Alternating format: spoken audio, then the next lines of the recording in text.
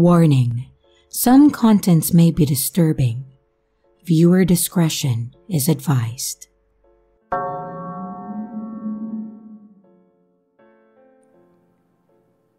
This is a story of someone I knew and had cut ties with because he was a freaking psycho. The first half will be to add context as to why I cut him off, and the second half is what makes it a let's not meet. I don't know if he uses Reddit, so I'll omit ages and locations.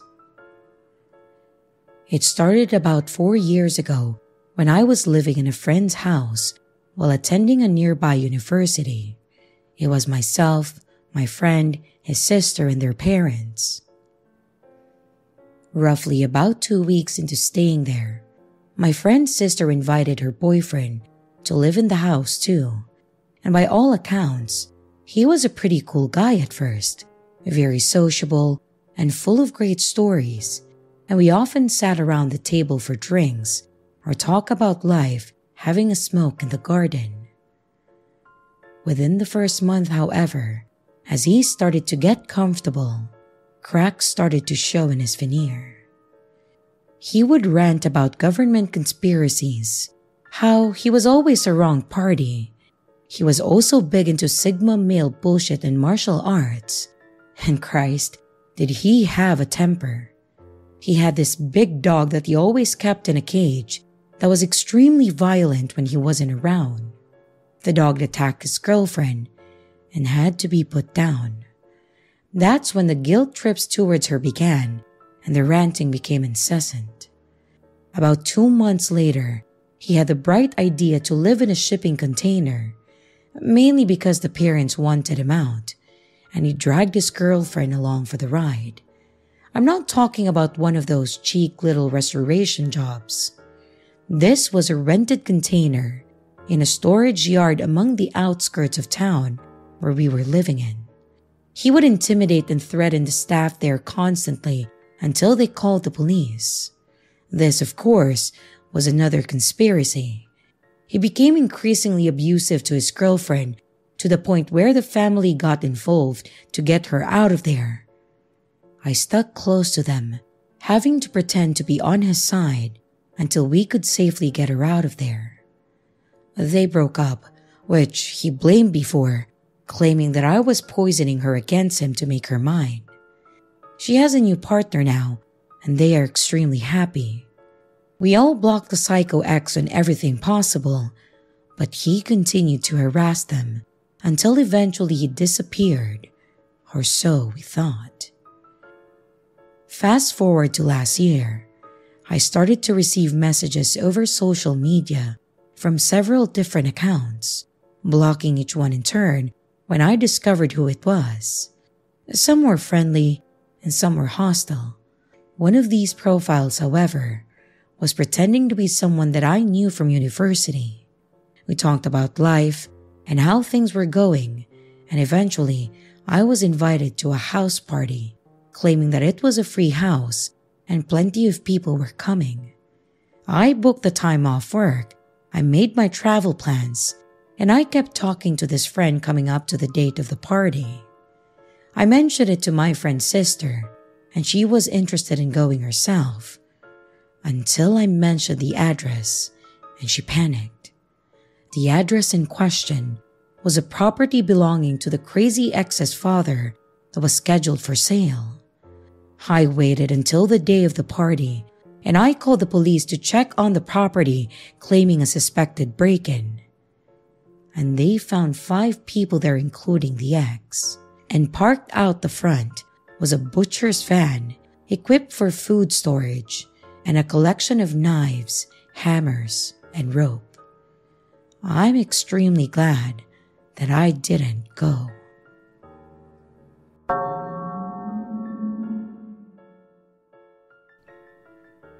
I really want to see other people's reaction to this interaction that I had with a guy from Bumble. I, a 30 year old female, matched with this 41 year old guy, and we started talking via text and phone for about two weeks before meeting. We got along really well, based on the texting and the phone calls we had. So finally, we went on an in person date. We went to a brewery by his house, and it was great at first. The conversation came easy. Then, he invited me back to his place to watch a movie as it was fairly close. One thing of note, I had told him previously that I didn't want to have sex on the first date, just to avoid that expectation, so I expected to literally watch a movie. When we got to his place, he was immediately touchy and affectionate. I gave him a kiss, and we made out for a second before he told me to go to his room. I really regret not speaking up for myself and saying no. It was just an awkward situation for me, so I just went along with it. But then, this is when it gets super weird. During the sex, he was so cringe saying things like, Yeah, who's my princess? And, hmm, whose pussy is this? Like, not yours, dude, I don't know you. He then was saying that it was so good that he wasn't going to let me leave.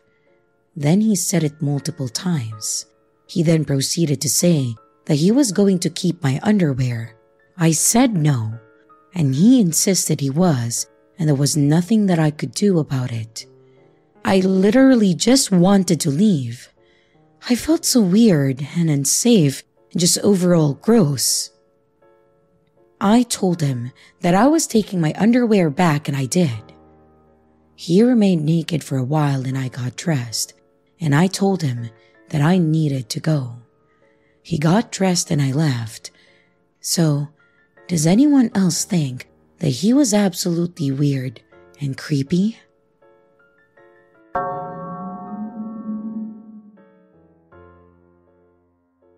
So, a bit of backstory. I'm 18 female, from the UK. This happened in February 2019. I was 16 at the time. I got set up on a semi blind date. We had seen photos of each other by a mutual friend. And this guy we will call Cameron. He was 19. Cameron seemed like your average guy. Maybe a little into video games and anime and stuff, but overall, nothing my friend told me about him seemed off in any way. Our mutual friend gave us each other's numbers and we texted for a night and decided to meet in a Starbucks the next day, since we were both free. I never like to meet new people this soon, but I figured since Cameron knew my friend, it couldn't possibly go wrong. How mistaken I was. I arrived slightly early, ordered my coffee since I never like guys to feel like they have to buy for me, and parked up on a seat facing away from the door and pulled out my book. I may be there for 15 minutes, chilling out, and I get a text message saying he's here. So I'm like, great, I'm at X table. I feel a presence over my shoulder, and I turn my head slightly in acknowledgement. He must be here. Before I even get the chance to squeak out a hello, his lips latch onto my neck, and he starts sucking on my neck. Now, I don't like people touching my neck at the best of times, I'm very ticklish, and I get super uncomfortable by people even touching my neck. The few times I've had massages or hair treatments, I've been holding in my discomfort. And he's latched onto my neck like a leech. And this man smells horrendous, kind of like dust personified. I freak out and elbow his chest to get him the hell off me. He lets go and looks at me with this weird expression on his face and laughs in deadpan. It's really, really creepy, and I start to become alarmed. I ask him what the hell that was, and he just says, I thought it was cute. Cute? In what world? I try to have a conversation. I'm like, okay, first impressions don't mean anything. Let's try and give him a chance. But he's just creepily staring at my chest. He says, Wow, I didn't know Asians could have boobs like those. Better not let you go. Direct quote I cannot make this shit up. I'm distinctly uncomfortable, but I don't want to just run away. He's giving me really weird vibes. So I go into the ladies' bathroom and wait for someone else to come in. I ask her to help me get out undetected. I don't want this man following me home or some shit. She, of course, agrees and she lends me her hat and scarf. It's in February in the UK after all. And we come out of the bathroom together and she manages to help sneak out of the back door of the Starbucks without him noticing me. He asked my friend where I went, but I told my friend to never mention me again. I was too terrified. I know I probably didn't behave well. I should have just told him I was leaving. But I was honestly just scared. Dear guy who decided it was appropriate to suck my neck before we had even said hello. Let's not meet again.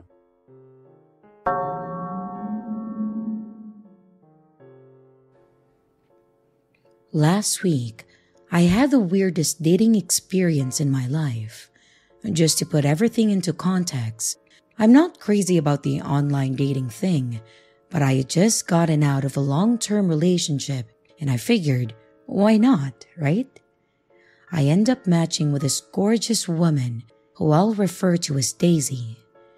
Daisy and I started talking, and at first she seems really cool. So we eventually decide to meet up at a spot near her, roughly an hour away from where I live.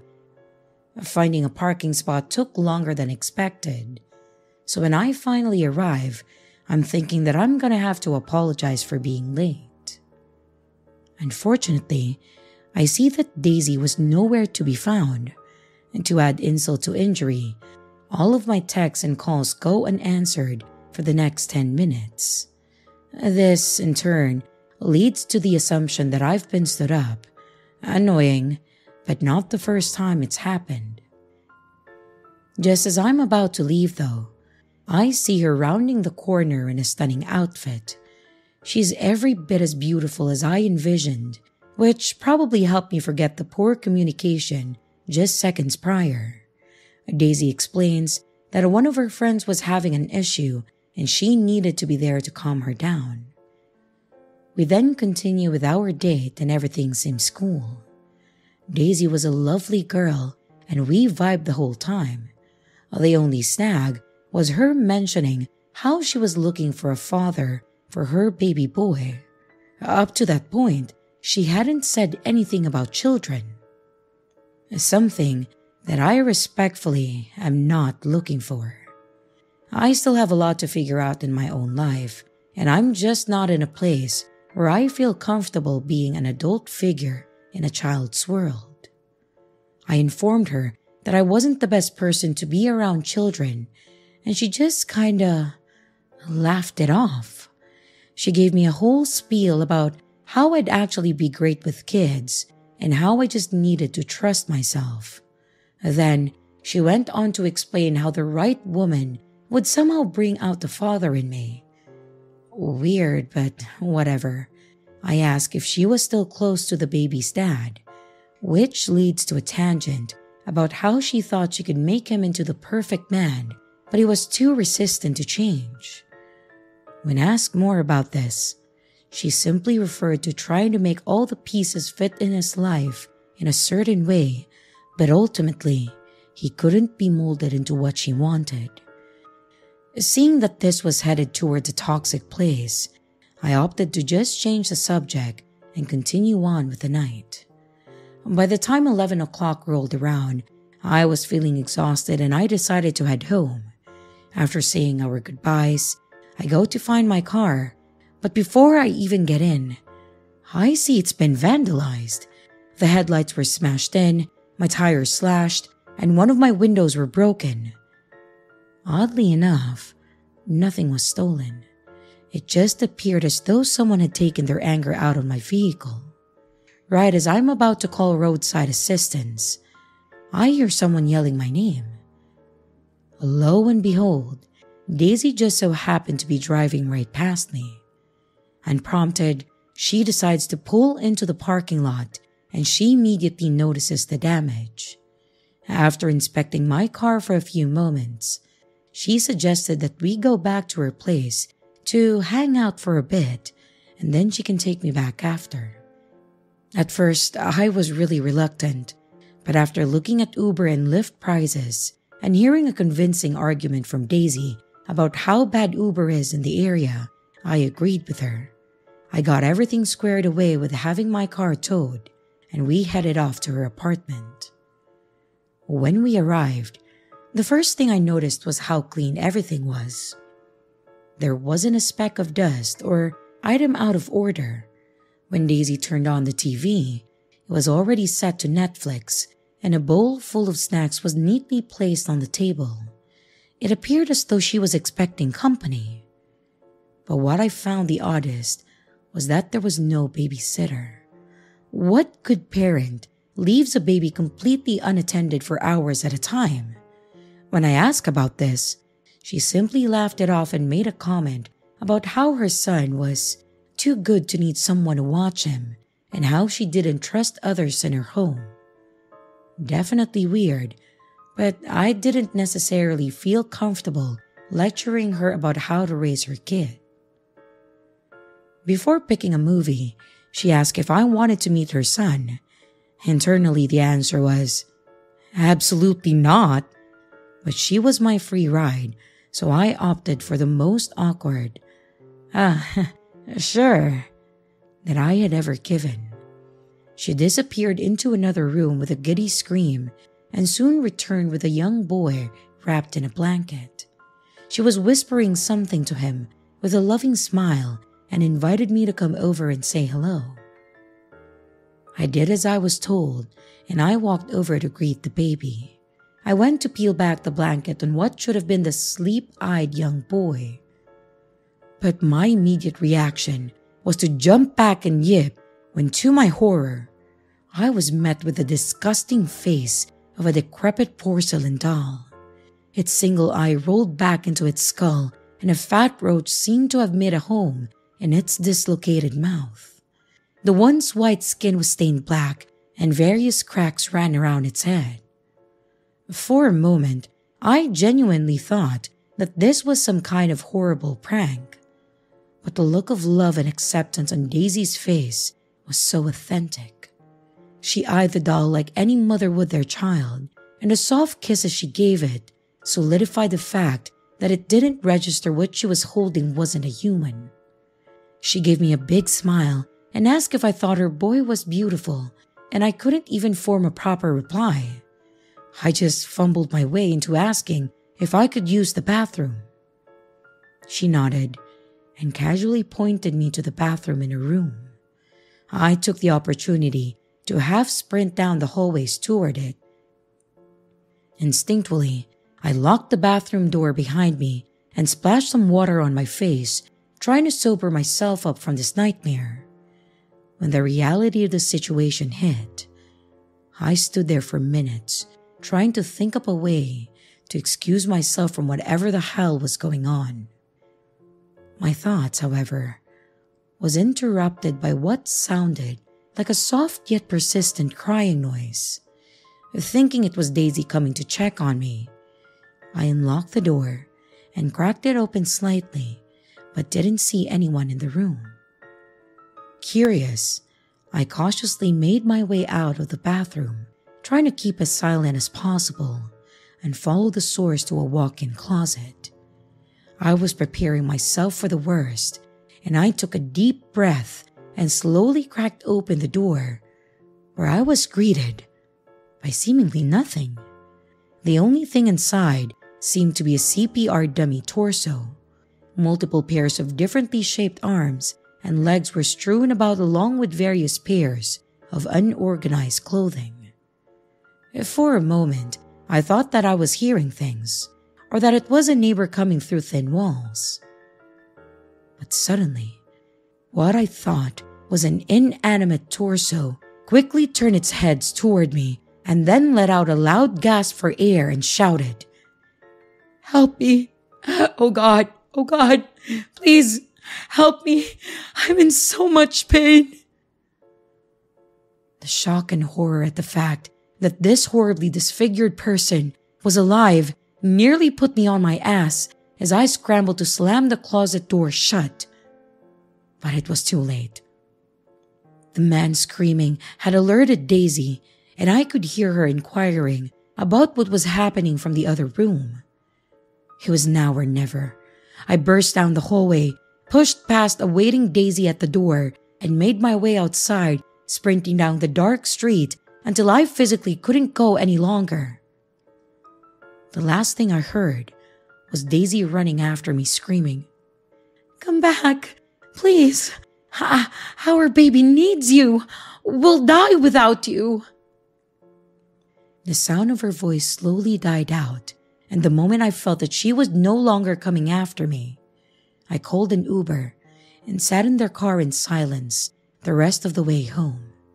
As soon as I arrived, I called the police and I explained everything that went down that night.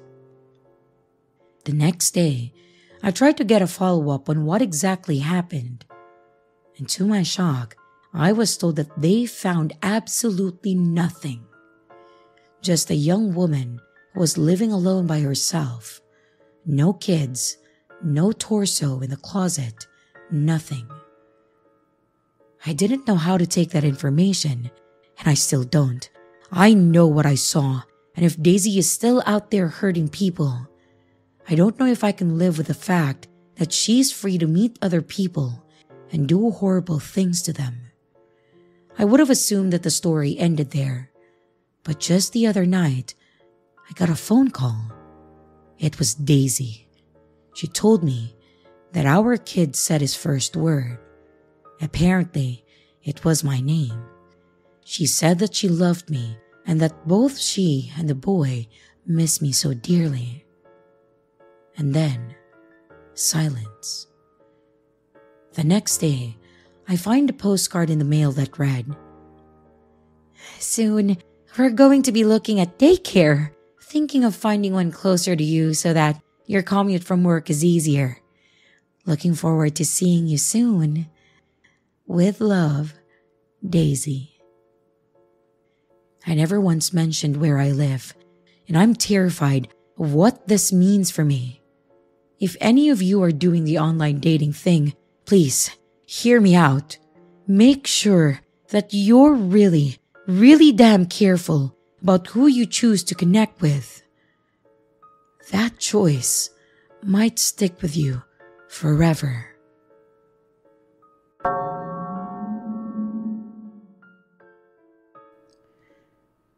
A friend of mine recommended a dating website for me to check out which isn't too unusual. However, the site he told me about was clearly a joke. It was a site to date monsters, or at least that's how he put it. He gave me the website address and told me that it was only up for 7 minutes and 7 seconds after midnight. I rolled my eyes at him and I put the information away in the back of my mind in case I got bored one day. Well, recently, I got very bored and I wasn't able to sleep. Scrolling through my social media, just trying to find anything new. I sighed, wondering if there was something a bit more interesting that I could do. That website came to mind. I mean, why not, right? If it was real, it was clearly a prank website that could entertain me for a few minutes. I waited for the clock to hit midnight and I easily found the site. It looked like one from the early 2000s blocky scrolling bars and a chunky mouse. The front page had a few profiles of the top creatures in demand. From what I could see of the photos, the top sellers looked like people wearing animal ears. This was a really poorly made joke, I hit my screenshot key to show my friends, but nothing happened. I guess some sites put a block on that sort of thing. I really didn't know much about website building to think otherwise. It would take me longer than seven minutes to fill out the form or to pick out a monster that I wanted to request a date with. So I saw a randomized button on the top of the screen. Hovering over it for a few moments, I clicked it. It then brought me to a page that was simple compared to the rest. Instead of picking out a creature, you could have one sent to you.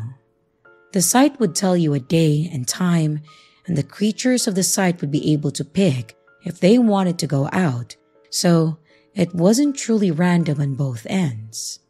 The human just didn't know what they would get. There was no form, so I just hit the button and I waited. I doubted anything would happen. This was a joke site after all, right? The screen turned black and I started to feel a little bit of fear creep up my spine. I was almost angry at myself for feeling like that. It was just a simple website.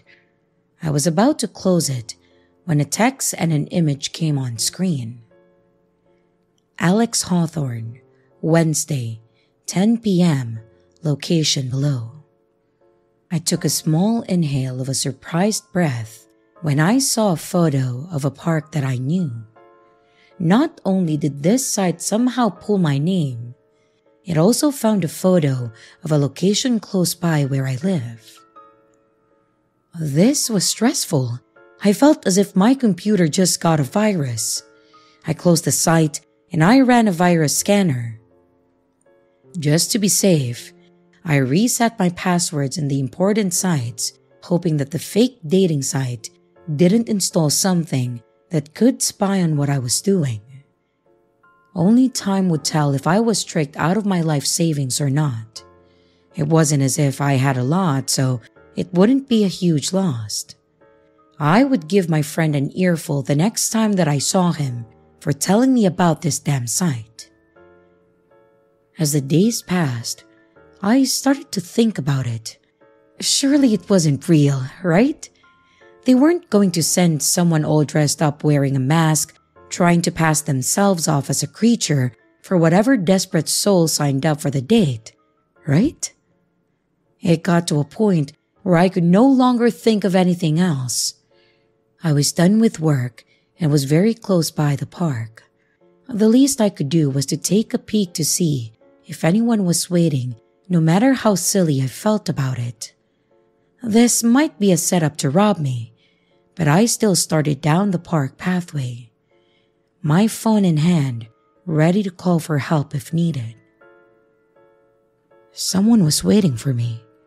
A tall man stood under a park light looking around as if expecting someone.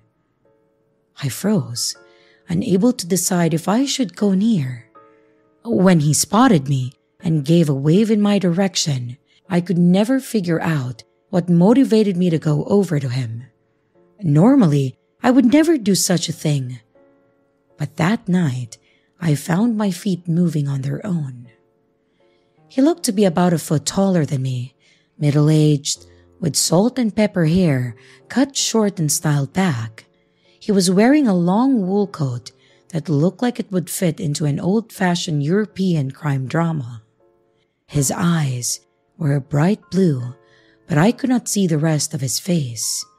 Half of it was covered by a gray cloth that went around his entire head. It was tied to a gold chain and looked like a dancer's veil.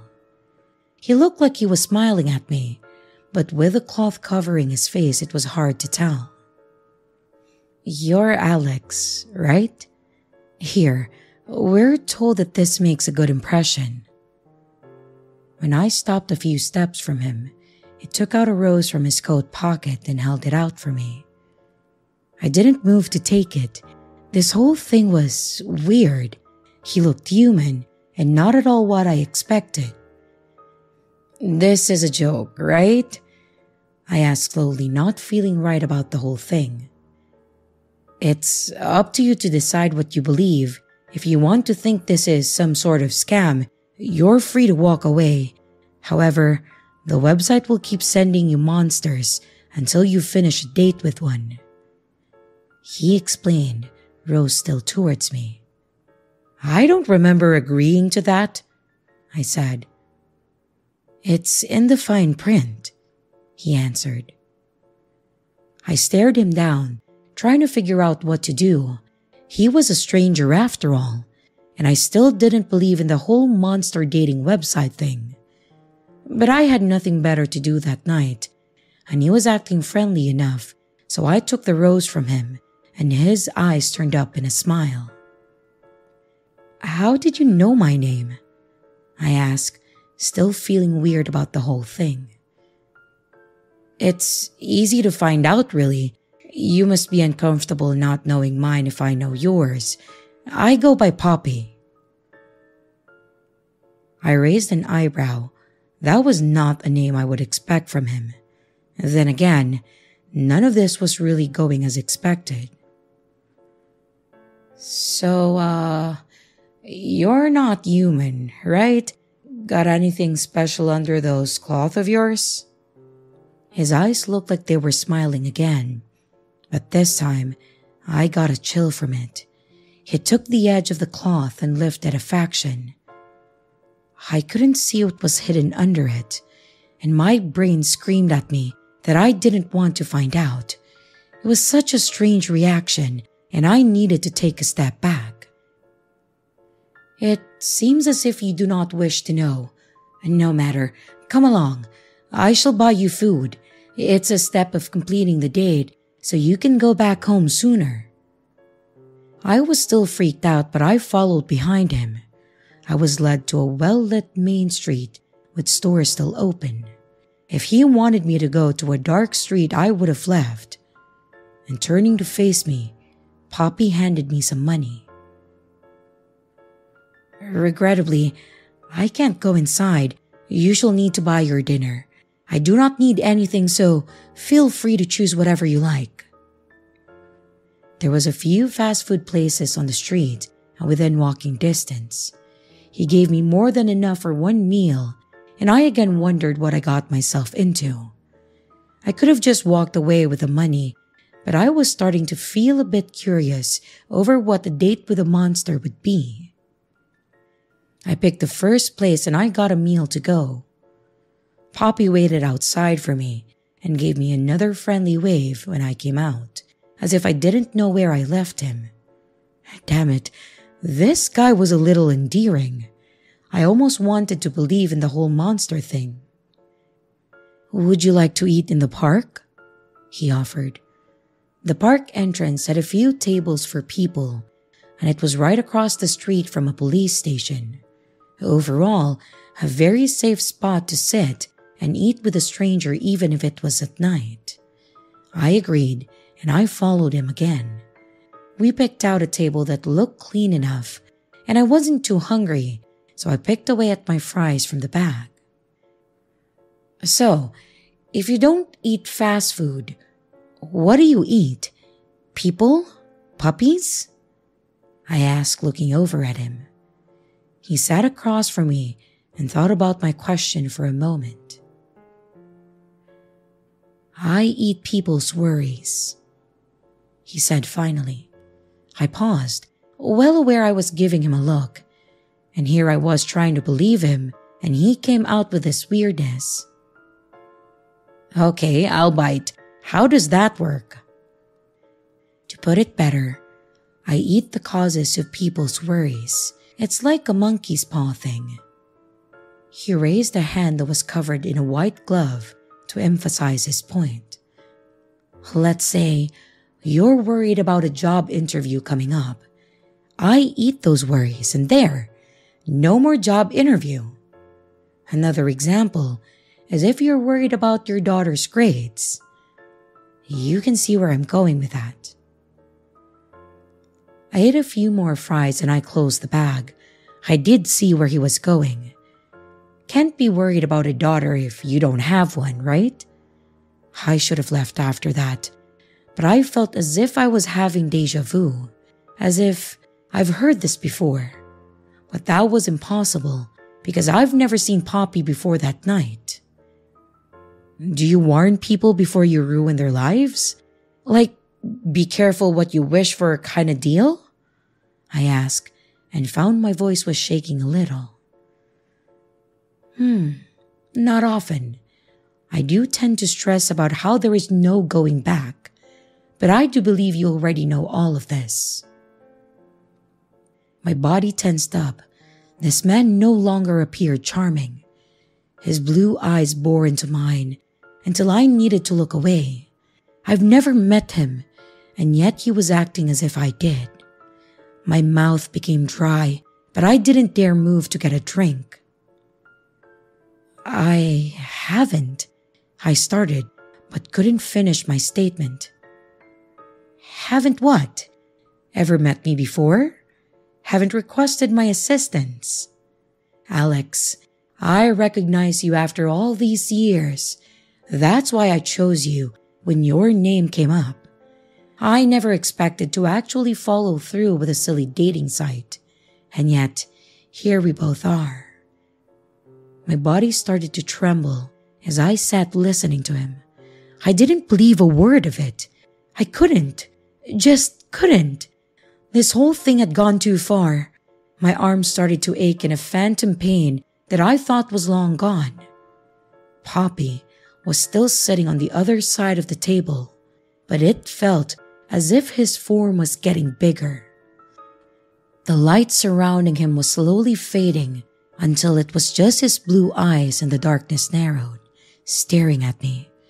I shook my head, trying to wake myself up or anything just to get me away from him.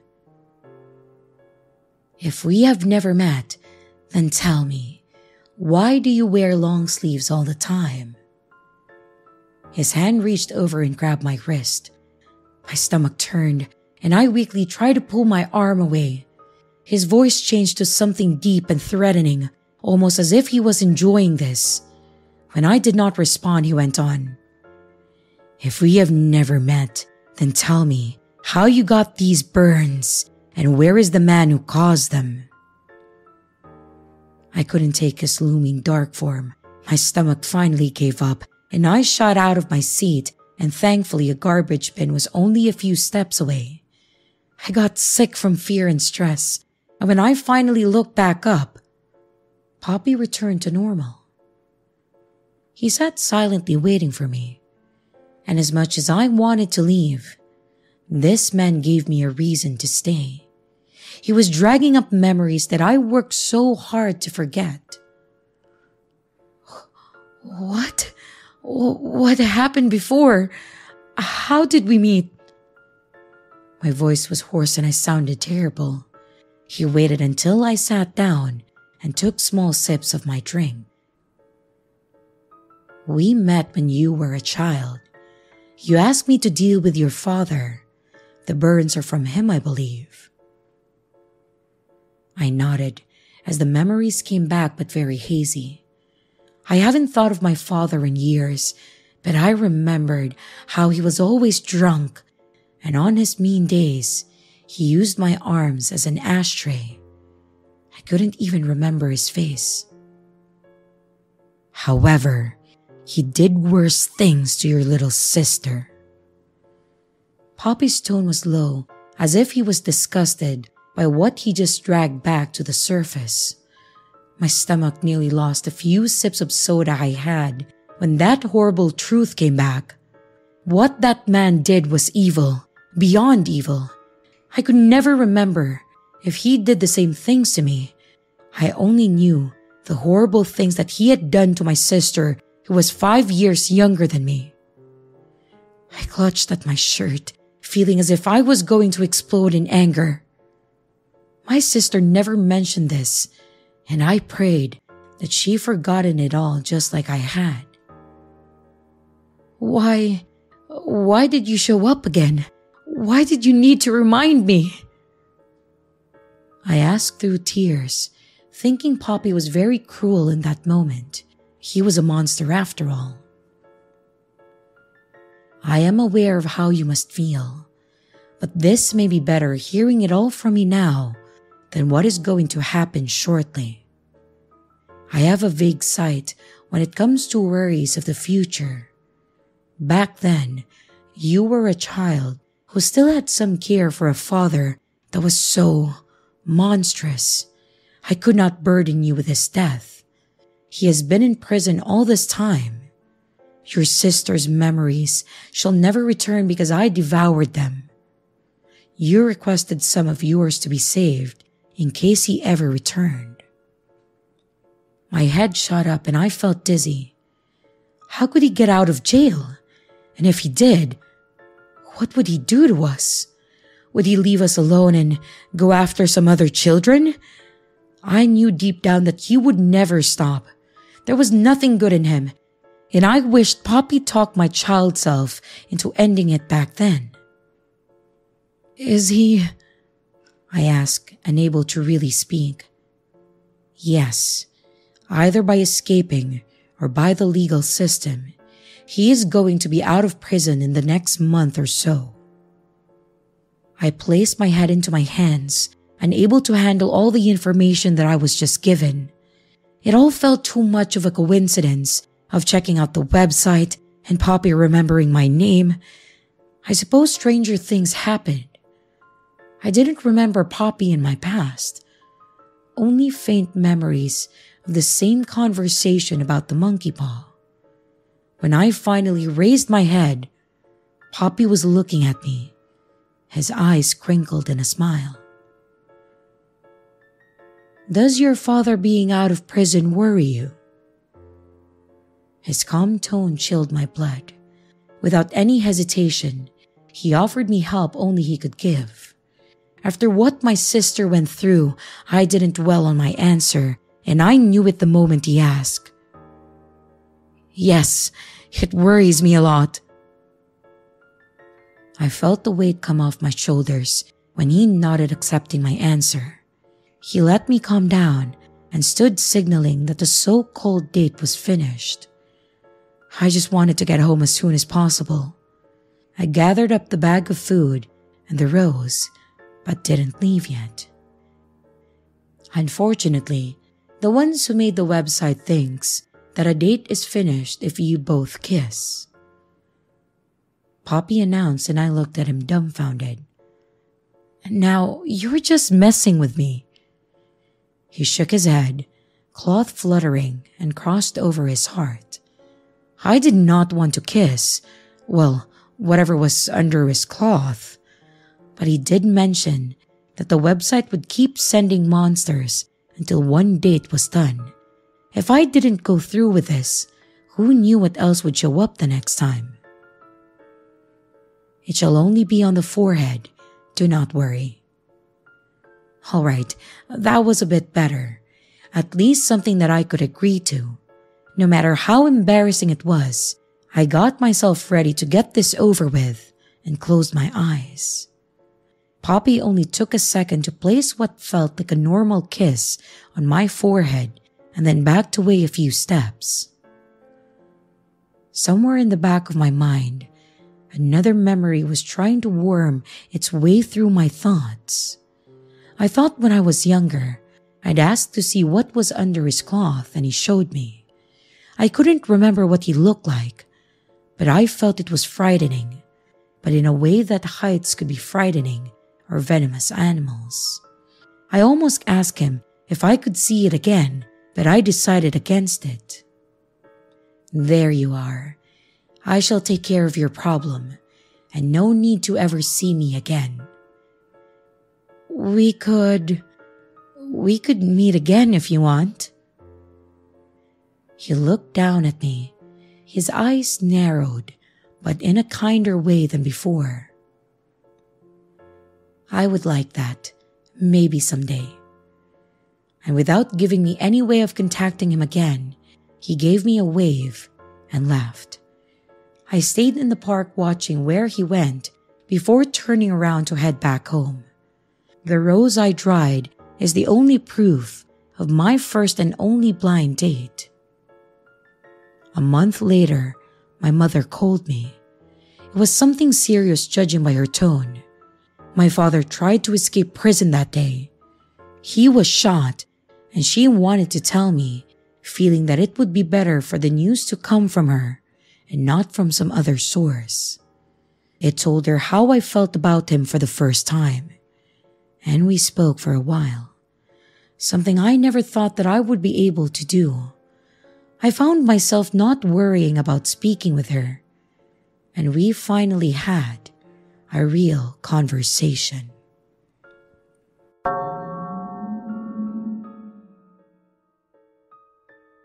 This happened in 2011. I'd just gotten out of a rough relationship a few months prior to this happening. My friends encouraged me to try dating again, so I caved and made a profile on the website, Plenty of Fish. I was surprised with how many messages I'd received within the first few hours. Most were just people saying hi or asking to hook up. I wasn't looking for a hookup, so I ignored those messages. After about a week, a guy, roughly an hour away from me, messaged me. He was cute, so I messaged him back. The conversation was pretty casual at first. He asked if I'd like to go for a coffee sometime. Not thinking anything of it, I said sure. This is where it started to get weird. He started to get pushy and ask when we could grab a coffee. I told him I didn't have my own car, so I'd have to borrow my mum's car to meet up with him. He offered to come pick me up, but I wasn't comfortable with the idea. The next message made my blood run cold. It read, I'm sure your hometown isn't that big. If I knocked on a few doors, someone would be able to tell me where you lived. Are you crazy? I replied. I'm sorry, but that's kind of creepy. This just pissed him off. He messaged me multiple times after this. They said, You know I have a gun? I could shoot you and make you disappear. No one would look for you. You're nothing but a dirty slut. I could kill you. I'll throw you down a well, and no one will ever find you. I was really scared at this point, so I asked him to please leave me alone. He replied with the following I know where your hometown is. It's not a big town. I can find you. At this point, I'd had enough, and I blocked him. I reported his account to Plenty of Fish and deleted my account. I was really on edge for the next few weeks after the fact. I was afraid he was actually going to come look for me. So, to the creepy guy who threatened to kill me on Plenty of Fish, let's not meet. Ever.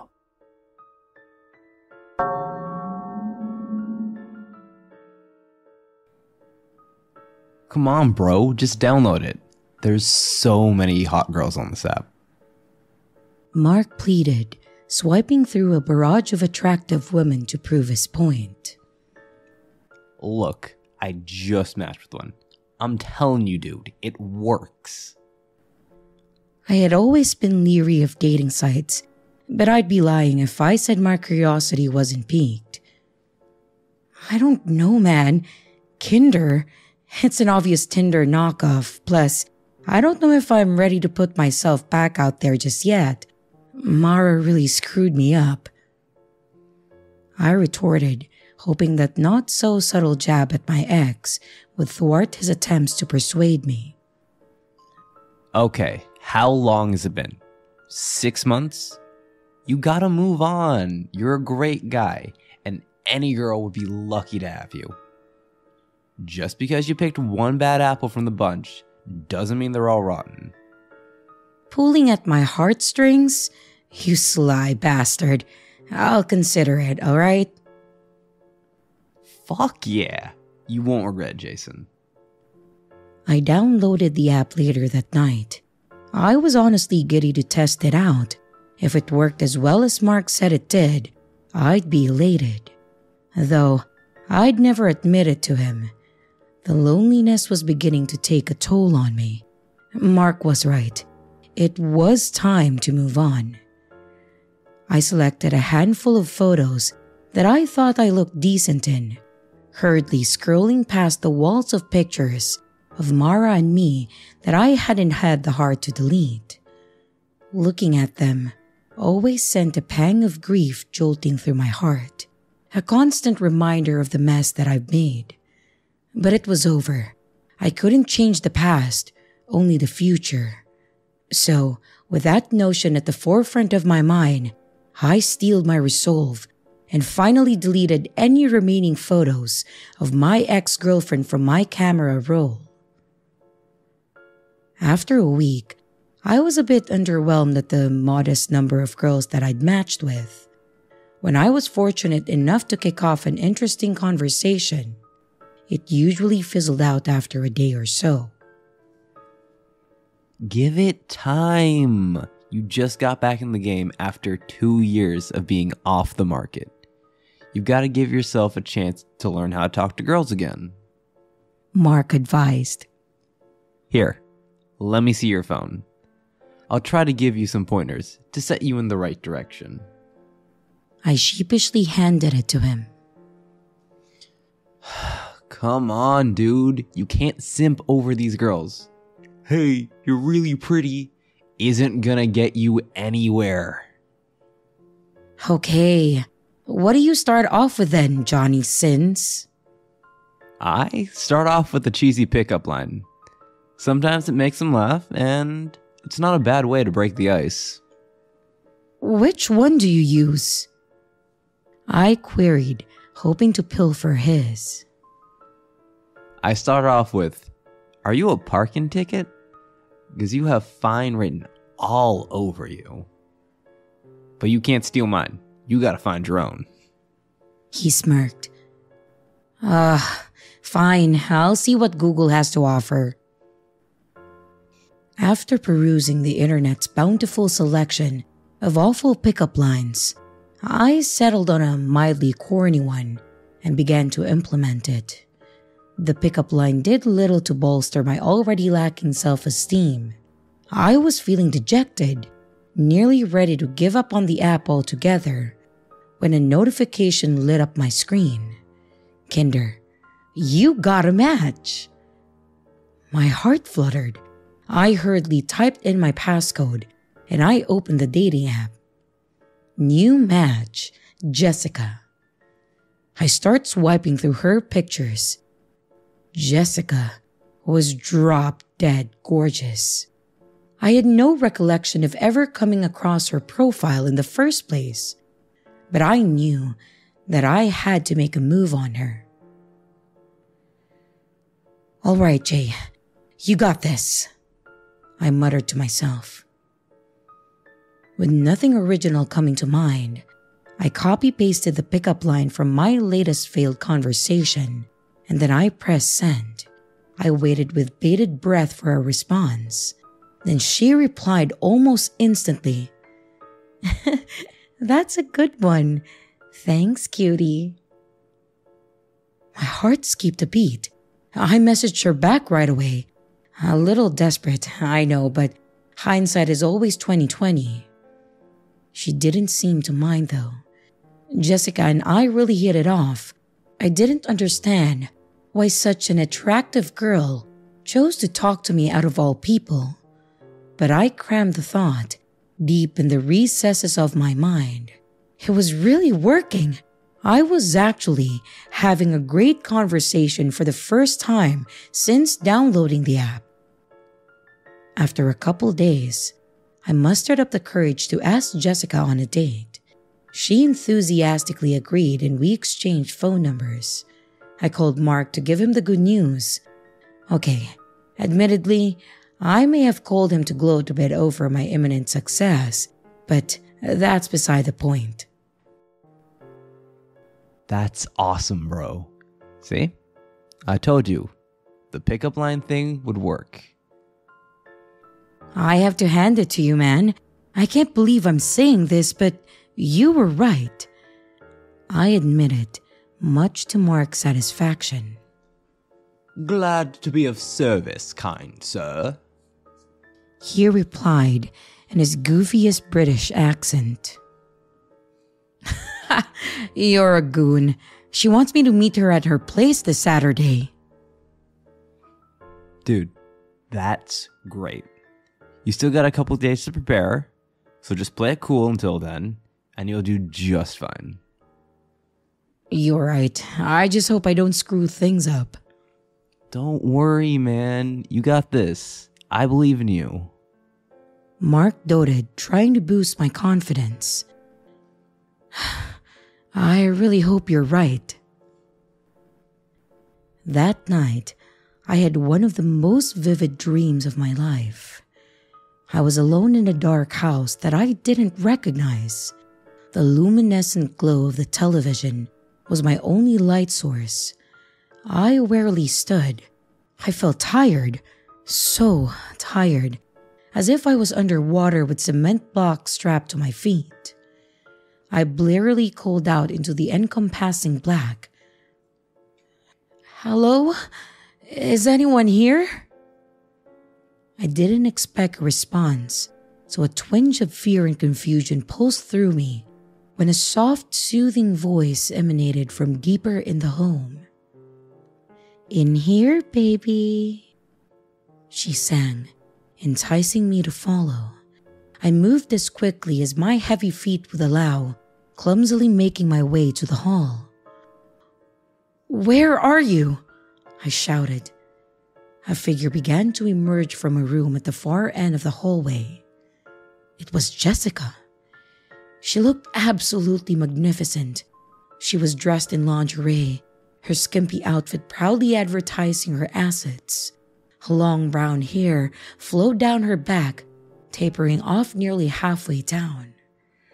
Her smile captured my heart, beautiful rows of stark white teeth gleaming back at me. Her stunning green eyes connected with mine, paralyzing me with her tantalizing gaze. She glided up to me and gently took my hand, lightly dragging me behind her. My heart pounded in my chest, and joy overtook me as we closed the distance to her room. Every second mounting to the glorious crescendo that I was dying to experience. Then, right as we reached the doorway to her room, I heard an alarm clock. My eyes sprang open Disappointment enveloped me as I realized that it was just a dream. But it felt so real. Maybe it was a vision? A passing sense of delight bubbled inside me at the thought of it. I had the same exact dream every single night that followed. Each time, Jessica and I would come so close to passing the threshold of her bedroom only for my alarm clock to tear me back to consciousness. It was starting to freak me out with the consistency of it all. I reasoned that because Jessica was on my mind all day, then my dreams were reflecting that. I tried not to dwell on it and I focused on mentally prepping myself to meet Jessica in person. The days leading up to our date were full of anxious anticipation. And when the day finally came, I was a bundle of nerves. I made sure to look my best, applying extra deodorant to mask the foul stench of the nervous sweat that I was certain would come. I left my house a few minutes before 8, shooting Mark a text to let him know of my departure. I pulled into the driveway and I messaged Jessica to let her know that I'd arrived. She instantly replied and told me to let myself in. I thought it was a little strange that she wasn't going to greet me at the door, but I ignored the notion and I timidly approached the house. Sweat began to pool above my brow as I pushed open the front door, and once I stepped inside, I froze in utter shock. It was the same house from my dreams. Everything, everything matched even down to the brown splotch on the carpet. Uh, hey, I'm here, I stuttered, announcing my presence. In here, Jay baby. Jessica's sweet voice floated from within the house, luring me further in. I cautiously trudged into the eerily familiar hall, and there she was she looked even more gorgeous than she had in my dreams. That long, brown hair cascaded down her shoulders. Her petite frame was flawless. Her minuscule amount of clothing clung to her perfect features in a way that only worked to embellish her even further. Her smile stunned me as I stared transfixed into her glistening green eyes. She stood seductively in the doorway, beckoning me to come closer. My legs involuntarily drifted toward her, and in a matter of seconds, I was standing before the radiant enchantress that I'd been so eager to meet. She slipped her soft palm into mine, interlacing our fingers. And then she pulled me into her room. She led me straight to her bed, where she adopted a promiscuous position atop the covers. She said, Care to join me? She giggled. You know it, I replied, donning my best sexy voice. I swiftly kicked off my shoes, discarding them at the foot of the bed. I began to approach her, but my foot clumsily caught on the corner of the bed frame, sending me crashing to the floor with a loud thump. Oh my goodness! Are you alright, sweetie? Jessica implored, alarmed at my sudden mishap. Ah, yeah, I'm fine. I breathed, preparing to lift myself back up. But before I did so, I caught a glimpse under Jessica's bed. A shriveled, rotten corpse glowered back at me, hollow, sullen eye sockets cold enough to bore a hole through my chest. Fear coursed through me. At least half a dozen mummified husks littered the floor. It looked as if their life force had been drained, leaving behind only an empty shell. Are you sure you're okay, hun? Well, Mama can make you feel all better. Uh, yeah. I just need to use the restroom real quick. I lied, shuffling to the hall. It's down the hall and to the left. Hurry back now, sweetie. She uttered, a tinge of impatience seeping into her words. Oh, I will. And when she was out of sight, I bolted to the front door, not caring that I'd left my shoes behind. I jumped into my car and I floored it out of there, tires squealing as they grappled for traction. Jessica tried calling me repeatedly afterward. I blocked her number and I deleted Tinder. I receive calls from random numbers occasionally, but I can't definitively say that it's her. I have a sinking feeling that I haven't seen the last of her yet, though. Because every now and then, I still have that same recurring dream.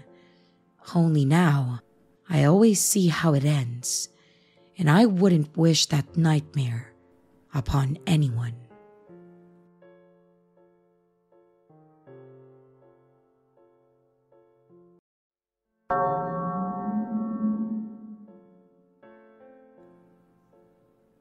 A few years back, when I was around 18, I entered a very rebellious phase in my life.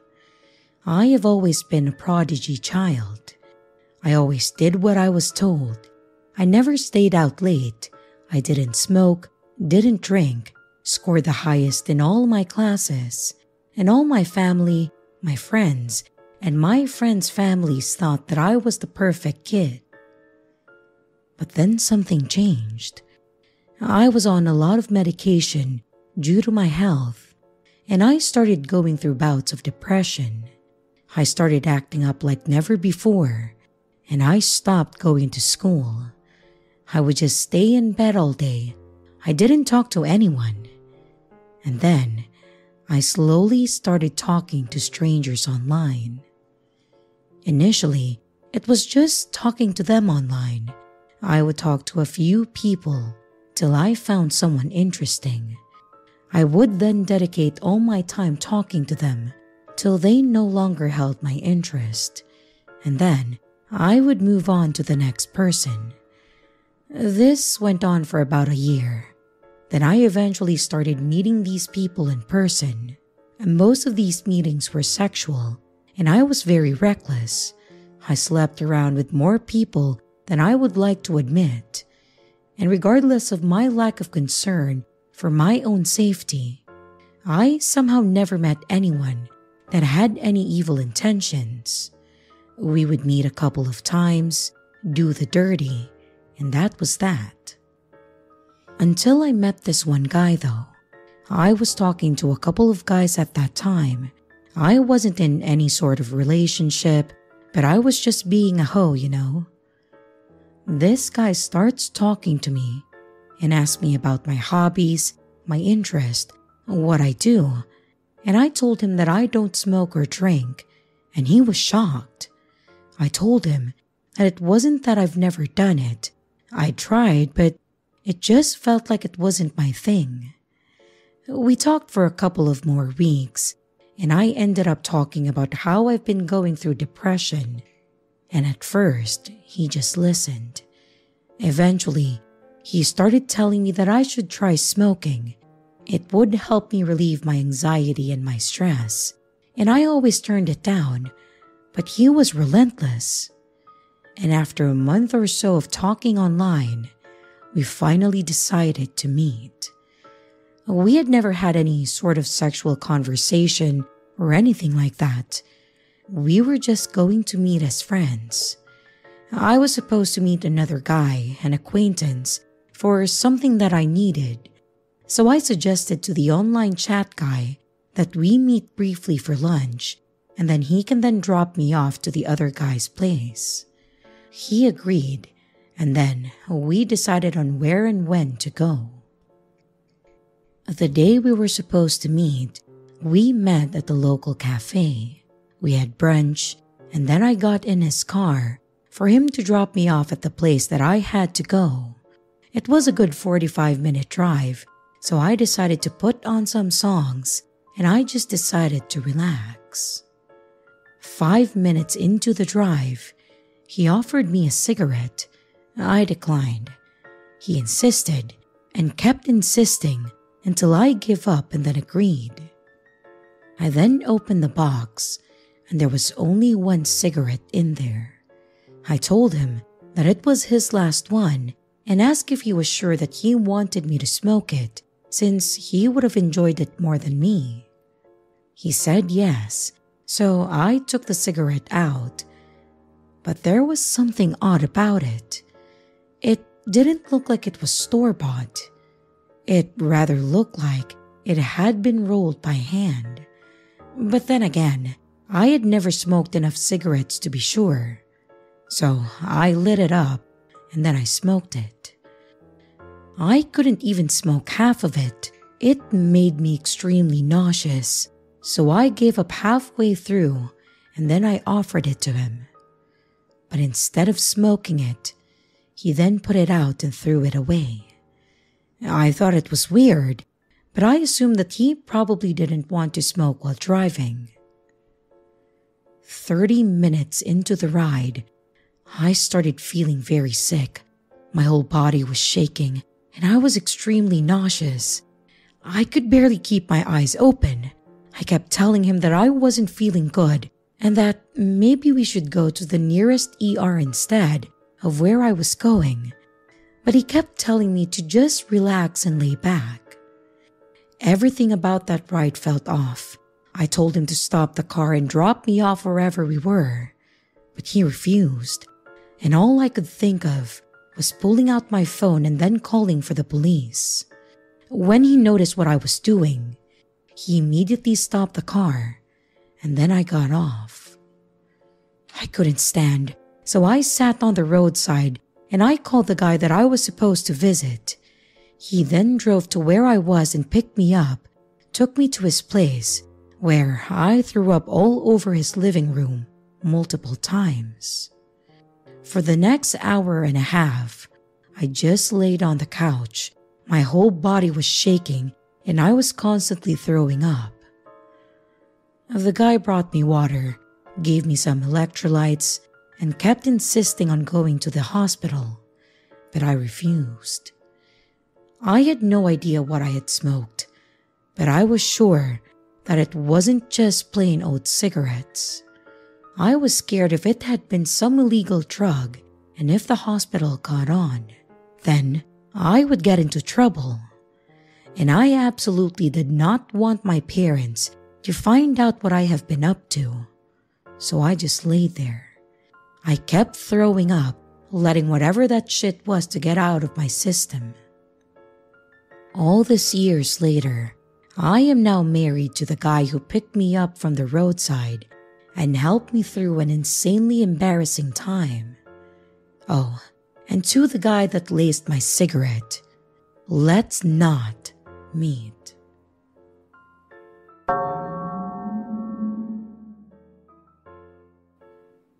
I'm a 35 year old female, and I used to work at a small startup that had a small warehouse in the city. I enjoyed it because it had great benefits, perks, and a pretty easy commute. I just walked a few blocks to the metro line in our city. Usually, I work the day shift, so my walk to the station wasn't too bad. I just encountered the normal city life and on the occasional time that I worked into the night, I usually walked with some co-workers that I knew, or my then boyfriend would pick me up. If I had to make the walk by myself, then I would wear giant headphones so I can deter catcalls and other annoyances. Well, I had a doctor's appointment that morning, but I was allowed to make up my shift by staying after the day shift crew left. However, I finished my shift before the rest of the evening crew, which meant that I had to make the walk by myself that day. It was already dark and the street was pretty much deserted. Well, except for this one really tall burly dude that's walking just ahead of me and yelling into his phone. I had my headphones on, but nothing playing because I wanted to be aware of my surroundings. Big burly guy sounded angry, and he didn't turn back to look at me until after he yelled into the phone, Well, I did my part, and now it's up to you to get rid of the body. I don't care what you do, just make it disappear. Then he turned around and stopped walking and then looking at me surprised. I quickly stopped to not run into him, and I give an awkward grimace or a smile, acting like I hadn't just heard him say that because I was listening to music. And at the next crosswalk, I quickly crossed the street, and he just stared standing in place until I was a block away, and then turned the corner and disappeared. I don't know if this guy actually knew that I was behind him and just said that to scare me because he thought that I was listening into his conversation, I hope. Or he was up to no good. But that was super creepy. I never walked to the metro when it was dark after that by myself. Either I had a ride or a buddy to walk with.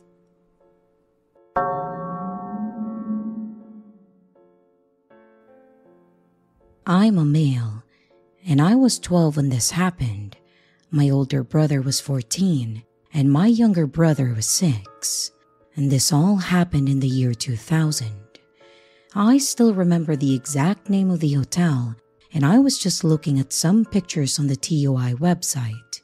It's very nostalgic, but I'll refrain from sharing the name as I'm unsure if it's appropriate to. We arrived at the hotel complex in Zakynthos, and we were given the keys to our apartments where we would be staying for the next two weeks. We had two separate apartments, one for my older brother and I, and a different apartment for my parents and my youngest sibling. The apartments were like mini blocks of four. There were two up and two down. My parents and my youngest sibling were in a separate apartment in the same block on the first floor, one across from us, and my brother and I were on the ground floor. One important detail is the block we were in was at the very end of the complex. The four foot perimeter wall separated my and my brother's apartment from the outside of the complex, which I remember just being a load of plants and bushes. Near the beginning of the holiday, for whatever reason, there was a conversation amongst us about how Albanians would sometimes rob or mug the tourist that we would not have any problems because Zakynthos was not part of mainland Greece. No idea of how factually correct or stereotypical that was, but the conversation happened. During the holiday, as you do, we made friends with some of the other kids. One of them demonstrated how easy it was to unlock any of the apartment doors just by sliding a bank card between the door and the frame. Impressive and funny at the same time, but not so much in hindsight. About one week into the holiday, we thought that it would be fun to have our youngest brother stop in our apartment for the night. In the middle of the night, we were awoken by some loud banging on our door. It was our dad checking on us.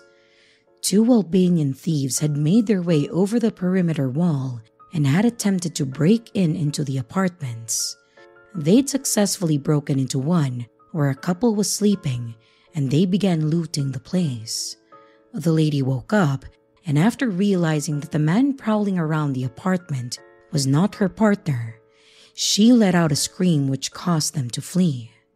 One of them successfully jumped off the balcony on the first floor and made their way off, while the other had face planted upon impact and was lying in a pool of his own blood. Police had arrived and were apparently giving the guy a good kicking.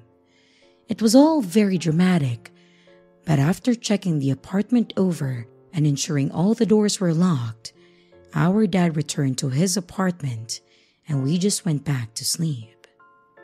The particularly creepy part is that the next morning, we stepped outside to shoot at the hornets with the arsenal of BB guns that we had purchased. But we noticed two very obvious handprints on the sliding doors to our apartment. It was shaped out by that sort of red, brown soil or sand. They'd clearly tried breaking into our apartment, and they'd have been stupid not to given that we were the very first apartment on the side of the perimeter wall. Who knows if robbing a few disposable cameras would have sufficed for them if they managed to get into the apartment with just a 6, 12, and 14 year old bunch of kids. One bonus little creepy encounter a bit later on during the holiday is that I had returned to our apartment after swimming and I had gone to use the bathroom. Upon exiting, there was a completely random middle aged guy that just stood there in the kitchen who said, Morning. I said the same back, and I just ran off back towards the pool at the other end of the complex. Turns out, it was the owner of the complex who decided to just let himself into our apartment to do some maintenance or something. I mean, who the hell does that? I never really found out what happened to the burglars after that. But safe to say though, that face planting from a first floor balcony jump probably smashed a few teeth.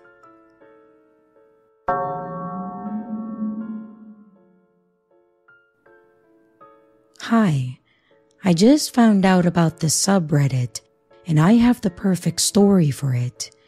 But before I tell the story, it's important to know that my dad is not by any means a fighter. He is not an angry man, and if anything, he's a bit meek. So this happened when I was six years old.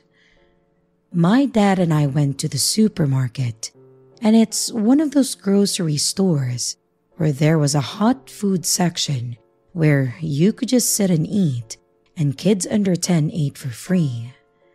My dad and I were getting food at the buffet, and then we were going to pay at the cash register and then go sit down. Now, this whole section of the supermarket was very small.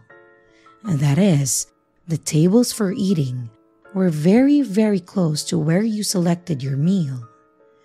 And because my meal was free, I remember asking my dad if I could just go and sit down. He said yes, and that he would be right over. Again, he was probably going to be at most 20 feet away from me. When I sat down, I remember a grown man, I think about my dad's age at that time, coming to sit directly across from me at the table. The table only sat two people, he said. Do you mind if I eat with you? And I just remember feeling so scared that I froze and I just went quiet. I didn't answer, even though my six year old impulse was to be polite. It was like my mouth wouldn't open. But the next thing that I knew, before I even had the time to feel rude for not being able to reply, my dad was right in this guy's face, grabbing him by the shirt collar. I don't remember exactly what he said to the man, but it was the first time and one of the only times that I've ever seen my dad raging mad. And it was the first time that I heard him use a swear word. I couldn't believe that my dad was actually grabbing someone physically. The next thing I know, security came over and my dad had called my mom. He was in the grocery store shopping. And then there was a big commotion. All I remember is we then left the store. I actually haven't asked my dad about this in such a long time, probably since I was a teenager. And I sort of want to now and just ask what ended up happening.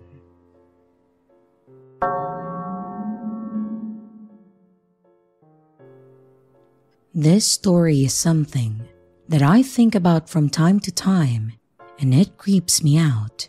So I'm writing this to get it off my chest. So, anyways, let's begin. Two almost three years ago, I was 17 years old, and at this point, I was accustomed to being in horrible situations, as as all I had was my mother, and she could not hold down a job for long because she had her own issues to tackle.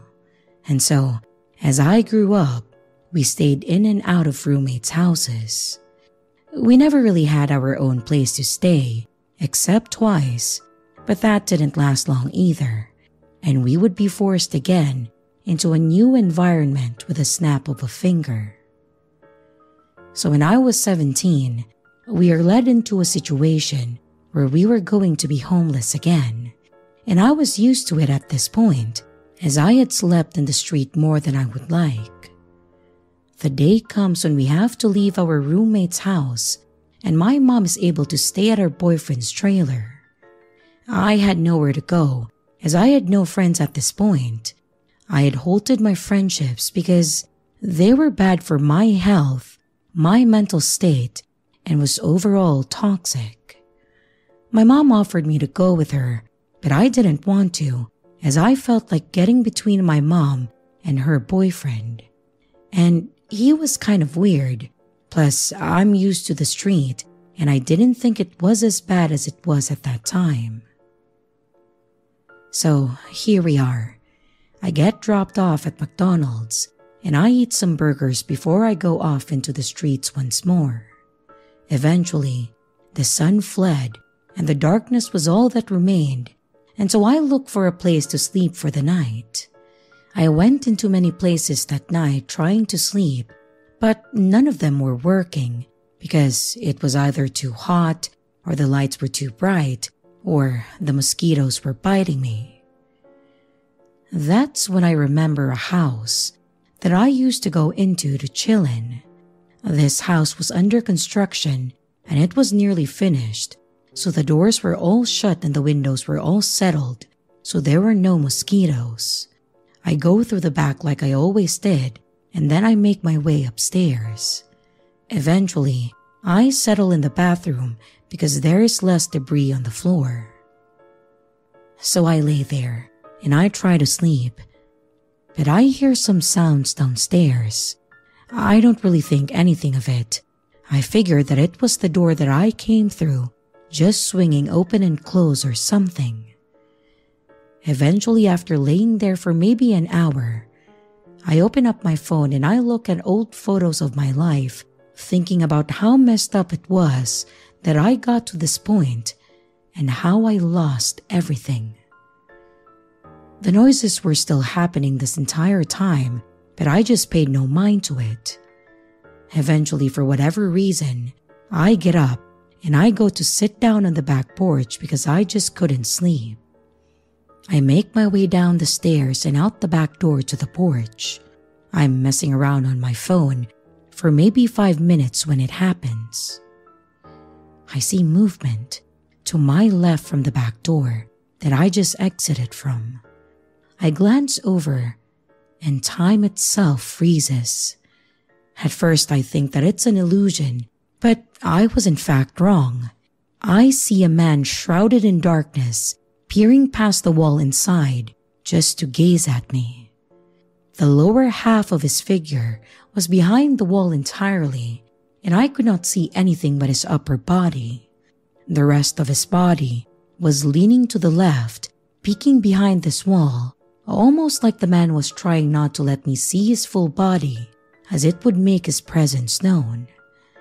The man was a pure black silhouette, and I could not make out any features at all. After noticing him, I just sat there and I stared at him for what seemed like forever. But it was probably a minute or two.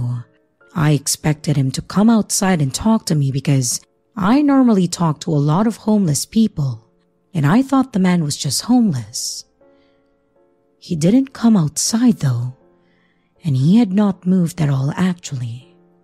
He was as still as a statue and quiet as a mouse. And maybe if I had not noticed him, he would have stared at me the entire time. After staring at him, I got up and I got my bicycle and I made my way out of the property. As I am walking out of the backyard, I peer into the window that is next to the door that I saw the man in. The moonlight revealed the man, and he was still there. Only now, he was watching me walk out of the property. I could tell because the moonlight revealed the top of the man's head, and I saw his left eye gazing at me. He was a white male who was very tall and had a jacket of some kind on. I could not make out many details because he was still cloaked in darkness. But after seeing this, I just moved a little faster out of there. I got to the front of the house on the street and I looked inside to see if I could see him again, but I could not. So I just got on my bicycle and I waved goodbye to the house because I figured that the man was still watching me. Then I drove away. For the rest of the night, I could not sleep. I tried two different spots, but both were no luck. This is where the story ends. I know I didn't have a crazy chase or fight to the death or anything. But this was real life, and it's not the same as the movies or books. I don't know what the man was doing in there, and I assume that he was trying to sleep like I was.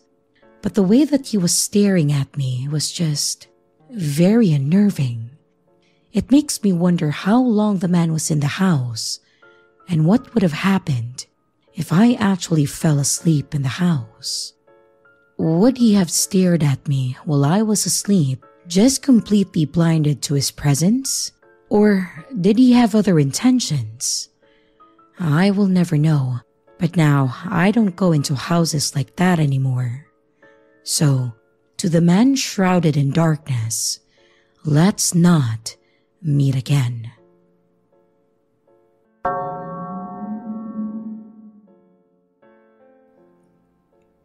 This story happened a decade ago, but honestly, it feels like it was forever ago. I remember pretty much the entire thing, but some of the details are hazy, as this was 11 years ago. It was quite traumatizing, so my apologies if I miss anything. Let me give you a bit of a backstory before we get into the actual situation. That way, you can understand how this all happened. So, to start, growing up, we never had a whole lot of money.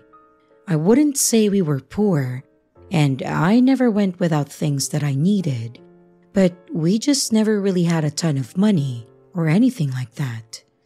We never had nice cars, I never got fancy clothing, and we never went on vacations or anything. That's not to say that my parents didn't try. They absolutely did, but it's just a good way to look at how it was for me growing up. And in addition to this, I never really had many friends when I was young. The neighborhood we lived in didn't have any other children until I was about 10, and my cousin on my mother's side moved in at the other corner. Well, when she moved in, we were inseparable. I was always at my aunt's house, or she was always at our house. So, like I mentioned before, our family never really left town or went anywhere fancy or anything like that. So in 2010, when my grandmother on my mother's side decided to put together a family reunion, and she told my mom that she would pay for the hotel for my parents to come out and that she wanted them to bring me and my cousin because my aunt wasn't going to be able to make it. I was ecstatic. I was about to go to Colorado Springs with my best friend, and it was going to be the best summer ever. Even if it was just a medium priced hotel with almost no amenities for like three days. Like I said, I didn't know about the Lux life, so this was an extravagance to me. So, we got to the hotel, and I was in love with it. My cousin and I had an adjoining room with my parents, so we were pretty much allowed all the privacy we wanted. But the one thing that I really wanted to do was go swimming in the hotel pool. And the first night there, I begged my mom to let us go swimming. And she was a bit hesitant at first, but after a while, she told us that we could go swimming after a little while and that either she or my dad had to accompany us. And that was fine by me because I just wanted to get into the pool. So we went back to the room, we put on something on TV, and then we waited. And after about an hour or so, my dad came over to the room. He said that we were allowed to go swimming and that the plans had changed a little bit.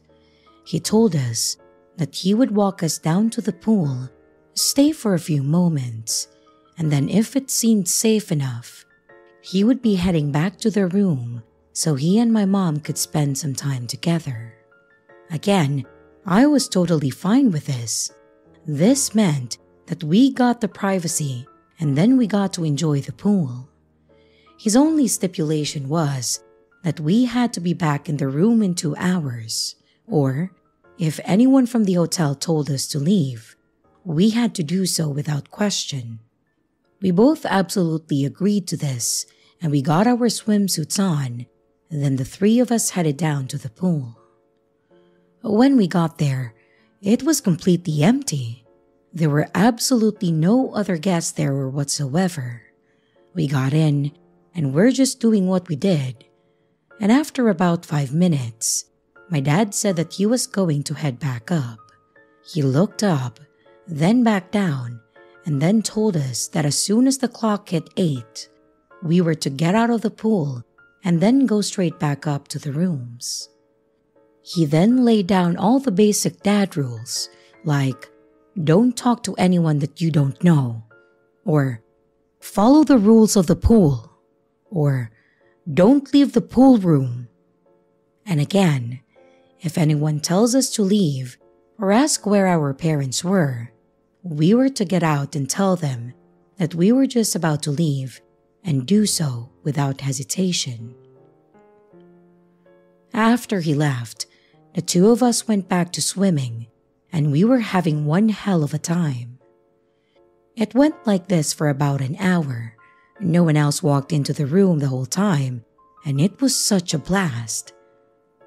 Then, at about 10 past 7, a guy walked in that looked a bit disheveled.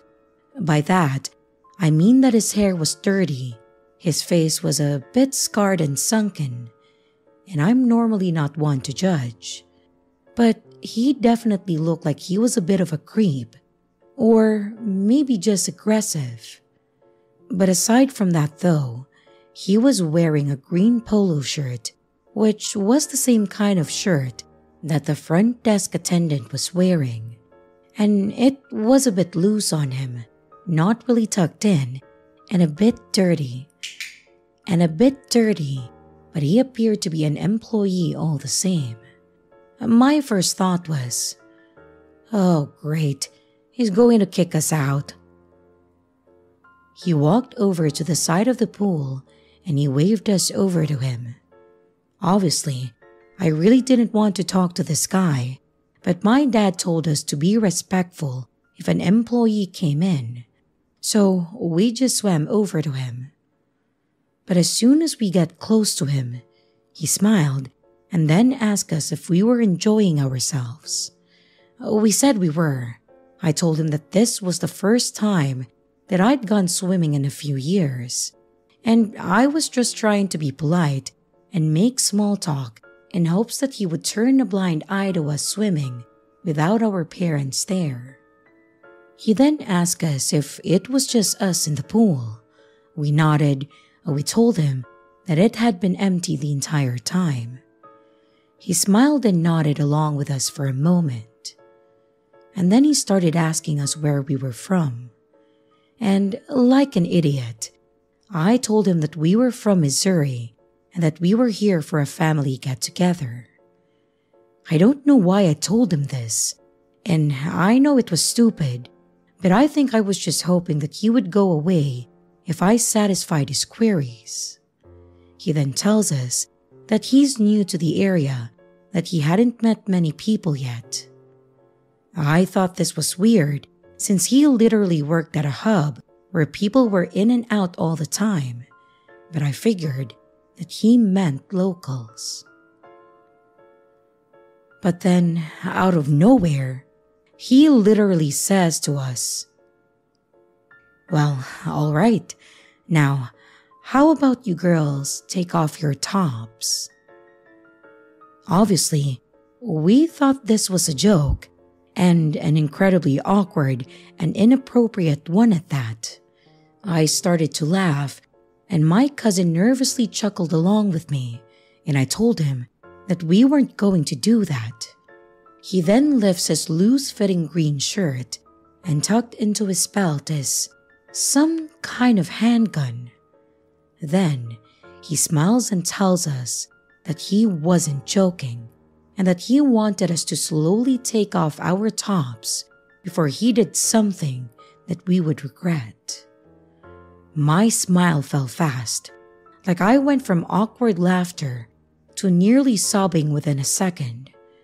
My poor cousin, who had pretty much been quiet this whole time, basically started pleading with him to just leave us alone and that we wouldn't tell anyone about this whole thing, which was a lot smarter than what I had been saying. He laughed again, and then he said, Look, you're not gonna tell anyone anyways, because if you do, I'll find you. Now, I want you both to start undressing, and this will be over within just a few minutes. I look at her, and she looked at me, and neither of us knew what to do at that moment. In my infinite wisdom, I thought, maybe if I stood up and did what he wanted, he would just go, and this could be all over with. So I stood up and I started to reach back to untie my top. The look on his face was disgusting. He was clearly happy with the situation. I was almost done untying my cover when his disgustingly pleased look changed to, well, I think it was concern. He told me to stop, and so I did. Then he asked me, Wait, how old are you girls? And I told him that we were 15, both of us. As soon as I said that we were 15, he dropped his shirt and genuinely looked pissed off. After a moment of angry staring, he seriously looks at me and says, Never mind. I didn't know you were just a kid. And then he starts to walk toward the exit. He grabs the handle of the door, looks back, and then says, Hey, I'm sorry. I thought you were of age. I was never here, okay? And then he leaves. The whole thing came to a screeching halt, much to my personal preference. Within a second, as soon as he realized that we were kids, he decided that what he was doing was indecent. And yes, before anyone asked, we ran to the front desk and then told them about the employee that had just tried to make a strip in the pool at gunpoint. We described him, we told them everything, and they then told us that there was no employee that looked like that at the hotel. I think it was then that it occurred to me. Yeah, he was wearing a green polo, but I never saw a logo, and he never said that he worked there. I just assumed. They called our parents' room and then had them come down, and then they called the police. The cops came and took our statements.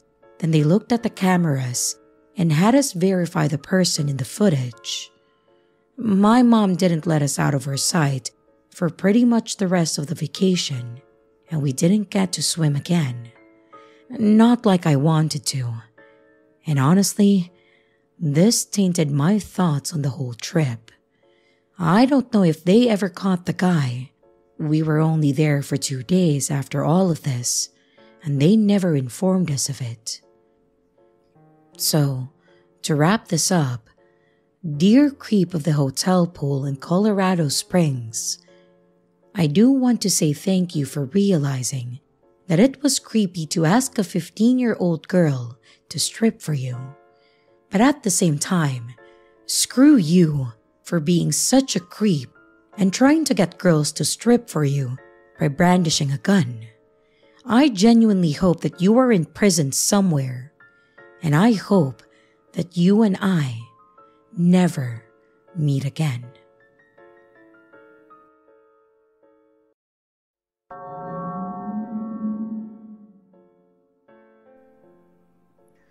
So this happened a year ago when my husband and I went to the cinema to watch a movie. Let's call him C for anonymity. And I don't really remember what the movie was, but the theater was half full.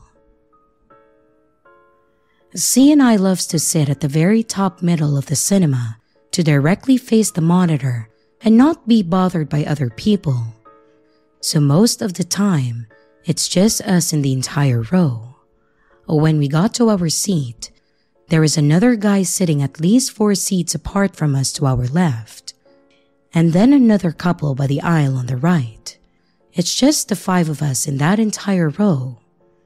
The guy was wearing a hoodie and it's up on his head, so you can't really see his face. He also has a big black backpack with him that he puts on the floor. That was already a red flag to me because it's a big theater and they don't allow bringing big bags. But at that time, I noticed that in the entrance, there wasn't anyone to check bags. But I just tried ignoring the uncomfortable feeling that I had. The couple to our right moved to another aisle seat below us, so it left C and I with a guy in the entire top row. This is the description of our sitting arrangement, just so you have an idea. I'm sitting on the left side and C is sitting on my right. The guy is sitting to my left, four seats apart. We are on the very top of the cinema, but there is a space at the back where you can stand.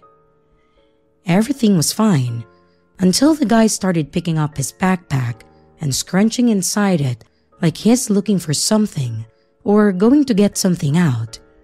And then he would stare at us. He would stare at us for at least a good two to three minutes, then start scrunching inside his bag again, and then stop and then watch the movie.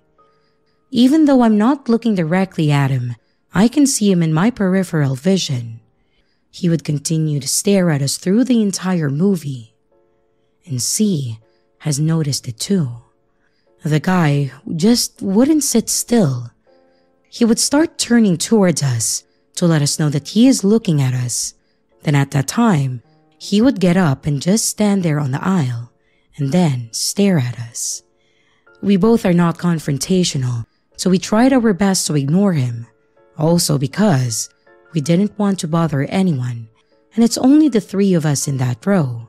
So if he did something to us, we might not be able to ask for help.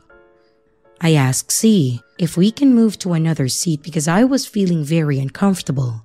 Maybe another row. But he didn't want to because, one, we love sitting in the middle seat, and all the middle seats, including the one below us, are already taken. We both didn't want to sit on the side of the theater, and we don't like being too close to the monitor. And number two, because he didn't want to get the guy's attention and make him think that we were scared of him. So, we both tried our best to ignore him. And also because we both are not judgmental person, we wanted to give the benefit of the doubt that he was just weird and just wants some attention. But he keeps on staring at us and keeps on scrunching in his backpack again, like he's purposely doing it to let us know that he has something inside his backpack. Well, my imagination starts to get wild and I started thinking that he might have a gun inside his bag and then start shooting. But then, the most uncomfortable thing happened. The movie was close to the ending, like 20 to 25 minutes to the ending, when he suddenly got up again, took his backpack, but this time he went to the back of our row. Although we could not see him, we knew that he was standing close to us. C and I felt very uncomfortable, and we were so sure that he would start doing something bad. He just stood there until the movie ends, and we both can hear him moving, not knowing what he was doing. C and I both tried to calm down and hope that nothing will happen. Finally, the movie ended, and we immediately got up and left. We didn't bother to see what he looks like. We just wanted to leave, and we were so grateful that nothing bad happened. The entire situation was odd and it really creeped both of us out. I have no idea what his deal was and why he would stare at us and why he stood up at our back. But the next time that this happens again, screw it, we're moving to another row.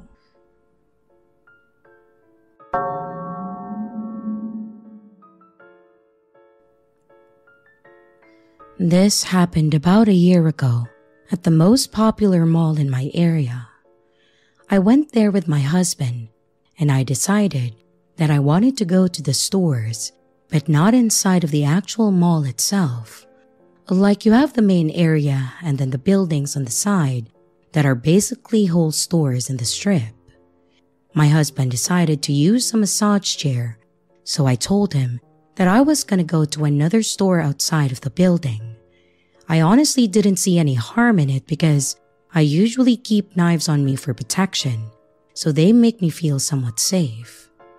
And as soon as I'm able to walk to the first store in the strip, a white van pulls up slowly in front of me I was about 15 to 20 feet away from the curb, and the first thing that I notice is that there are two men wearing black ski mask in it. One of the guy cat calls me and makes a comment about my butt while I'm standing there. And by this point, I am paralyzed with fear because I've never experienced this before. After the dude says something to me, they immediately start driving off and disappeared before I could take a picture or anything for evidence. So I'm still in shock because of that, and I asked the nearest couple what they heard and if that really happened because again, I was in utter shock and panic at this point. After I asked the couple, I immediately speed walked back into the mall, got my husband, and then spoke to a cop that was inside. as if that actually did anything in that moment. But after I spoke to the cop and described the van, he made like an announcement, and then my husband and I left the mall. One of the main reasons I was so freaked out is because of the fact that the target next door was clapped for child trafficking, and I didn't want to stick around for something else to happen. And a store on the opposite side of town also had a child related incident, so this area is kinda sketch when it comes to certain stores. I may not be a child, but it still worries me because you know people can be unpredictable.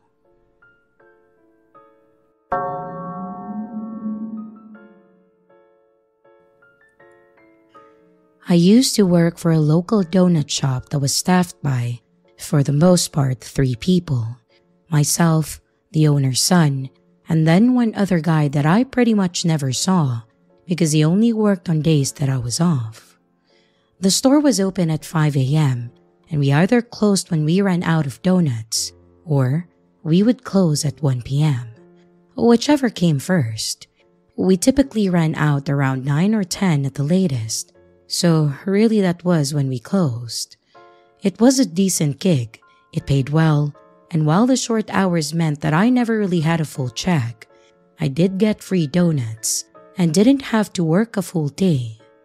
Honestly, I was in my early 20s, so this was an ideal job for me because I didn't want to work full hours and I love donuts.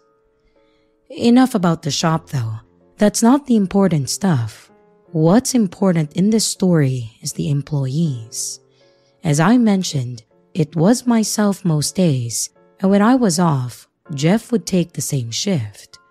However, the owner's son, Hunter, worked every single day, all seven days of the week he worked. The thing about Hunter was that he was obviously just there to get a paycheck and he didn't care about the business at all, even though it was literally owned by his parents.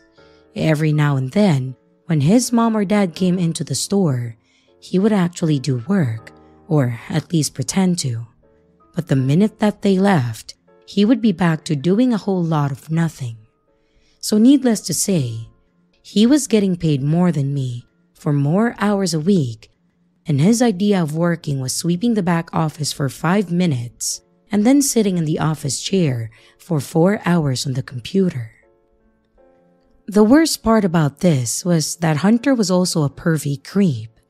While he was on the computer in the back, he would quite frequently watch adult oriented content. At first, he would try to be sneaky about it. He kept it muted, would click off of it quickly if I had to go to the back, but it was pretty obvious what he was doing. But after a couple months of this, though, he started getting more bold with it. He would leave it on while I was in the back, and he knew that I was cleaning or prepping there, and I could see it. Then, after a while, he started playing it with the volume on, and as expected, it started on low, but he quickly started playing it louder and louder until it was on full volume. It got to the point where the customers could hear it, and that was where I drew the line. I was working the front and a lady came in with her two kids, neither of which could have been older than eight, and she was asking me about the specifics of some of the donuts. I was explaining which filling we had, and out of nowhere, the very obvious ambient sounds of two people enjoying each other's company came playing from the back. She looked back with her eyes wide, her two kids looked back laughing and asking what that was, and I could tell that I was beet red. I apologized profusely, and I gave her the donuts for free, and I apologized a second time. The whole time I'm trying to get this transaction done, the noise is just playing in the back, as if he didn't know it was happening, or as if he didn't know that it was loud. And as soon as the lady left, I grabbed the phone and I called his mother to tell her what he was doing. And much to my surprise, she didn't really seem to care. Her solution was that I should go to the back and tell him to turn it down or ignore it. I told her that the customers could hear it and that the last lady had kids that were subjected to the common adult content profanities and sound. She laughed. She actually laughed when I said this and said that she would have a talk with him. But until then, I needed to do my job and ignore it. I was honestly shocked. The owners had always been decent people and I had never been hit with the level of apathy from them. But it was also the first time that I had to report an issue with her son. After I hung up, I decided that I would do what she said to go tell him to turn it down, and I walked to the back and knocked on the door at first, just in case. But when he didn't respond, I took a deep breath and braced for whatever that I was going to see on the other side of that door. If I told you that I wish I hadn't done that, it would be an understatement of the century. I won't go into full detail because it's honestly just disgusting, but I have to explain a good amount of what was going on to highlight how messed up it was. I will say it was creepy and disgusting, but I also know that some people will find humor in the whole thing, and that's okay because I did laugh after the fact. When I opened the door, the first thing I saw was Hunter sitting in the chair and dressed as the day he was born, and I had expected that he would possibly have his pants down, but I didn't expect him to be completely naked. After I noticed that he was naked, I noticed something else, and again, I won't put it into fully detailed words, but I will say that he was enjoying a donut. If you can put two and two together, he attempted to turn and cover himself and yelled at me to get out, but it honestly was like a train wreck. I think that's the best way to explain him though. Hunter was a train wreck. I think you'd have to be to sink so low as to pleasure a donut at work with customers and a coworker in the other room. I immediately shut the door. I took off my apron, tossed it on the counter, and then left. I was not dealing with him or with that situation anymore.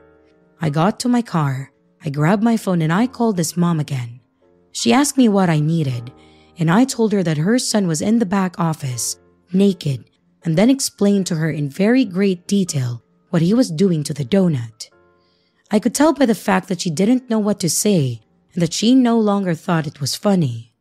I wrapped the call up by telling her that I quit and that it was officially her problem and not mine. After I hung up, as when I literally burst out laughing. It was gross. It was really, really messed up. But also, how low do you have to sink to do that to a donut? Anyways, that's my story about when I worked at the donut shop. I will say that I never went back, and I asked them to mail me my last check because I did not want to look at Hunter and have that image come back to my head. They closed the shop a couple of years later, mostly because they had a lot of bad press when Hunter sexually harassed several customers, which tells me that his mom, having a talk with him, literally did nothing, and that he was just a natural born creep. I'm pretty sure that he caught a charge at one point, hopefully. Anyways, I hope you found some humor in this truly disgusting tale. And I hope that Hunter and I never, ever meet again.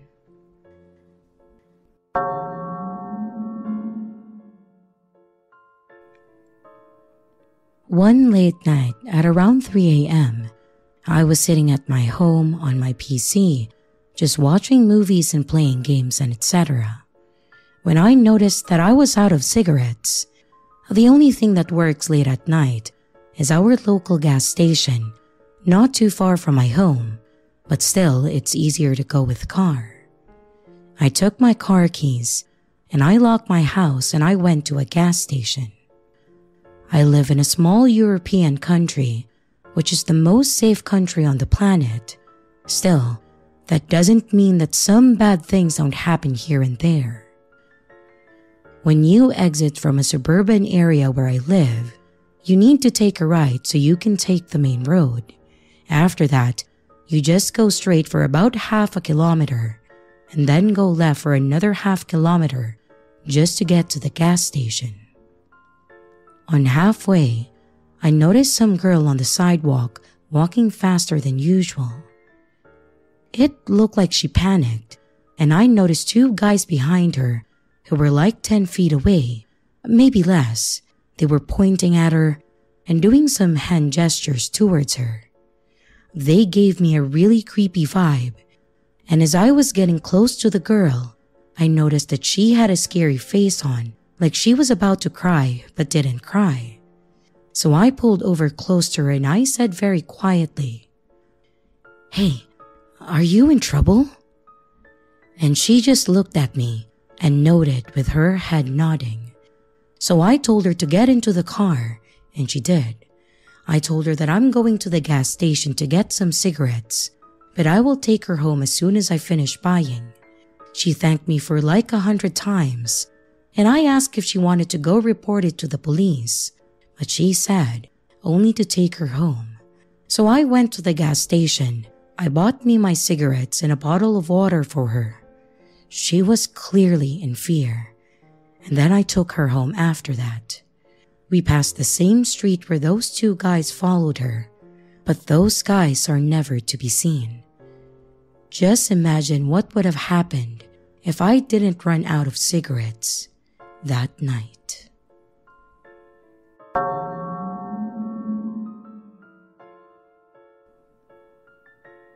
So this happened last winter. Fog starts setting in my city at the time of sunset, and it gets really dark really soon. Now, my university has a policy of not interfering in anything that happens outside, even if it's right outside the gate in front of the guards. A few days before my stare down, there was some talk going around about a student's phone getting snatched right outside of university. So, one day, me and my boyfriend were sitting in the car outside, but just right beside the college wall and around 20 meters away from probably the college gate. He wanted to go use the restroom and asked me to come inside with him, but I was like, nah, I'm too tired. You go and I'll just wait here. So he went leaving his phone with me.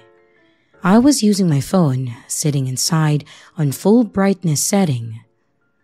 Suddenly, a bike beeline towards the car.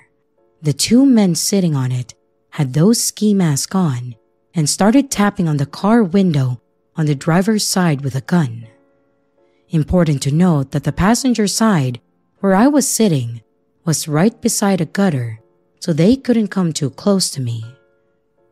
They backed off and again came forward tapping the window, looking at me through the windshield and motioning me to roll down the window. I was too stunned to do anything.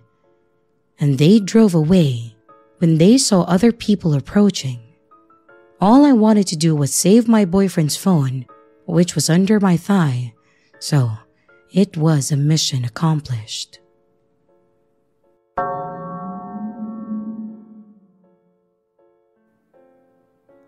I was on a vacation with my family when I was about 14.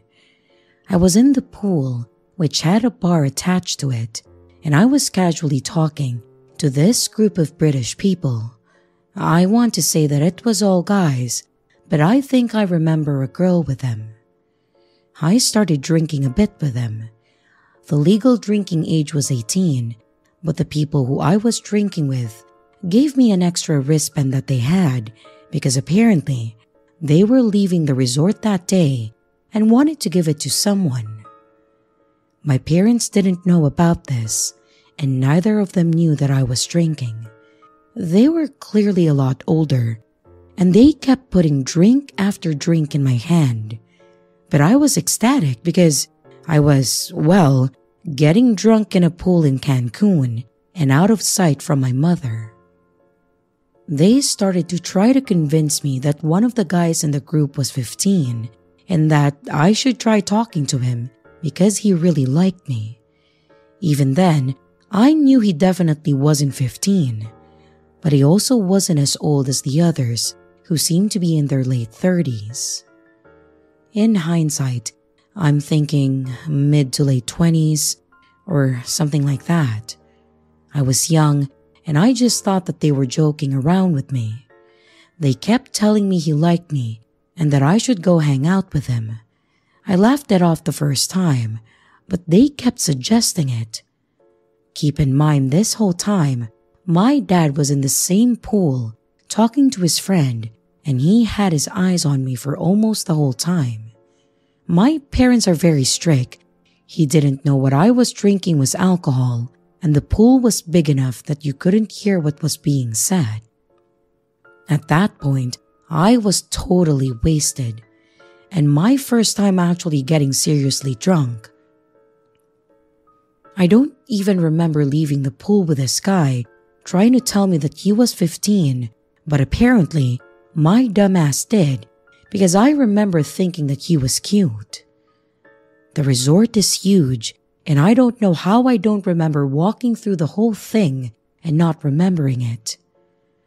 I wonder what we spoke about, but the next thing that I remember was walking and approaching a bus stop that was at least a 10 minute walk from the resort. I know that it was 10 minutes because my family and I often went to the bus stop to explore Cancun. He then told me that I had a nice body and asked me if I ever had sex. I just started laughing and he sat on the bus bench and then pulled me onto his lap. At this point, my world is spinning, so I don't even protest even though I remember thinking that I wanted to be back at the pool. It was then that something beautiful happened.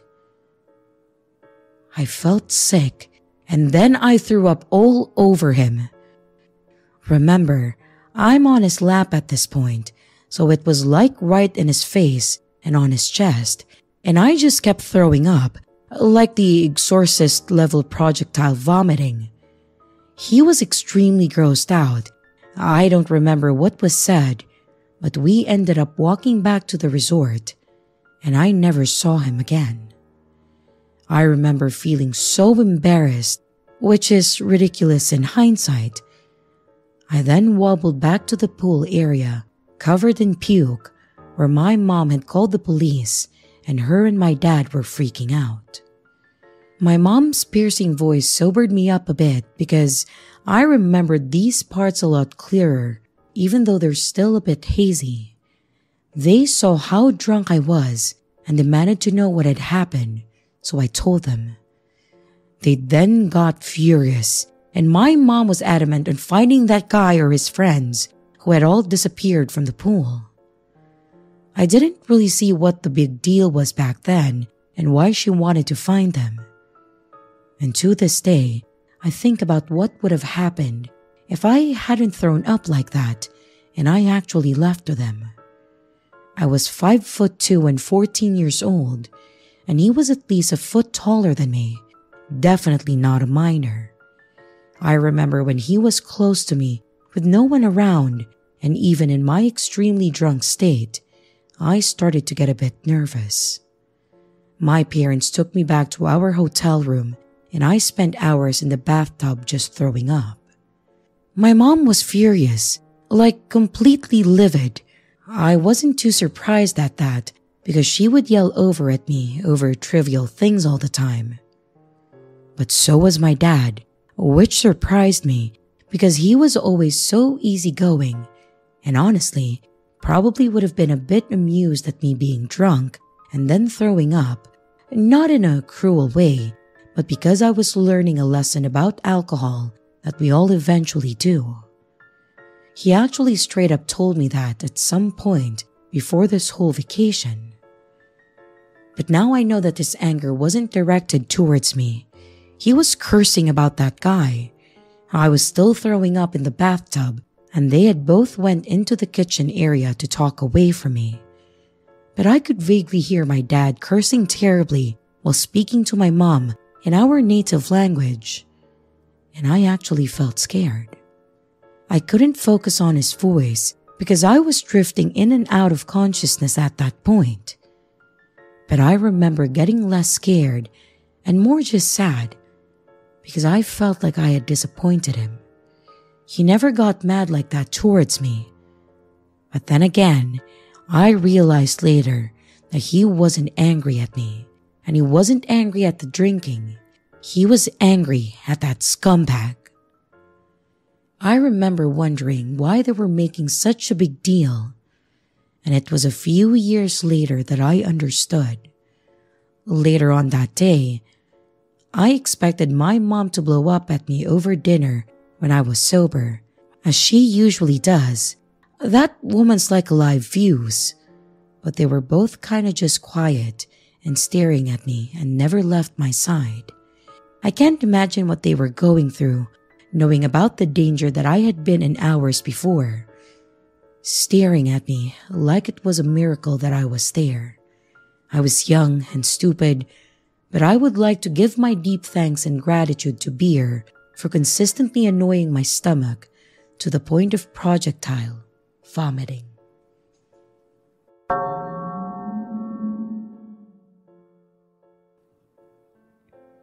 This happened last week, and while she didn't seem malicious, the thing she said was creepy. I'm a 19 year old male, and I was going home from university, and for me to get home, I have to use the train. As I got on, a lot of the seats were already occupied. In my country, the seats are put in a way so that four people can talk and sit in front of each other, and they're kind of close perfect for talking, even with strangers, sadly. I see that there is a free space in front of this girl who looks one or two years younger than me, but you can never know. I go there and I ask her if I can sit down. Of course, she replied, and then she looked at me in a strange, intense way. I pulled out my phone to distract myself from her and she also had chocolate in her hand, and that's gonna be important for later. She asked me, Where do you live? And I was like, Why do you have to know? So she asked me when I'm gonna get off the train. I told her the place, and she told me that she's getting off the next one. But suddenly, she started singing, and then she said, Oh, sometimes I sing, I'm a silly girl. And then she did it again. Whenever she said something, she would look at me like she was waiting for a response.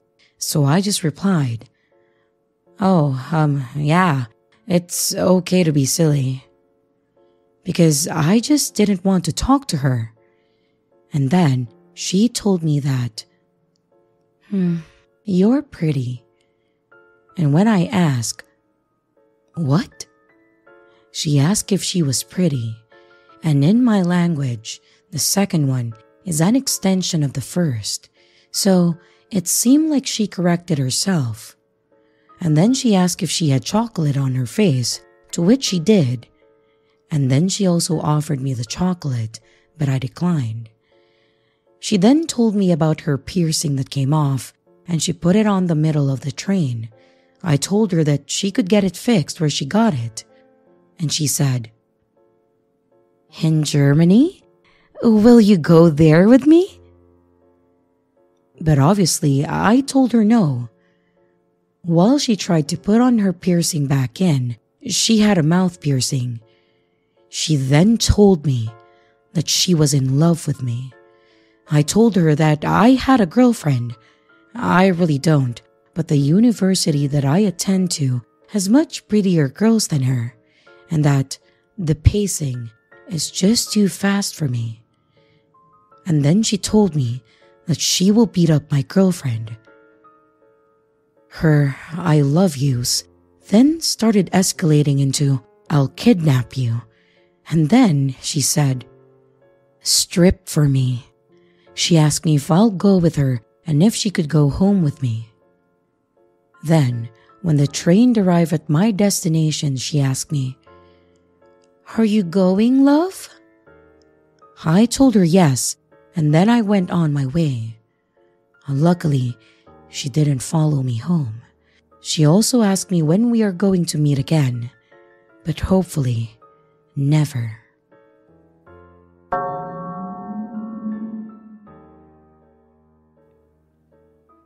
Back in 2016, my family decided to have a family reunion and celebration of my great grandmother's 100th birthday. I have quite a large extended family with many aunts, uncles, cousins, and great cousins, so we agreed to have it at a park and then do a cookout. Everyone would bring something from sides, drinks, snacks, and desserts, or they would pitch in for the cost of the meat that we would be cooking there. I was pretty excited myself, as I hadn't seen most of them in several years, and I used to be really close to some of my cousins, so I was ready to see them and finally catch up. The time came for the party, so my parents, myself, and my little sister, with our baked potato salad, made our way to the park. There were already several people there by the time that we arrived. Of course, it was a public park, so there were other kids and families on the playground, which was next to the shelter that we had rented. As more and more people showed up, I had to go around and say hi and tell everyone how I was doing and introduce myself to others. Some of the adults started cooking the hamburgers and hot dogs, while the rest of us all sat around talking. When some of my favorite cousins showed up, I quickly ran to hang out with them.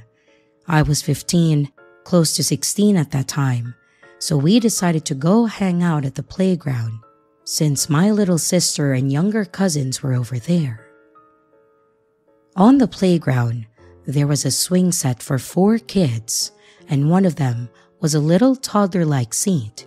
There was a rock wall that led to the top of the jungle gym where you could walk across this little bridge to a slide and something else.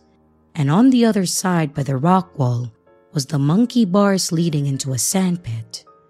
There were some other little nearby things for the younger kids to play with, but this was the main area that we stayed in. Upon walking over there, my mom and sister were in the sandpit playing with the buckets that were in there to make a castle. After my mom and cousin talked for a few, she asked me to watch my sister so she could go back over to where my dad was. I agreed since me and my cousin Tasha wanted to walk away from the adults anyway. So we stayed with my sister. We helped her build the sand castle, and we even partially covered her in sand up to her waist per her request. She really liked doing that, and then she would try to climb out of it. Yeah, she was weird like that. But after a few times, we decided to go sit on the bench, which was opposite the sandbox. That way I could still see her and we could talk a little more privately. We told each other just about everything, and not being able to see each other meant that we had a lot to share. Her mom, which was my aunt, ended up moving out of state, and they didn't have a phone that we could talk freely on so we just sent messages through Facebook occasionally. While sitting there talking, we also observed some of the people that were at the park that were not part of our family. Like there was a little boy sliding down, head first, licking the slide on his way. I can't make this up. All the while, his mother was arguing with someone on the phone, standing next to the slide. We saw a few other kids that were running around together, and two that started playing with my sister in the sand. Then we started seeing the strange ones. There was an older bald guy that showed up, but he stopped and talked to some of my family, so I just assumed that he was with us and just another person that I didn't know yet. After a while, he walked over to the park and sat on the bench on the opposite side on his phone.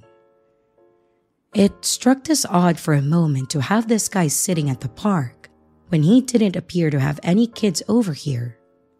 Why would you not be talking with the adults? I asked Tasha if she knew the guy, and she didn't, but she had the same thought as me. So we just continued what we were doing, all the while people watching, including this guy. But after a few, he noticed us looking at him and then he smiled and waved. Not knowing how to react, we just did the same. Apparently, that was his cue to walk over to us. He said something to the effect of, Family reunion, huh? We just smiled and confirmed. Then he asked, So, who do you girls belong to? Again, based on his questions, we thought he was part of the family, so we told him our parents' names. He then claimed to be my father's and her mother's third cousin and explained that he hasn't been around in a while. We let it go and briefly talked about how old we were, what grade we were in, and the normal things that I had already been asked by others. He then said that he was going to walk around a bit and then waved goodbye. I noticed that he walked over to the sandpit and then started talking to the kids over there. He then pulled out his phone and took a picture of the three kids. Maybe as memories, but he didn't even mention taking a picture of us. We continued talking and watching the kids, all the while keeping an eye on this guy. He then got up from the sandpit and walked away to talk on his phone. I remember he looked annoyed with a call and eventually got off and walked over to the other kids on the playground and then started talking to them and actually helping one little girl go across the monkey bars. Now, I know it's probably normal for adults to help little kids around them. After all, I do that too when I'm at the park playing with my sister and a little kid asks for help. It was just a little odd to me that these kids he was picking up weren't part of our family gathering. Something didn't feel right. Something about this situation and this guy didn't sit right with me and I told Tasha about it, and she agreed. I could tell that she felt the same too, based on us both losing direction of our conversations. So, as I was telling her that I was going to ask my dad about it, my sister had come running over saying that she was thirsty. I thought that it was perfect timing to walk over there. And as we got up from the bench, the guy swiftly walked over to us and said, I brought some drinks for the party. Could you girls help me bring them over to the shelter?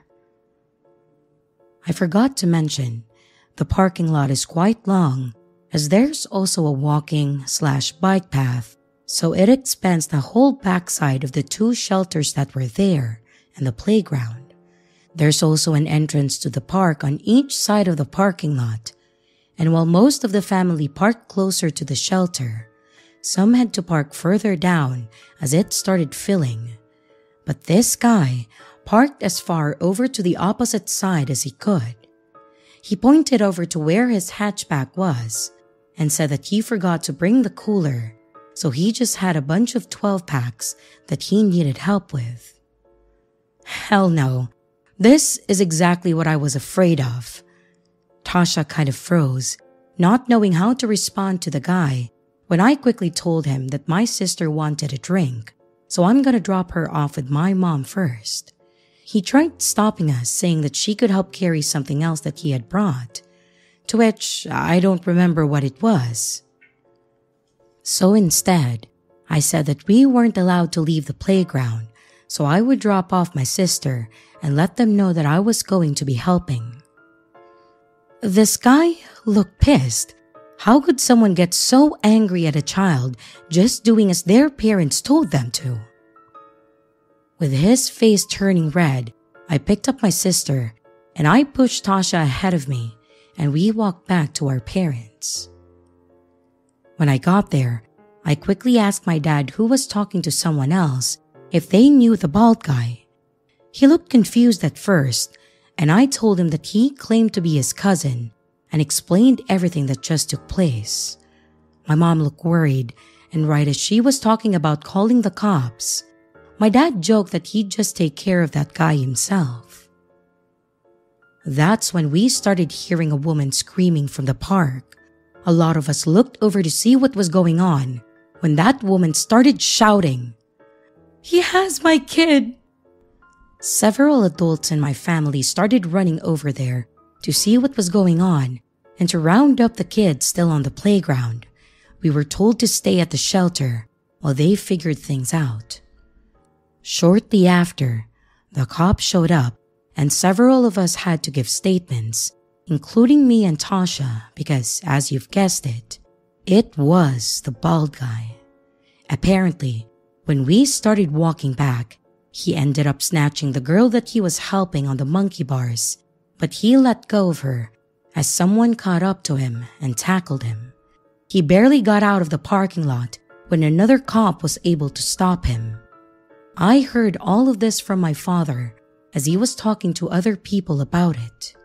I was incredibly thankful that Tasha and I stuck to our gut and refused to go with this guy. We have no idea what his plans were after he got one of us, but it's a terrifying thought that I try not to think about.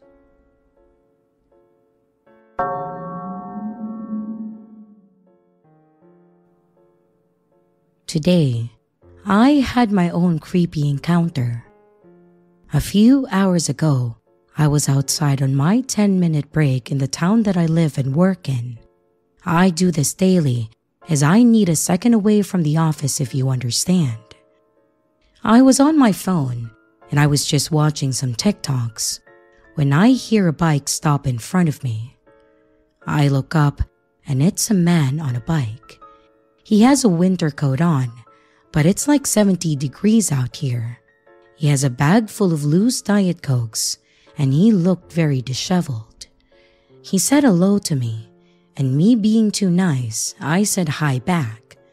He asked me how I was, and I just gave a very vague answer as I didn't want to ignore him in fear that he would do something crazy.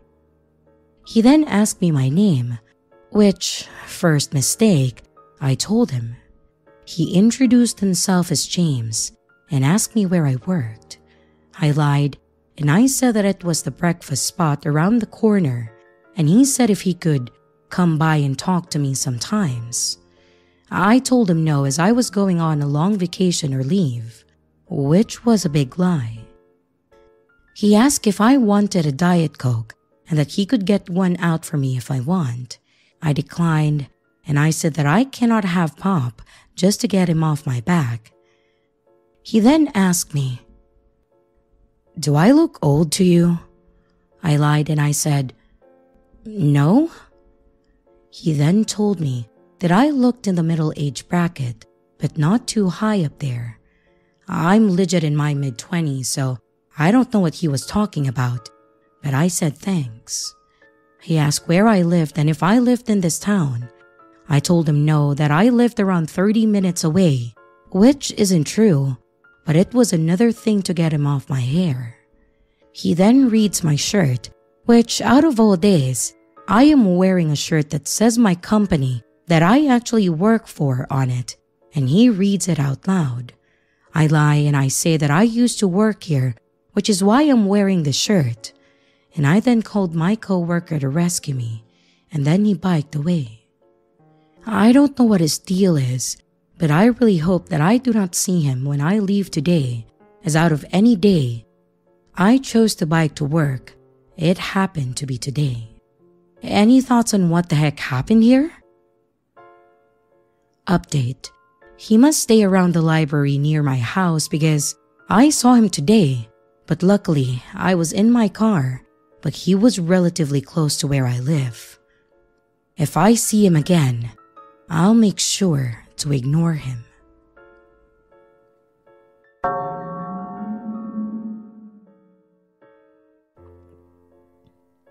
This actually happened to me a few months ago when I went to a small cookout. It was going to be me, my girlfriend Angie, my sister, and her husband. We would be at my parents' house and possibly a few of their friends or neighbors. My parents don't live in the best neighborhood, but they make do with what they have. They do have one of the nicer houses on the block though, surrounded by some pretty trusting neighbors that are a bit younger than them, so I at least felt comfortable knowing that they were safe where they were. Angie was kind enough to make potato salad to bring because I fail at cooking almost anything, and I brought soda. Once we got there, I was greeted by my mom in the kitchen, finishing up her cake that she always made. It's like a vanilla bean cake with strawberry and blueberry puree mixed in it. It's one of the best cakes that I have ever had. She also made grilled corn on the cob and baked potatoes, while my dad made the brats hamburgers and chicken, since my sister didn't eat red meats. Just laying out our spread for dinner as it will be relevant for later. Shortly after us, my sister showed up with a little snack foods like crackers, cheese, chips, and dip. We were all sitting around talking when I realized that I hadn't brought out the soda. They had been sitting in the kitchen behind some other items. As I went to grab them, my dad mentioned putting them in a cooler. That way, we could get them cold. As I went to get the cooler and pull some ice out of the deep freeze, I noticed that they didn't have any. My parents loved ice for some reason, and they always had like a huge bag of it, so it was weird to see it empty. When I went up to ask them about it, they said their deep freeze had actually quit working, so they had to move what they could to their freezer and tried to save the rest in their little cooler, which included their ice. They had just got it fixed the day before and apparently forgot to go get more. I offered to go get some more, so my girlfriend and I went for ice. We went to the store that was maybe three miles or so away. It was one of the nicer ones in the area, with usually a lot of people around. That also meant there were more sitting outside of the front, asking for money, cigarettes, gas, and etc. Nothing really new to me. However, as we approached the store, there was a woman sitting nearby with a sign that just said, Stay safe. She was wearing a mask and sunglasses. She had her hair in a messy bun and was dressed like she just came from church. At first glance, you'd think it was someone doing the normal, but she wasn't asking for anything. She was singing. I couldn't tell you the song, but it sounded gospel like and as people walked by, she waved at them or nodded. A bit different to say the least, but not the strangest thing that I've ever seen. As we approached the entrance, though, I noticed that she stopped singing and pulled her sunglasses up and just stared at us. From the moment that we got to the sidewalk and walked in, she stared, like she recognized us, but maybe couldn't remember who we were and once it finally registered that she was staring at me, I just smiled and tried my best to not make eye contact. But you know that feeling when there's someone on the back of your head? I know she was watching me still. I made a hard dash around the corner once in the store and then turned to Angie to ask if she had witnessed that. And then turned to Angie to ask if she had witnessed that too, and she laughed. She obviously saw it too, but just joked that she was probably trying to intimidate me, maybe because she had never seen me before. I remember half-ass agreeing with her because why else was she doing that and why me? And from there, we just grabbed the ice, paid, and then headed back out. The entrance and the exit doors are one, so this means that I had to walk past the crazy lady again. So out we go, and not really thinking that I need to be on guard though, just that, that I would be stared at. But then, my arm is suddenly grabbed by none other than this lady. I look over real quick to her, and once again, see her lift her glasses and pull down her mask, and all she says is, Don't eat the peppers. She has the most serious and concerned look on her face and I stayed like that for a few seconds. Believe me, it felt a hell of a lot longer, but then she let go of my arm, slowly pulled her mask back up, and started singing again. I walked a little faster to my car while I kept looking back at her. And once again, in the car, I asked if Angie saw that, She again agreed that it was weird, but chalked it up to her just being crazy. I thought I was overreacting, but for some reason, the way she looked at me just freaked me out, like she saw something in me, and it was weird. Back at my parents' house, we filled up the cooler and Angie teased about the lady at the store. To my surprise, though, my parents were not surprised by this. She said she's always up there, and if she's not singing, she'd stop random people at the doors and say something weird to them, but said that they have never been stopped before. They also agreed, though, to not worry about it, as it was probably more the norm of what they see. And from then, we had a great night. A few of the neighbors came over and then left after drinking too much, and all of the food was great and the soda was cold.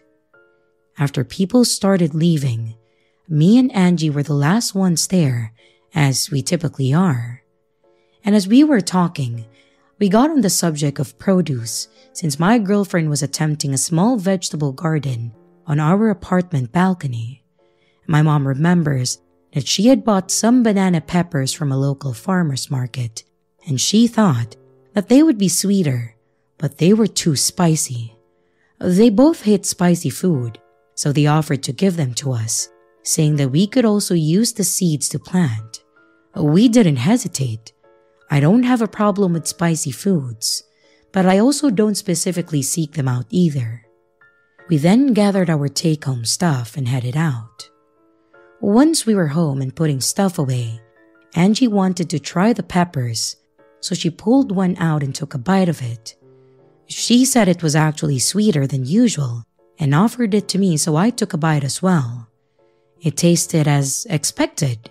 Again, not being huge on spice, so I just agreed with her. It was only about 9 when we left, and we were both off the next day, so we stayed up to watch a movie but not too far into the movie, I started getting a really bad dry mouth and found myself constantly clearing my throat. I felt bad because I got up several times to get more water and had this coughing fit, but she seemed more concerned about me as it just started happening out of nowhere. That's when it started getting harder to breathe. You can guess where this was going. I was having an allergic reaction, and the only thing that I ate recently were those damn peppers. Angie got me to the hospital quickly, and they gave me a really strong allergy med basically, and waited to make sure that the swelling in my face went down. It didn't dawn on us until after I got back home that the lady specifically told me not to eat the peppers. How would she have known any of that? My parents weren't with me, my mom didn't buy them from there, and they weren't even part of dinner. I've also never had any issue with peppers before. I know it's stupid, but I've even tested this since by trying a few other peppers, like jalapenos, and I've got no reaction. I'm afraid to try banana peppers again to see if it's now a permanent thing or if it's just that one off time. Another thing is, I am confused about this. I don't know if I'm scared of that woman or impressed.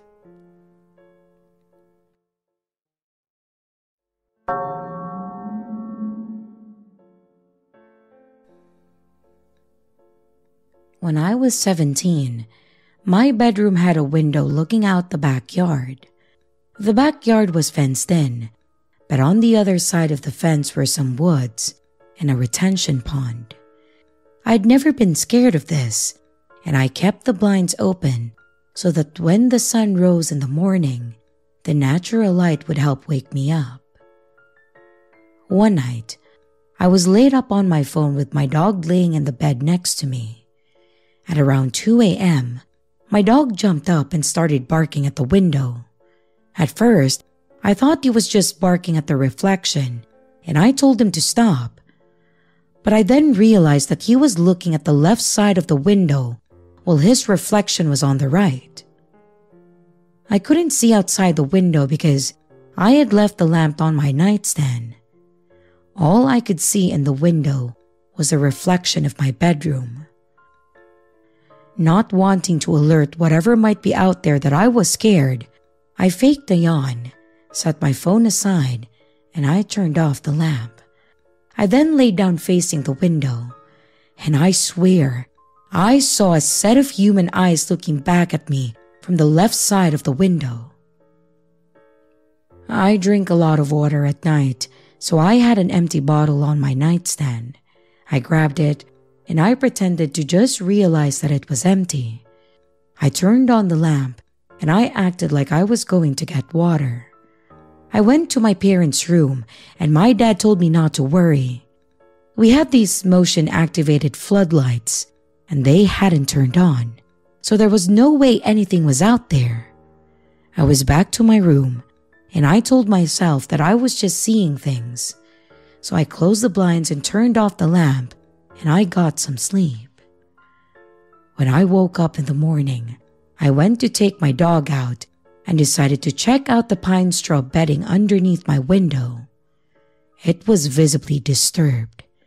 I did my best to ignore that and remember what my dad said about the floodlights. That worked pretty well. Well, until my dad tested the floodlights later that day and found that the bulbs had burnt out. To this day, I keep my blinds closed and my lamp off when I sleep. I don't want to risk anything being able to see me, and if anything is somehow peeking through my window, I want to know it's there. If there was someone at my window that night, let's not meet.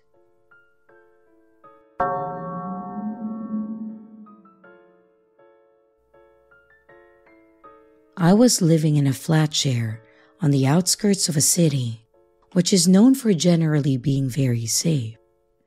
A key is needed to enter the main building, but often the door isn't shut properly, and so it doesn't lock.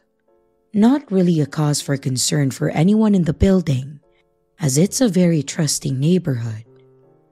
It's around 2 a.m., and I'm laying in my bed, naked, completely sprawled out, and someone opens my door and enters.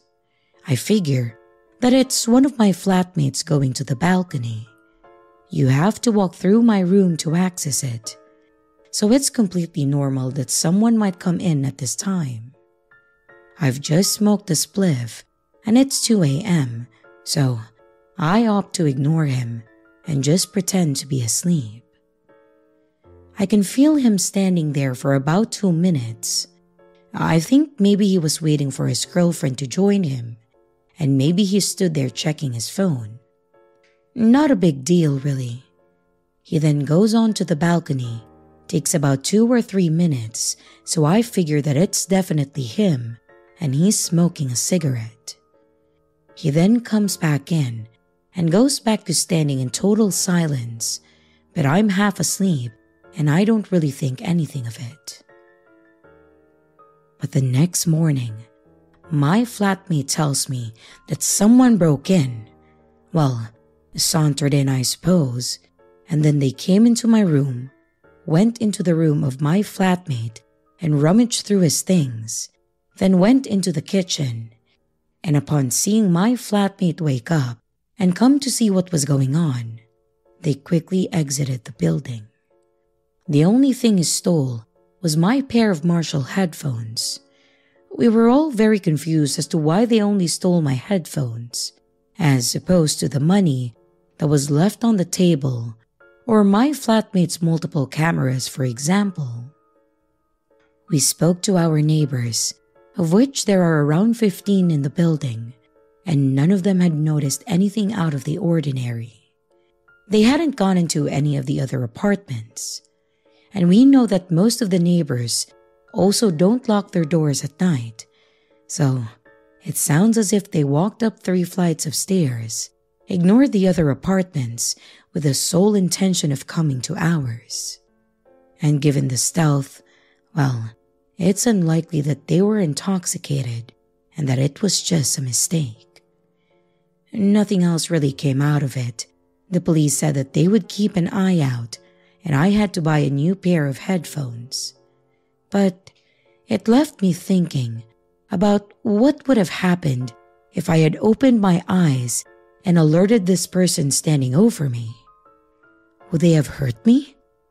Would it be a total stranger or someone whom I've already met?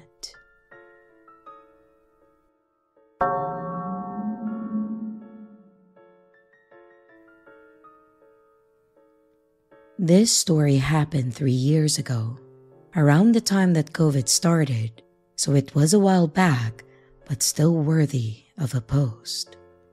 It was early 2020, and I had just gotten a new job in a small town near my area. While looking for a place to live, my sister offered to rent her house to me. She had bought the house two years prior, but she and her husband didn't really take to it and their commute to work was long, so they moved out and the house was uninhabited. Luckily for me, it was actually pretty close to my workplace, around a 40 minute drive, and my sister pretty much rented it for free to me.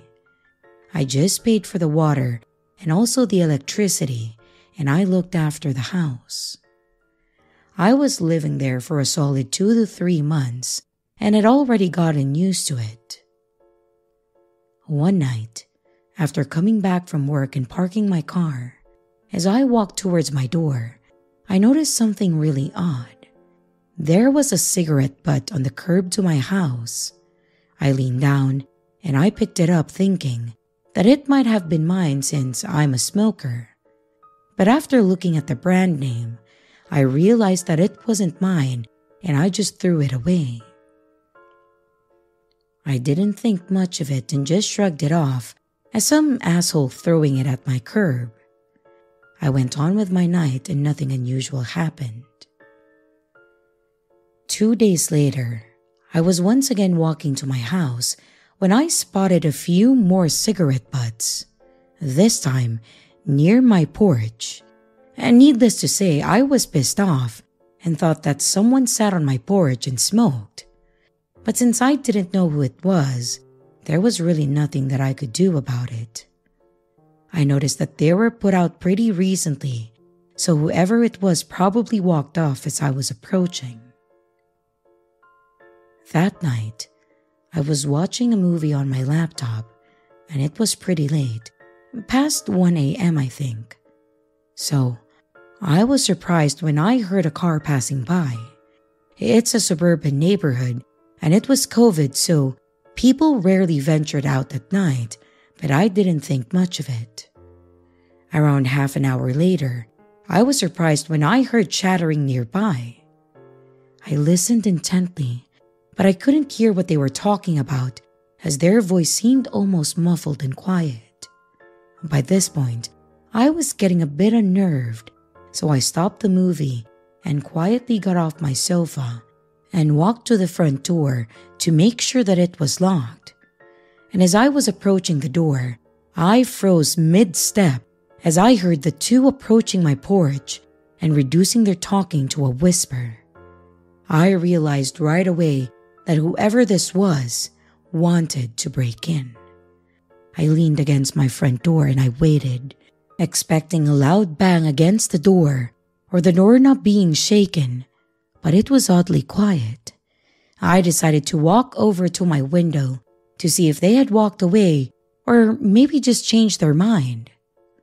My windows have bars from the inside out that you have to unlock so that you can move the curtains or look out the window comfortably. I slowly unlocked the bar mechanism and then I lifted it up. I moved the curtains and I was taken aback. Leaning up against my window was a man. He was as startled as I was because he basically stuttered over his own steps as he jumped back and he tightened his hoodie to cover his face. So all I could really see was his big blue eyes looking at me. His friend finally realized what was going on and right away started to kick the door in. He kicked it a solid four or five times, but the door wouldn't budge. All the while, I was staring at them frozen in fear and trying to comprehend the situation that I was in. But I snapped out of it and I slammed the bars over my window, locking them and running up the stairs to the storage room where I pushed the table up to the door and then called the cops. As I listened and expected the two to come inside any minute, I heard a loud crash and the bars from the windows being shaken aggressively. When they realized that they couldn't get in, one of them let out a long, angry scream that probably woke up half the neighborhood. And by the time the cops came, they were long gone. The police couldn't find out who it was, but were more active in the neighborhood in the following weeks. Regardless, I wasn't too keen on staying there, so shortly after I moved out.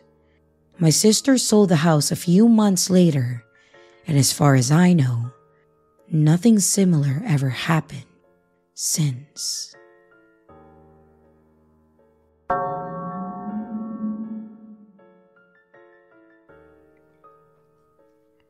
I'm still pretty jarred from this experience, but I figured that it would be easier to share about it than keep dwelling on it. A couple days ago, someone broke into my house while I was asleep. I work night shift, so sleeping during the day is something you learn to get used to. At around 6:30 p.m., I heard what I thought was a loud knocking sound coming from outside and my dogs were going absolutely ballistic. For reference, I live on a farm out in the middle of nowhere, and my closest neighbor is half a mile away. But back to the story. I somewhat wake up, but don't really think anything of it since my neighbors like to shoot their guns, and this was during hunting season. As I start falling back asleep, my heart started fluttering weird, like I knew that something wasn't right. That's when I heard loud footsteps throughout the house. The dogs are still barking, but then they start to quiet down. That's when I really begin to worry. When I think my dogs would protect me in a time like this, well, fat chance. The footsteps stop on the other side of my bedroom door, and it doesn't move. I then think, ah, this is how I'm gonna die. And although I had a weapon in my room, I knew that I couldn't get to it without being heard. It felt like an eternity before the steps move around and then towards my brother's room. Rustling can be heard loudly through the house, and things were being thrown around. I knew that they were in my brother's room. Some of his friends are into seedy situations, and I knew that it had to be one of them. I heard the footsteps coming back to my door, and the doorknob handle moves. I immediately turn my back towards the door, and I close my eyes and I put a hand over my mouth to stop it from screaming. The door opens, but that's it. Then he leaves as a car drives down the road. I finally bucked up my courage and I get out of bed. And as I check, everything in the house except for my brother's room was undisturbed. I immediately called my brother and I asked if any of his friends were coming over. He said not that he knew of, and I told him what had happened. He got off the phone with me to start calling around, and I went back to bed and I noticed that I still had my window cracked open over from earlier, and I realized that I had my sheet off of me wearing only a t shirt to bed. If it was who I think it was, this wasn't a random event. One of my brother's friends had always had his eyes for me, and the fact that he saw me sleeping and in just a t shirt makes me freak out. Whether or not he took something out of my brother's room or knew that I was home alone sleeping before having to work later that night, I really don't know. I'll post an update when I hear from my brother. You move out to the country to get away from the activity of city life, and you let your guard down, and that's when something like this happens. Sometimes, country life isn't so safe after all. Update Sorry for the late update. It's really been a crazy week, but thank you for bearing with me. my brother got back with me with the news that I absolutely dreaded hearing. None of his friends said or claimed to have been at the house at the time of the incident. So now, I'm even more afraid of who was at my home and what their intentions were. They could have been scoping out my house during the day. I just hope that I don't have another visit like this anytime soon. But if there is a next time, I'll be sure to be ready for them.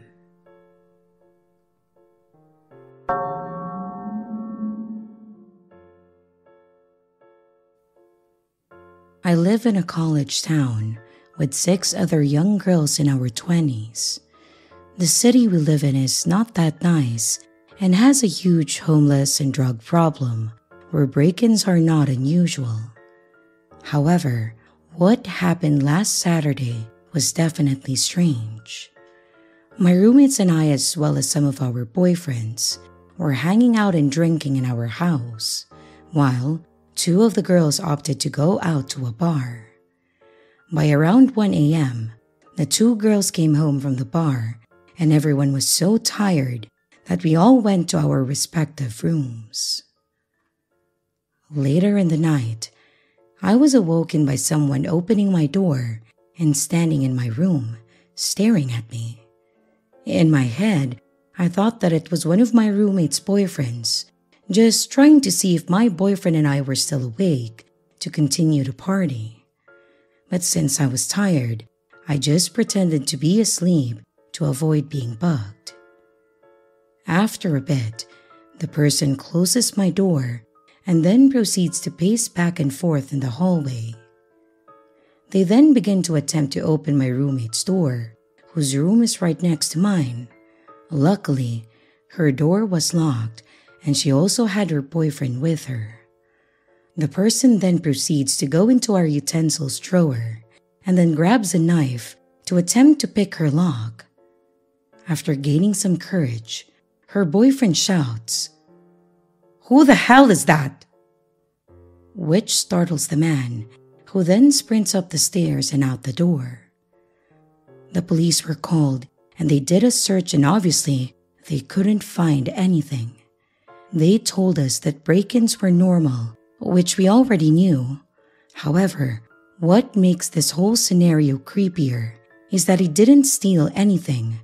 My phone, alcohol, and $600 shoes were untouched. We also suspect that this person was not on drugs or alcohol, as he moved very quietly. He was able to get in because the two girls who came home from the bar did not lock the door behind them. I'm not sure what this man's intent was, but I am forever grateful that I happened to have my boyfriend with me at that time, which is not really often as he lives three hours away from me.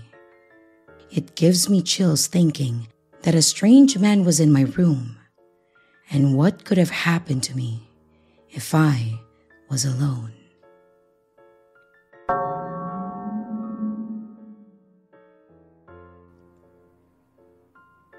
Back when I was a kid, I used to spend a lot of time at my aunt and uncle's house, mostly because my cousin Martin was literally my best friend. So, pretty much any time that we didn't have school the next day, I would ask to stay the night with Martin. We would do the normal thing that 10 year old boys would do watch movies, play the PlayStation, eat junk food, drink too much soda, and then crash hard around midnight. It was honestly the highlight of my childhood, and I dearly miss those days, mostly because it was a simpler time. And now, I have a two year old that likes to keep me up all night because he doesn't want to sleep. That's neither here nor there, though. I remember that this happened one weekend in October, probably about a week before Halloween, mostly because Marty and I had made a pact to stay up as late as we could watching scary movies. We were 10, and Halloween was the freakiest thing that I have ever seen in my entire life. Should we have been watching those kinds of movies at that age? Probably not, but we still did. So, about three hours into our creepy movie marathon, I remember that I had to get up to go to the bathroom, and Marty was half passed out on the couch. I got up, went down the hall to the bathroom, and then I went to do my business. And while I was going, I started hearing what sounded like a tapping on the window. When I was finished with what I was doing, I stepped over to the window and I lifted the blind to look out into the yard to see if there was someone out there. From what I could see, there wasn't anyone there. The backyard was empty. I was a little bit confused, but I was also getting tired, so I just kind of let it go. As I was walking down the hallway and back to the living room, I started hearing that same sound, the tapping sound. This time, it was coming from the kitchen, specifically the back door. It honestly sounded like someone tapping their fingernails on the glass in a quick succession, something like a quick rhythm. I was a bit scared, but more than that, I was annoyed. Who the hell was in their backyard and why were they tapping on the back door? I pulled the curtain open on the back door and I looked out again and saw nothing. This time, though, I opened the door and I stepped out onto the back deck to see if I could see someone or something there, but there still wasn't anyone there. As I was staring out at the backyard, I heard Marty yell for me and ask where I was. I quickly ran back in and I shut the door behind me. When I got back to the living room, Marty asked me what I was doing, and I told him that I kept hearing something tapping on the window, so I went out back to check for it. He laughed slightly and then told me to stop trying to scare him. I told him that I wasn't trying to scare him and that I was being serious. He just shrugged me off and then said that he was going back to sleep. I decided that I should go ahead and go to sleep as well so I pulled up my sleeping bag and then turned off the TV. I started to doze off pretty quickly, but no sooner than when I actually started to fall asleep, I started hearing what sounded like footsteps on the kitchen linoleum. I opened my eyes, but the room was dark, and I was freaking out in my head. I wanted to scream. I wanted to wake Marty up and tell him to go get his dad, but they were upstairs and he was passed out on the couch across the room. I just lay there and I kept my eyes on the door that led into the hallway, waiting to see some kind of axe murderer or something of that sort. But what I saw wasn't an axe murderer, but it was just as terrifying. After a few moments of staring and also waiting, I saw what looked like a man dressed in all black. I strained my eyes, trying to make out a face, but I think he was wearing a balaclava. Because I just remember not being able to tell what he looked like at all. I watched as he walked into the room and then looked around, walking past where I was lying in my sleeping bag. It took my tired mind a few minutes to process that. If I could see him, then it was highly likely that he could also see me.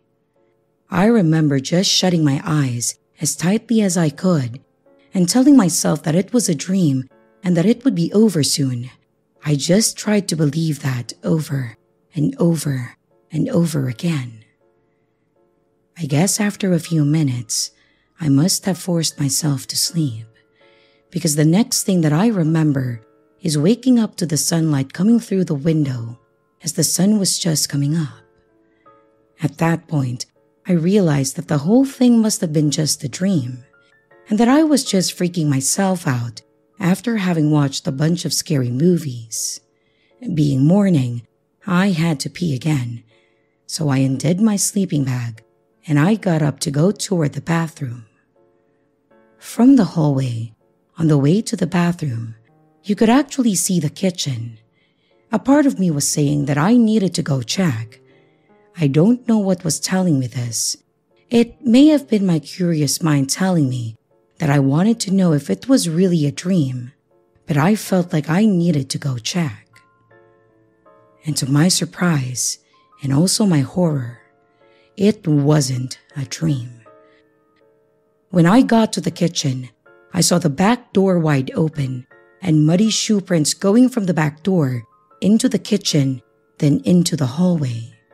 It was then that I noticed the prints on the carpet that led into the back living room where Marty and I were sleeping.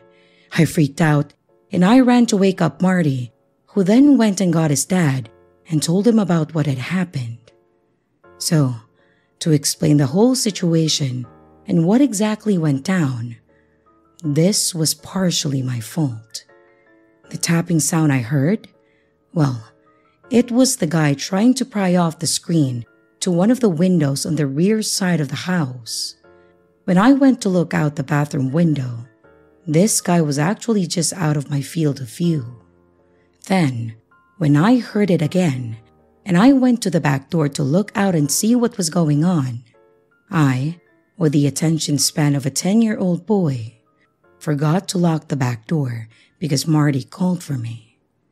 Then, when I went back to the living room to go to sleep, and this guy had apparently realized that the back door was unlocked, he took full advantage of it. In the end, he stole the PlayStation, my aunt's CD collection, and a few other small things that they owned that were easy to get a hold of. That is probably the most terrifying thing that has ever happened to me, both in my adult life and my childhood. And it's even worse that it was pretty much my fault that it happened like it did.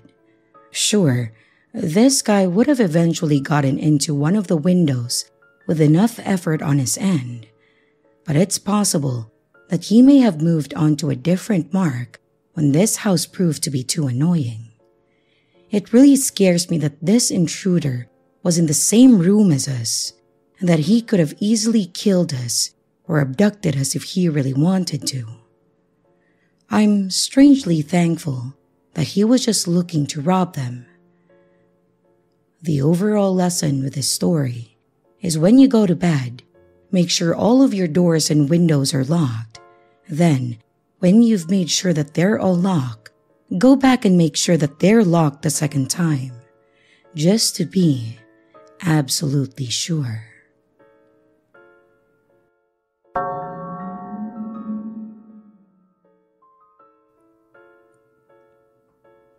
This story takes place in the Balearic Islands of Spain circa 2007. As every late August, my mom, grandma, aunt, and I would book a trip to Mallorca. We're all from northern Spain, but love the sun just as much as the Brits do. Well, anyway, our room overlooked the sea, and it was located on the first floor. I had just turned eight years old, and every night for a week, we would enjoy the nightlife from our terrace.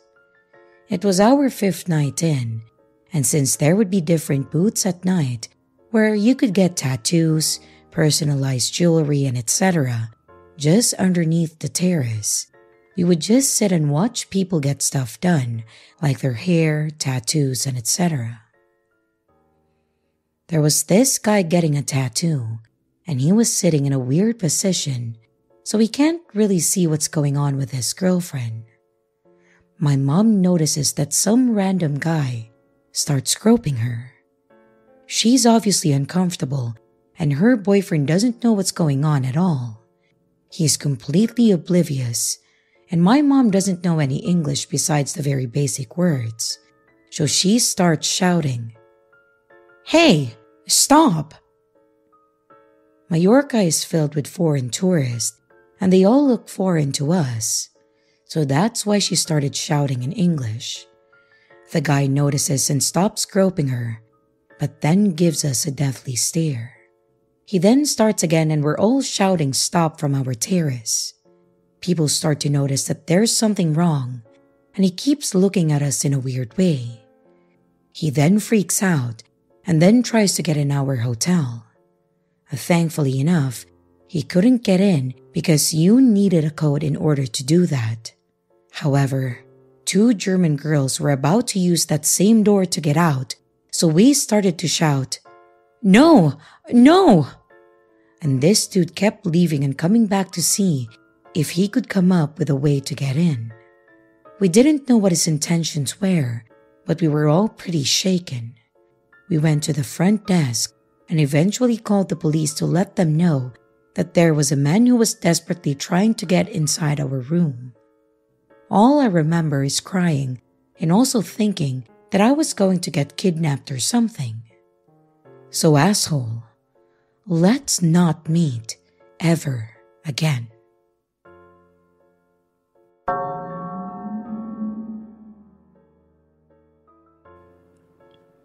This started about six months ago. I was getting ready for bed in my room. It was maybe 10:30 p.m. and my curtains were closed, so I couldn't see out the window. But I heard three hard knocks on the glass of my window. Of course, that scared the living shit out of me.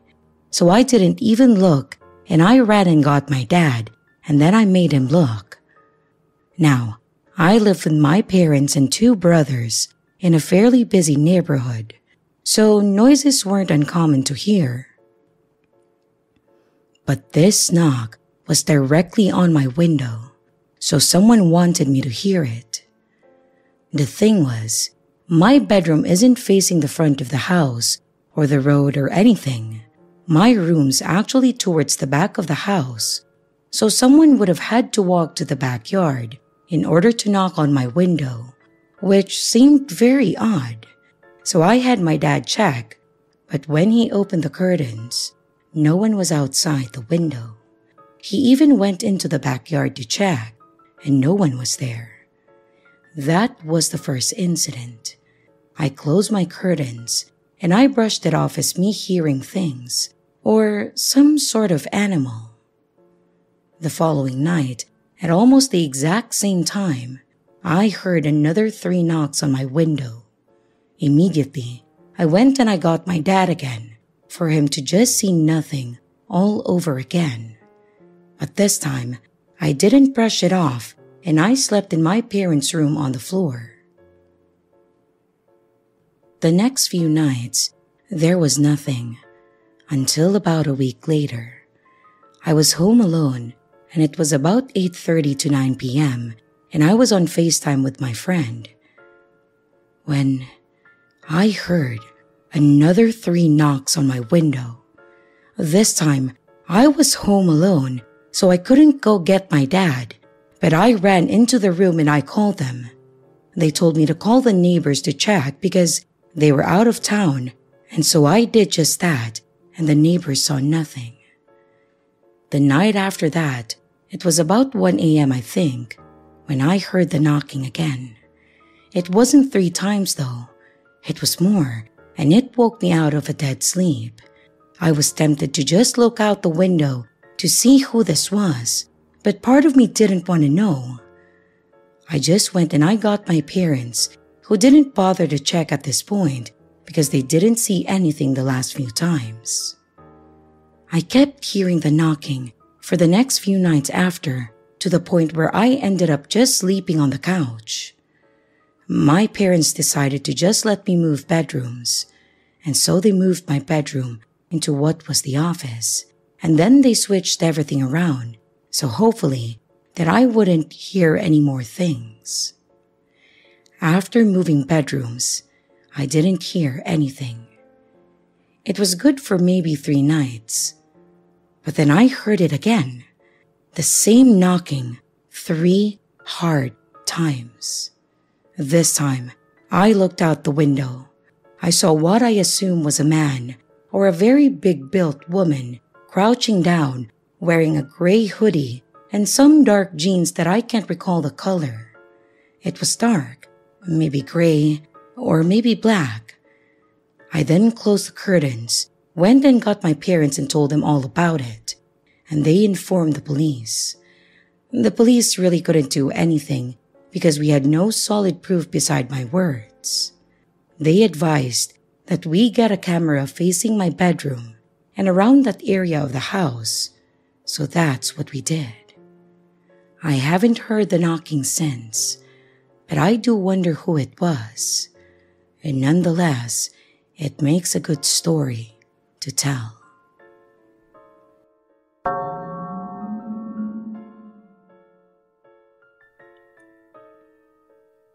I was living in Fiji Islands back in 2016, and I was 14 years old.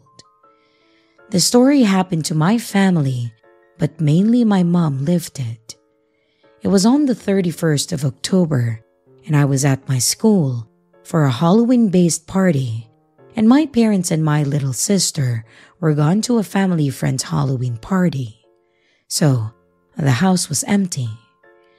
My party finished at 9 p.m., and my dad came to pick me up, but dropped off my mom and my sister at the house because our security alarm was ringing. Because nobody was home, my family obviously called the security company over and they sent a van with three security guards. My mom then opens the house and lets everyone in, and they check the whole house and they see no one. My mother checks all the cupboards, and under the bed with my little sister, who was only 12 at that time. The security go outside in the garden and also in the basement to check if there is anyone there, because it's not an accidental ring. We don't have any pets in the house. My mom then turns on all the lights from the living room and also the balcony. She starts to open the window and the gates that protect all the windows to get on the balcony. But when she looks at the keyhole to put it in, she notices flip flops on the floor. She then looks closer and she sees two pairs of legs hiding really close to each other against the wall under a garden sofa.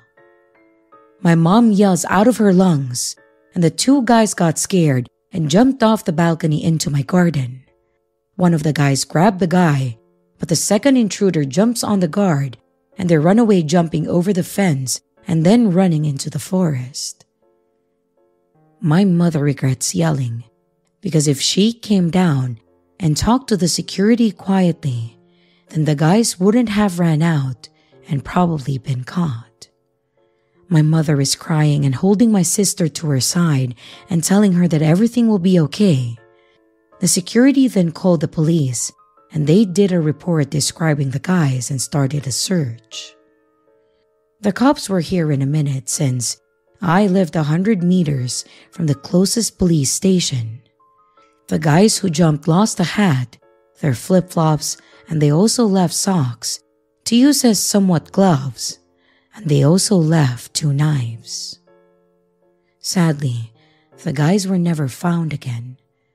But two weeks later, my mom pulls out of the driveway and she looks into the rear mirror of her car and sees 90% sure the two guys there opposite of our house staring at her.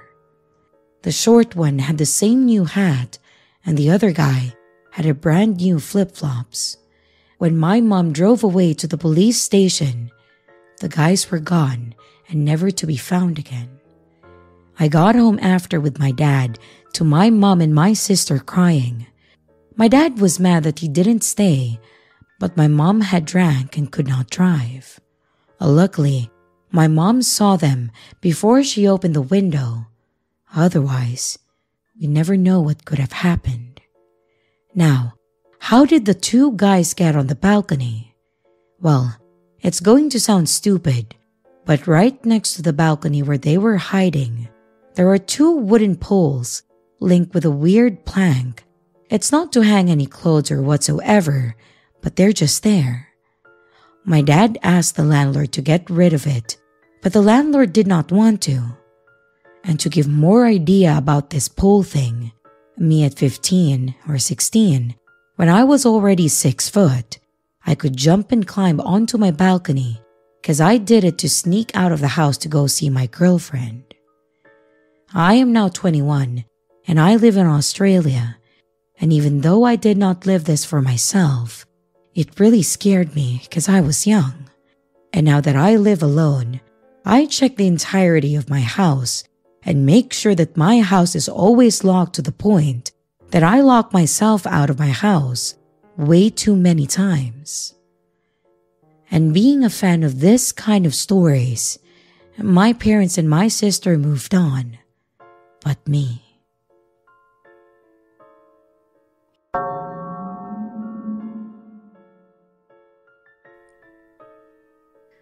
This happened about three years ago, but I still think about it from time to time, and it still creeps me out. I'm male and I'm 21, and I had just moved into a new apartment on the first floor of a building. It was late one night, and my roommate was out when somebody knocked on the door. This was not uncommon, as we were in a college and my roommate had friends that would come by to hang out at all hours of the day. So I just figured that it was one of his friends, so I get up and I check the peephole.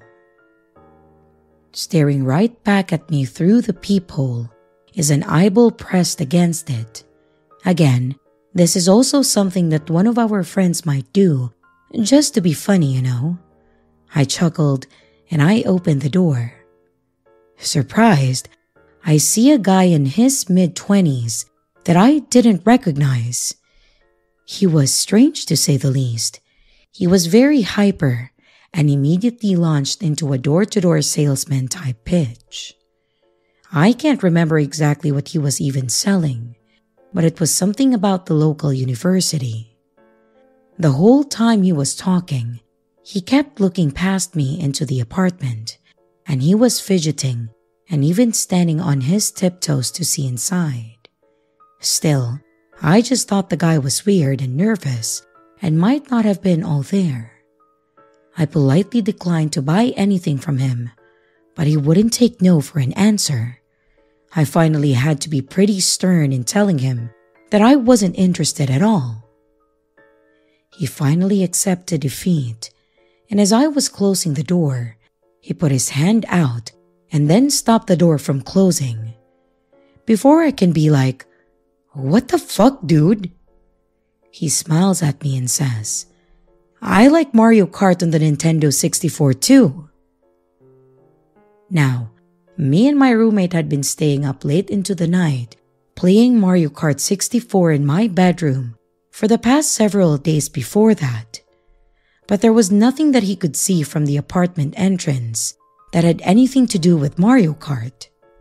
So I was taken aback and trying to add things up in my head and confusingly ask him, How do you know I play Mario Kart? He then got super nervous and then said, Oh, oh, I just thought that anyone with a couch like that would be into Mario Kart or the Nintendo 64. Cause, cause, you know, it's like the retro game and, and that's a retro couch. What the hell even is that explanation? And then he was like, okay, bye. And literally scurried away. I then shut the door and locked it and I start trying to put the pieces together on how he could have known that because obviously it wasn't because of my grandma's old couch. Remember, it's a first floor apartment that backed up to the woods. My roommate got home shortly after that, and I immediately tell him about the encounter. He was freaked out too, and so we start investigating. At first, it seemed as if there was no way to even see inside my bedroom. My blinds were always down, so we went outside and tested it and found that the only way to see inside would have been if you had your face right up against the window. And even then, you kind of had to crouch and close one eye just to get a glimpse of the inside. A couple more creepy details was that my window was over a balcony and the Nintendo 64 console itself was stored inside of the TV stand and was really not visible. You'd only be able to see it while we were actively playing, which we never did until we were a little stoned and it was like 2 a.m.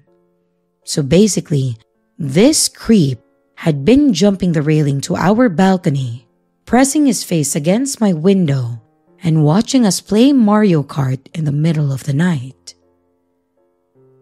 I never saw that guy again, but needless to say, I was pretty paranoid for a while after that. I constantly checked my windows, and I woke up in the middle of the night paranoid that he was standing just a couple of feet away, watching me sleep. It was just a very unsettling encounter, and I'm glad that nothing more ever came out of it and that I never saw him again. But I have always wondered what his motives were.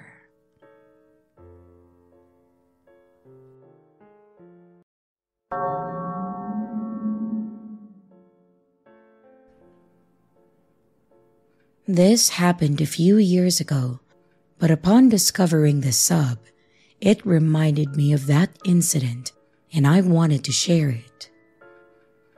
The year is 2018. Me and three other friends, we were all males in our early 20s, we decided to travel to Bali for about a week since it was cheap and we had time, so why not, right? Our itinerary includes sightseeing, trying the local foods, mountain climbing, visiting bars at the beach, basically a typical vacation in Indonesia. It was honestly quite a surreal experience. The country is absolutely beautiful and the food was amazing. The only issue that I had about the trip were the locals. Drugs were really prominent there, especially mushrooms, and the streets were filled with druggies dying to sell us their drugs. And I'm not exaggerating when I say this. One dude even grabbed my arm because I ignored his two for one deal for a one way trip to meet Jesus. I shrugged him off while my friends laughed it off, suggesting that I may be passing up a chance to meet our Lord and Savior. He looked rabid and frantic, like he was about to pounce onto me like a dog that was diagnosed with rabies. I didn't feel too afraid though, as we were confident that we could handle them since half of them were not even sober. However, that is only the tip of the iceberg. The horror starts when we went back to our Airbnb for the night. We had an early day the next morning and we were exhausted. The place was extremely cheap and it didn't even have a proper locking mechanism for the door. It had two wooden doors, which swings inwards, and the only way to lock them was to wedge a wooden block through the holes that were mounted on the door. It was quite a primitive lock, but it gets the job done, I guess. Everything was going well until the last night of our trip when we realized that the wooden block was missing. We looked everywhere for it, but to no avail. I just figured that one of us must have misplaced it somewhere, so we settled for using a selfie stick. I know, I know, it sounds like a horrible idea, but we didn't have anything that fits the holes to wedge the door close. We turned in for the night seemingly not expecting anything, since we had already stayed there for six days with absolutely no issues. But I woke up to a strange clicking sound in the dead of the night. I got out of my bed and I thought maybe it's one of the guys, so I nonchalantly approached the noise. My friends were all sleeping, so I decided to investigate the cause of the noise. The ruckus seemed to be coming from the door, so I headed towards them, feeling extremely confused. Who could be at our doorstep at this time of the night? I noticed the doors were slightly opened and the selfie stick was horribly deformed. I peeked outside and I saw three people staring through the gap between the doors. They were really close to the entrance and they were attempting to push the doors open. I yelled at them questioning their intentions as I noticed one of them was holding the wooden block. I was shocked and I was puzzled at this situation I found myself in, as I recognized one of the men. He did the overall cleaning for the Airbnbs and the pathways during the day, so there was no reason for him to be there at 3 a.m. The other dude asked if the wooden block belonged to us, as they allegedly found it outside of our Airbnb. I definitely smelled bullshit, as there was absolutely no reason to do that at 3 a.m. I called for my guys, and the three men immediately ran for it. I clued in the guys on the circumstances, and we stayed up until morning came in case they tried anything funny. We decided to report to the reception about their employee, but the description I gave them were not synonymous with theirs. They told me that the housekeepers they hired consist of only females in their late 30s and 40s. This sent shivers down our spines as we came to realize that we had let a complete impostor in and out of our rooms while we were out. Luckily, nothing important was lost and we got out of the situation safely. I can't imagine what would have happened if I didn't wake up on that fateful night as the doors were close to being opened. I was just grateful that it was our last night there.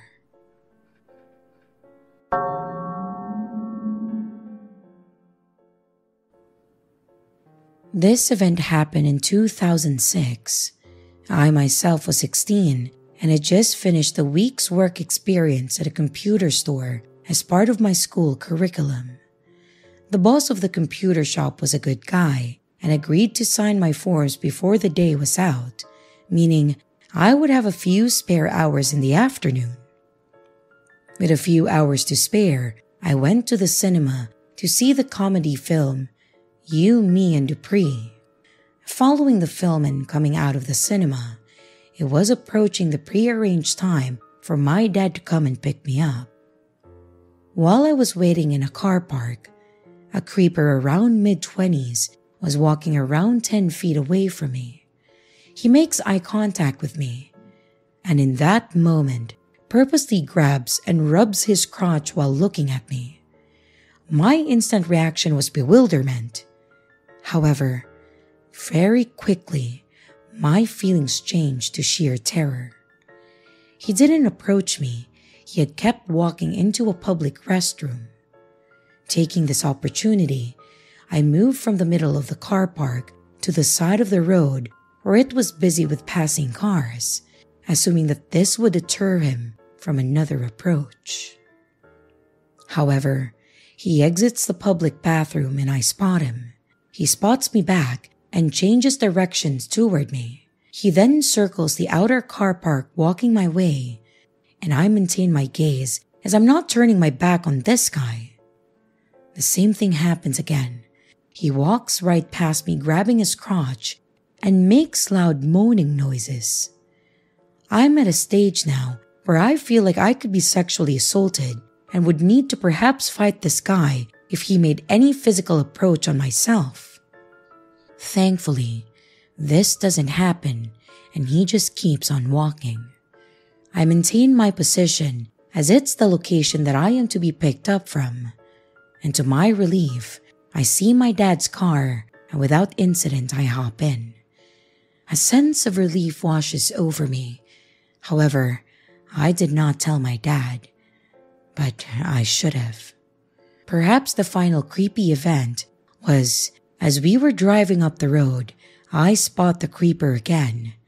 But worse than that, further along the road, I see a young kid who looked a little younger than I am.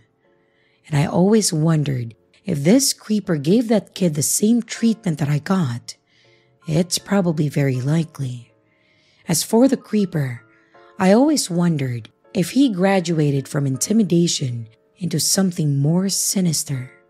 He never made a physical approach toward me, but I hate to think of the things that he could have done in the years since.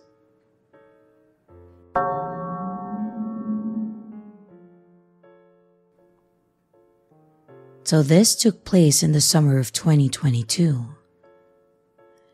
Every summer in my city, me and my friends like to make small campfires and chill in secluded areas because we don't want to drive an hour to an actual campsite and pay any campsite fee to do so. These also happen pretty spontaneously, so it's a nice last minute hangout to do. There's this one spot near my house that's located by a river that's really nice because no one usually goes there. The only thing to be worried about are the bears, though, because living in the Pacific Northwest is challenging like that, and my house specifically is located right next to the mountains and forest. So one particular night at 11 p.m., I decided to go ahead of my friends and meet them at the spot and set things up early because I want us to be chilling once they all get there.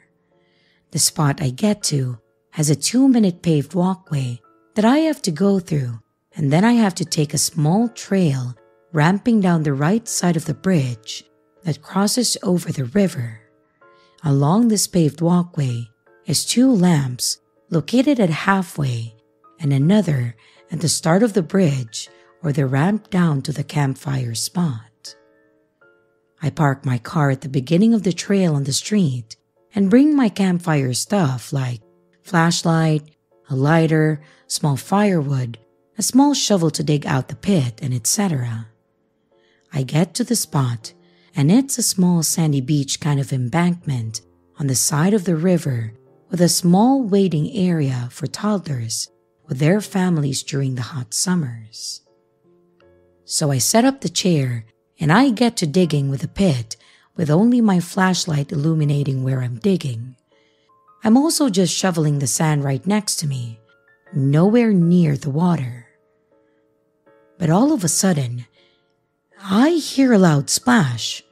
A splash so loud that it can only come from something equally large, like a two hand sized rock. I'm confused because I swear I'm not throwing my sand into the water, even though I'm only a few feet away from it.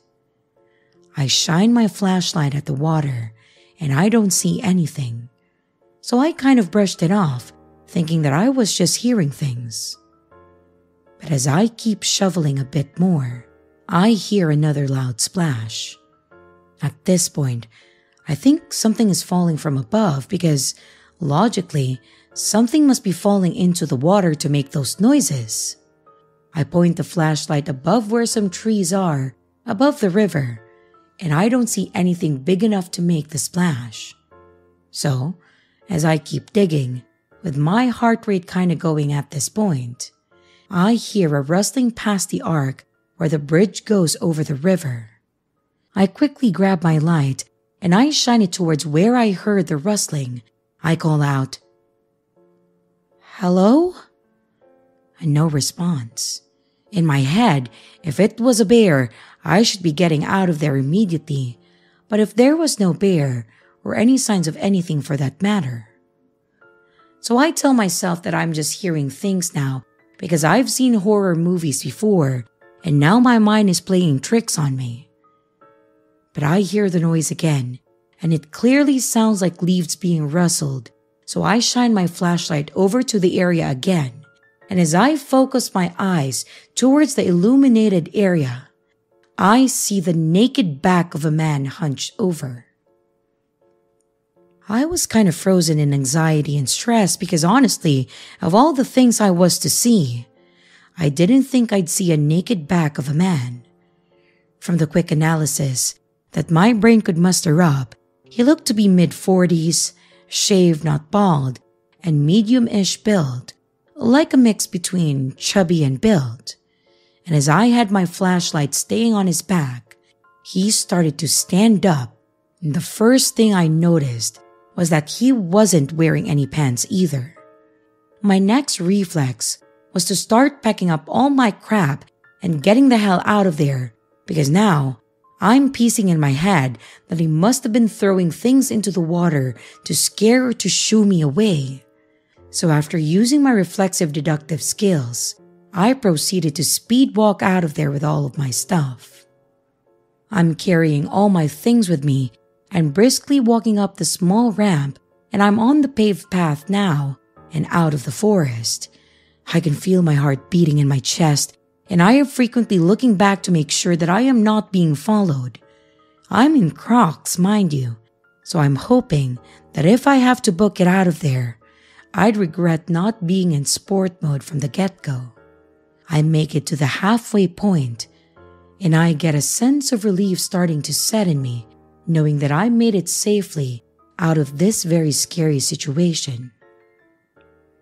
But as I check behind me for the final time, I see something. Slowly creeping over the ramp is the naked man crawling on all fours as if he was a primate walking.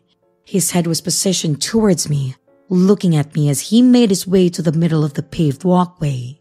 He slowly gets up from his stance and starts standing on his feet, and then he positions his body to face me.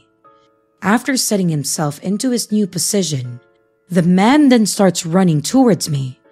I freaking book it. I ran as hard as I can down the path. My flashlight jumped out of my pocket and I lost it, but I didn't care because a whole naked ass man was chasing me out at 11 p.m. at night in a secluded forest. I looked back for a split second and the man was still running towards me, still completely naked. He could have had my flashlight for all I care. I just wanted to make out of this situation alive. I finally make it out of the forest and I run to my car, which is only 30 feet away from the end of the forest. I desperately get to my car and like a classic horror movie, I fumble with trying to get my key to unlock my car and I actually drop my keys and quickly think to myself, Ugh, I'm actually dead. But I brush that thought off and I pick them back up. I get my fob properly, unlock my doors, and throw my things into my back seat before getting into my car. This felt like an eternity, but in hindsight, most likely took six seconds altogether.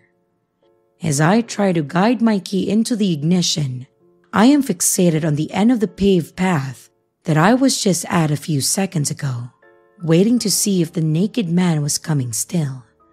I feel my key go into the ignition and I switch my sights onto the road in front of me and I zoom out of that area as fast as possible. As I drive away, and I'm a good 30 seconds from the location of the horror that just took place, I get a call on my phone, and it was my friends calling me asking if I made it to the spot yet, and all I say to them is, Guys, do I have a crazy story to tell you?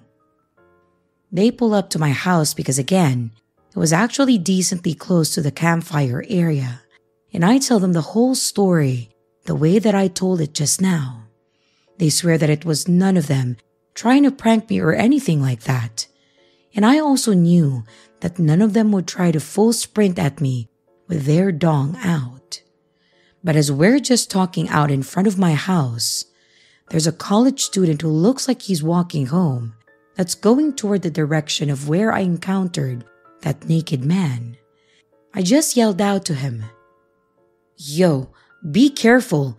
There's a naked guy that was chasing me by the bridge that crosses over the river. He responds saying, Oh damn, really? I gotta go over that bridge to go home.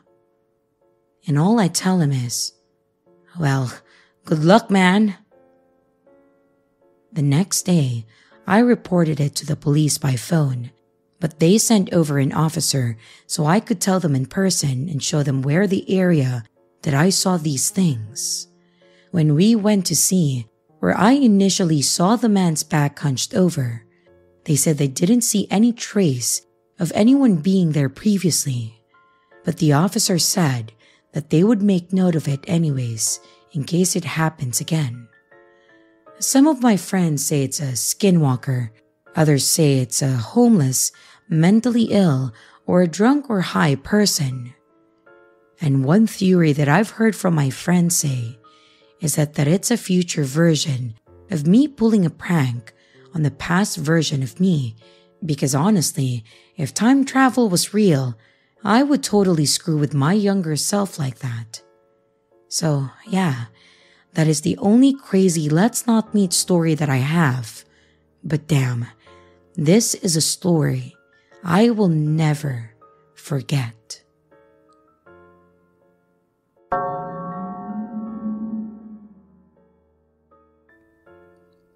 This happened in July, I believe.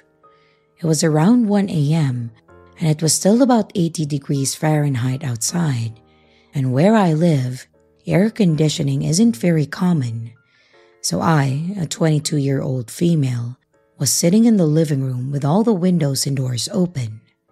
I head out to smoke, and since everything was open, I didn't want the house to smell like smoke. So I walked down the driveway and just sat on the curb. There was a man standing on the same side of the street, but a block down just staring at me.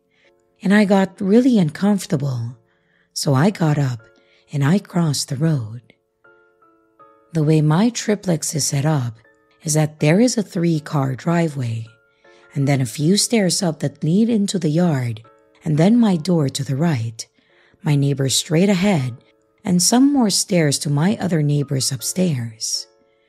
I live somewhere with a lot of homeless people, and they will come up the driveway to look in our trash for cans or whatever, and that's fine because they never go up past the steps.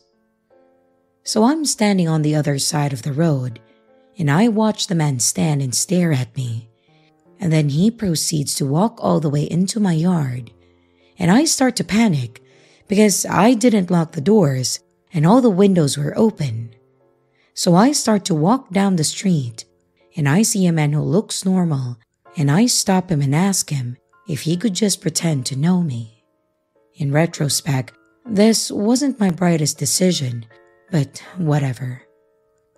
So me and this man are standing there just talking, and I'm kind of explaining the situation, and we're both just smoking a cigarette and we're looking at my house.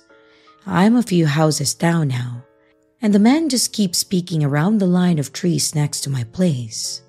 He peeks around the corner a few more times and then eventually walks up to me.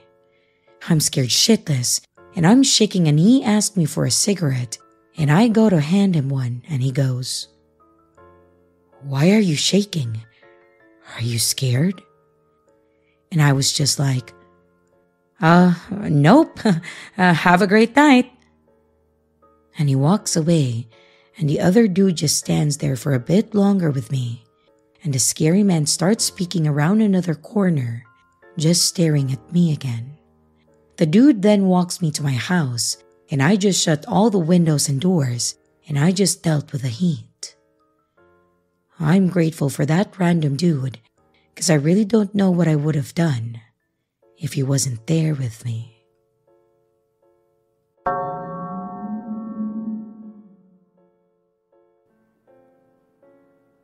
In my 45 years on this earth, I've kind of been everywhere throughout the continental US. Most people would refer to me as a drifter. Well, I like to look at myself as more of an adventurer. I've never locked myself down to one place, and I've always lived my life to the fullest extent that I could, while enjoying the sights and the scenery that most people ignore. I know that most people don't have the ability to do what I do with my time, but I have enough money to live, and I seriously enjoy not being chained to any one location. I've hiked and backpacked and camped pretty much in every state, but I'm partial to the West Coast more than anything. It has some of the most beautiful, untouched wilderness out there. I've spent some of my favorite nights camping in the woods up near Montana all by myself. That said, if you spend enough time in the woods by yourself, you are absolutely bound to find something weird.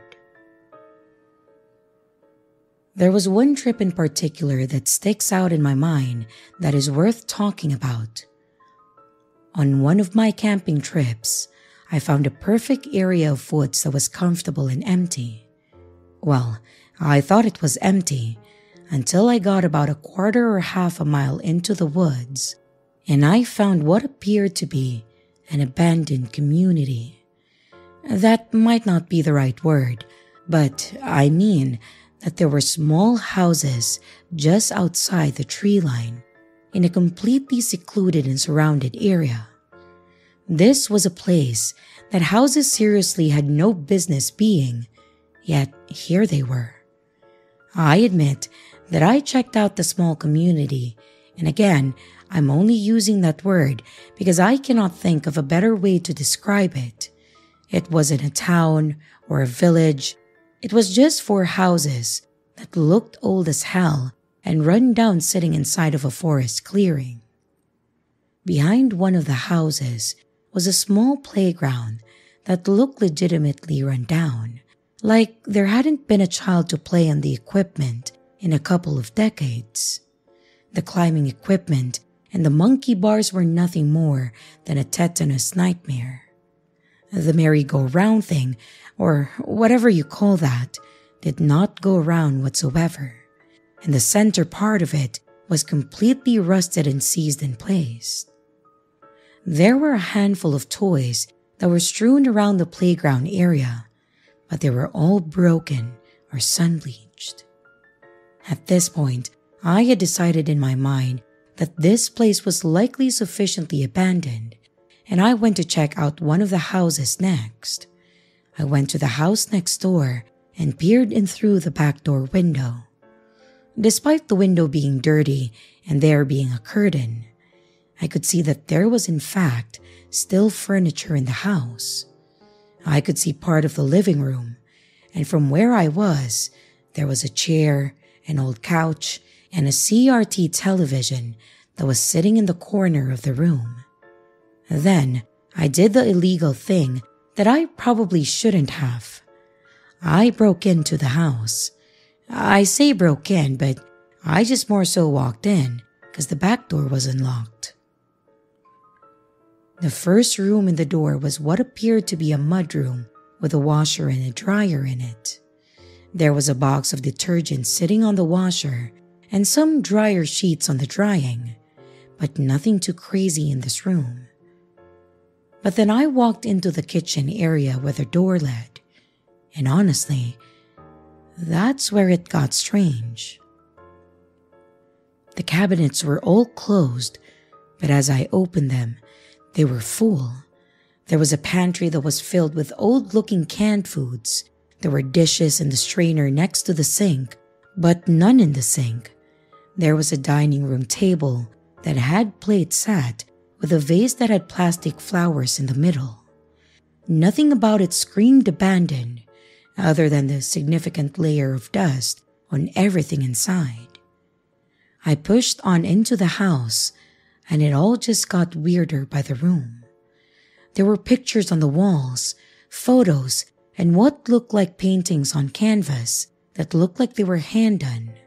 The bedrooms all had beds that were made, and there were clothes in the dressers, on top of that, there was a laundry basket in the hallway that had clothing in it. Now, I understand to some people that this may not sound weird or creepy, but all the houses in the area were similar to this one. They were all furnished and full of random belongings. They were also a bit messy and completely coated in dust and dirt. It was completely clear that they were all abandoned. These houses were not in use, and they hadn't been for quite a long time. The dishes by the sink in the first house tell me that whoever lived here probably left in a hurry or with expectations of coming back. These houses were completely abandoned and they were abandoned in a hurry. The people that left left all their belongings, their food, their furniture, and etc. I have no idea why they would have done that, and I cannot think of any scenario where someone would have to leave their homes permanently in that kind of state. If anyone has any thoughts about this, I'm open to hearing them.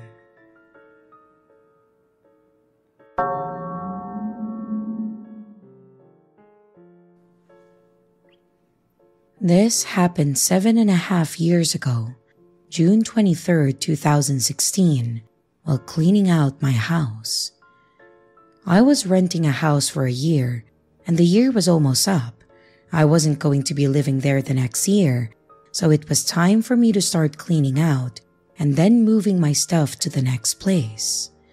This house that I had at that time was fairly small, but it was plenty of space for just me. I lived there by myself, and I had just finished cleaning out the living room, other than some basic furniture, and I had moved on to clean the kitchen. There were quite a few cabinets, so many that I didn't use a good number of them. I was looking through some of the ones that I didn't use to make sure that there was nothing that I had in them. One of them I opened up. I saw something in the back corner. It looked like some type of shirt or rag, and I grabbed it and saw that I didn't think it was mine. But when I moved it, it revealed a small white lever that I could barely see. The cabinet was in the corner, sorted by the sink, and halfway blocked by the stove. I thought that it was just another pipe, but it just looked a little different to me. I got inside, and I had to crawl inside the cabinet, which was pretty large. Once I got inside, I saw there was a small trap door to the side, leading into the wall. I couldn't believe what I was seeing. You had to be completely inside in order to see the detail of it. And I decided to open the door, which led to an extremely narrow hallway with a sort of crawl space. But when I got farther inside, I was horrified.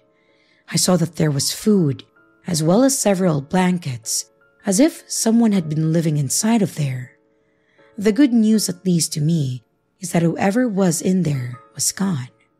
I tried to make sense of it and figure out how long the person had been there and how I didn't know about it at all.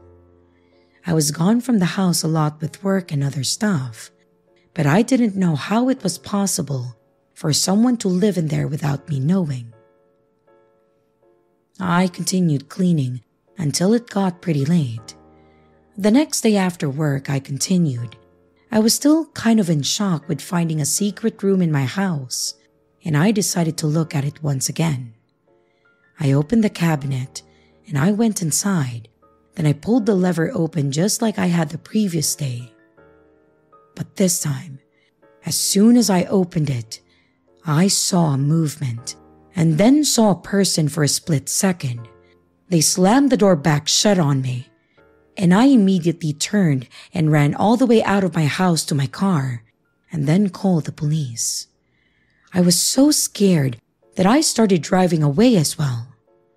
I opened up my phone, told the police the whole situation, and they came to my house a short time later to find that whoever had been there was now gone.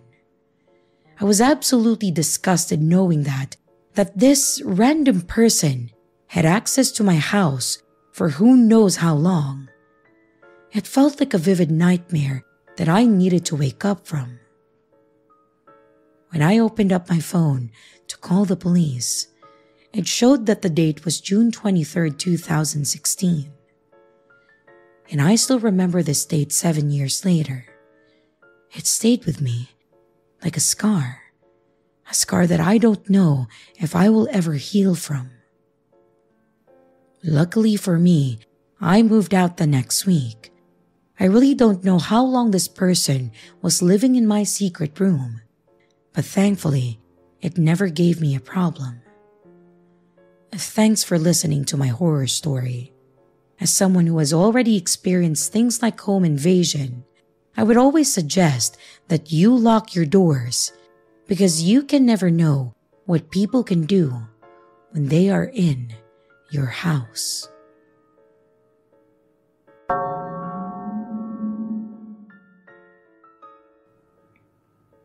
This takes place in the rural farmland of the southeastern United States.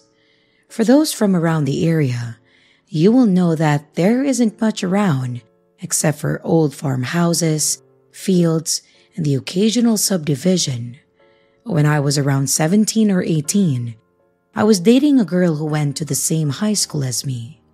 Being teenagers, we needed a place to be alone, and what better than the front seat of my F 150? Often, it was hard to find a place to park that was away from the road and was far enough away from everyone. One evening, as the sun was getting ready to set, I remembered an abandoned house with a long driveway and a tobacco barn. It was off some old back road with no other houses. I had been there before and I explored the property. The house's roof had been abandoned long ago and currently had been used to store lumber. The house had no doors or windows left, and the rest of the property was clearly in disrepair and didn't appear to be used at all. I figured that this long forgotten property would make a good spot, so I drove my truck up into the driveway, far away from prying eyes. I put my truck in park, lifted up my center console, and I put on the radio. As my girlfriend and I were talking, she suddenly stops with her eyes glued to the rear view mirror and says, Um, I think someone is here. I initially blew her off as I was fairly confident that no one was around for miles. But I glanced in my rearview mirror to see a very beat up looking Ford truck that had pulled directly behind mine, and the door flew open. Out jumped a tall, dirty looking man holding what appeared to be a 30.06 with a weathered wooden stock. As I put my window down, the man advances, yelling all types of obscenities from the side of my truck. As he walks up, I hear the distinct sound of the safety clicking off of an older rifle. I froze as the world stopped around me. I had never been held at gunpoint before.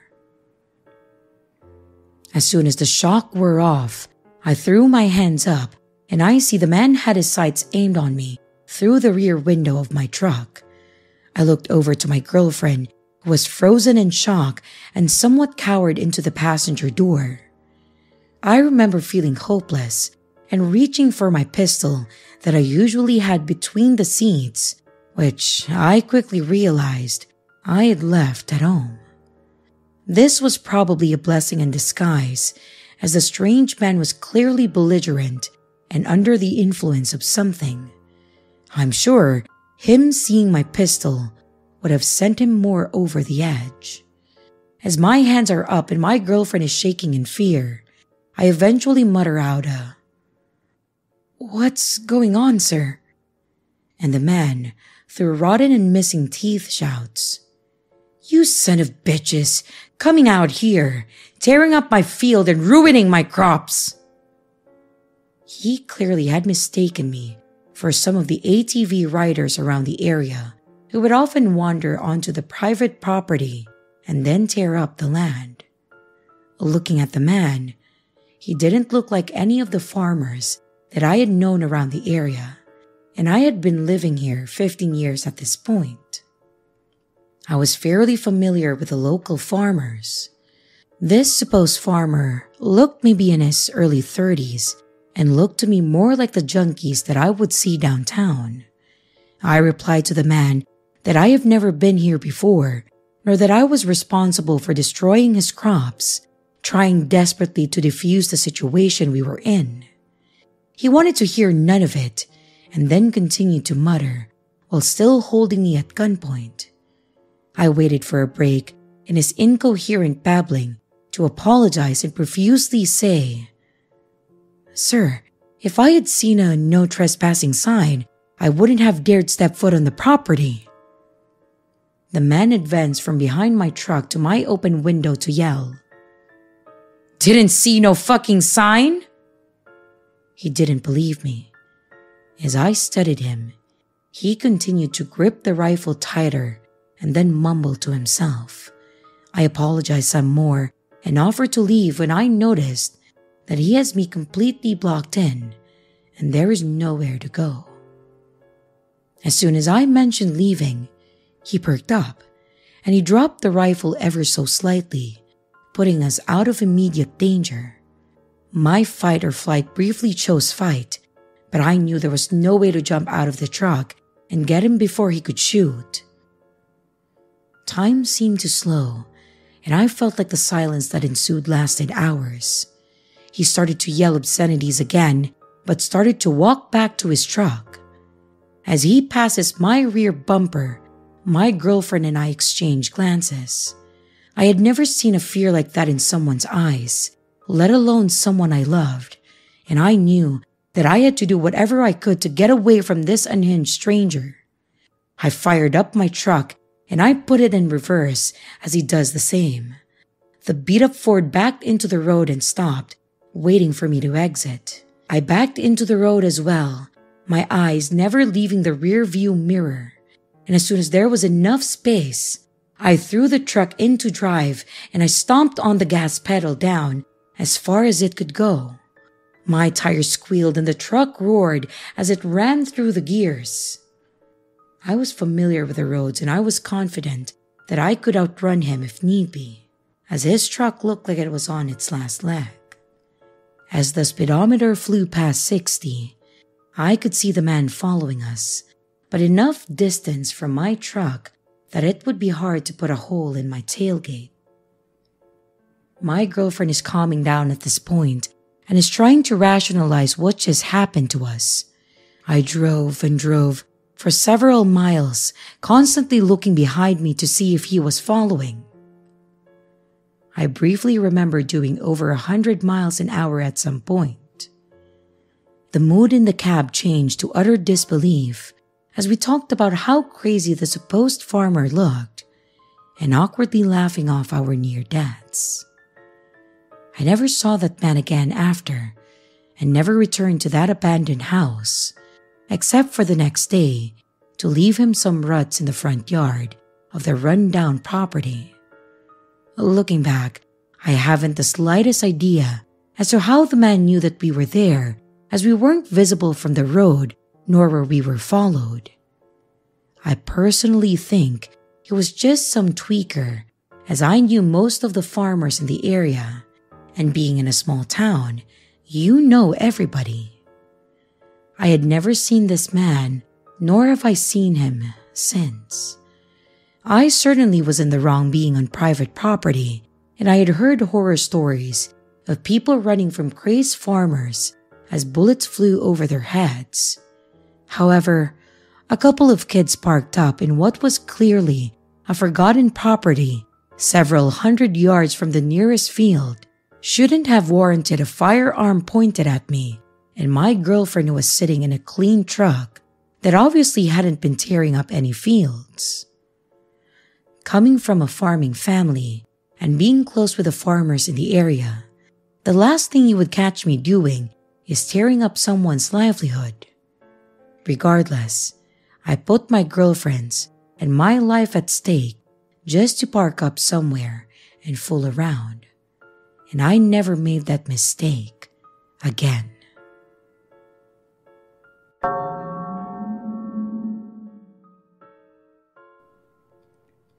This happened a few weeks ago, and it was so bizarre that I still think about it every so often.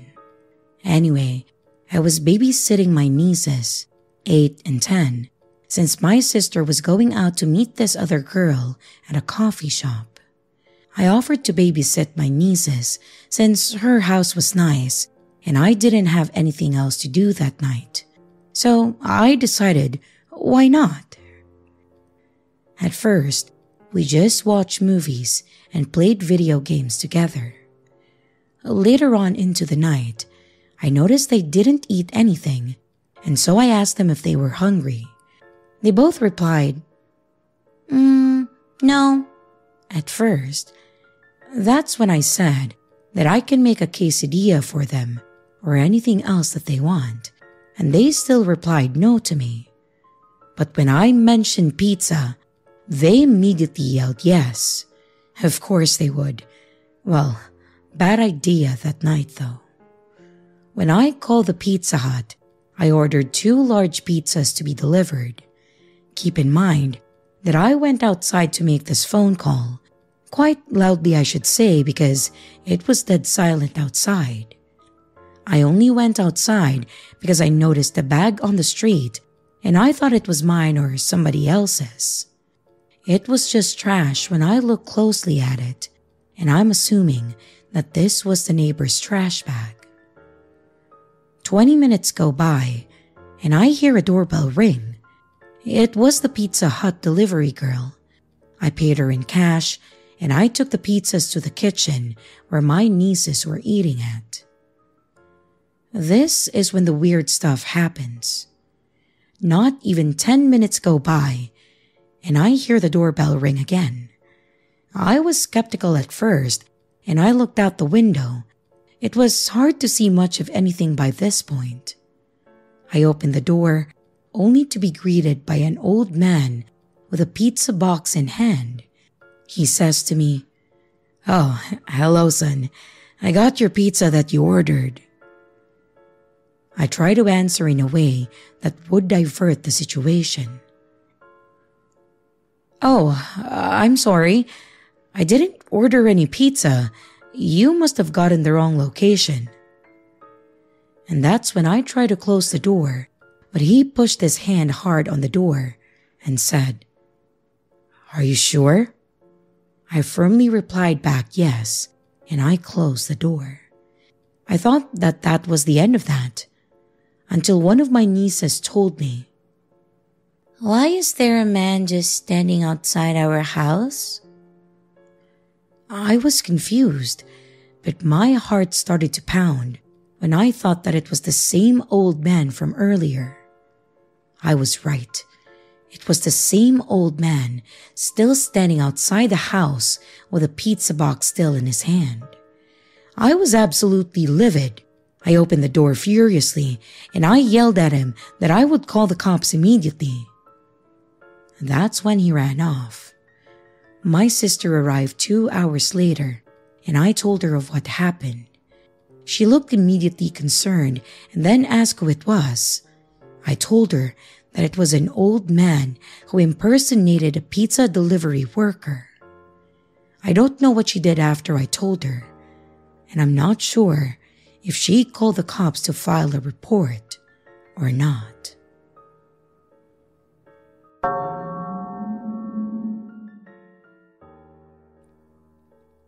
Back when I was a sophomore in high school, I used to be very close friends with this girl, Kay. Kay and I met in middle school, and we instantly clicked. We would hang out after school very frequently, and Kay had a very turbulent childhood a deceased father, was in foster care, and the mom had substance abuse. So Kay's family would house hop a lot. Our sophomore year, Kay's family was staying with their step aunt's ex husband. My parents never really stressed about me hanging out with Kay, because she was such a kind soul and a great influence on me. Now, the man Kay was staying with I'll call him R, was interesting to say the least. I remember the first incident that made me scratch my head was when we all went out to dinner with Kay and her family, and R tagged along. Kay and I were sat at the table with him, and he was venting to us about his dating life and showing us pictures of his Tinder bio and all the women he was chatting to. We both kinda laughed it off and engaged with him, not thinking much of it. Take note that I was 15 and Kay was 16. Sometimes, when Kay and I hung out, R would have us come to the basement and he had this room with a drum kit and he would play them for us with the lights off. Anyways, the strangest encounter that I personally had with him was when I went to Kay's house to hang out for the day, and then she went to take a shower. While she was in the shower, I was sitting in her room, and R wandered in and told me that he wanted to show me something cool in his room. Kay's room was on the first floor, and R's room was the only room on the second floor. Being the naive girl I was, I agreed and I followed him upstairs. When we got to his room, he realized that it was locked.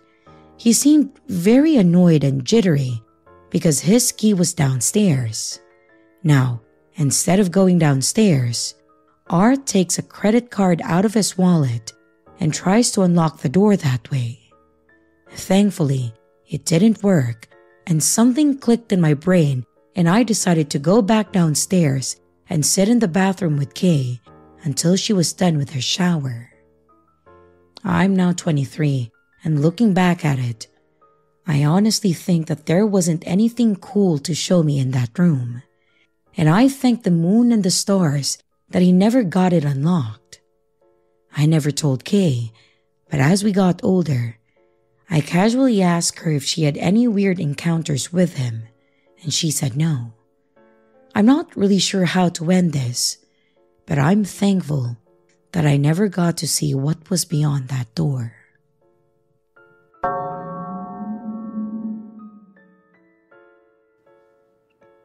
This happened about 20 years ago.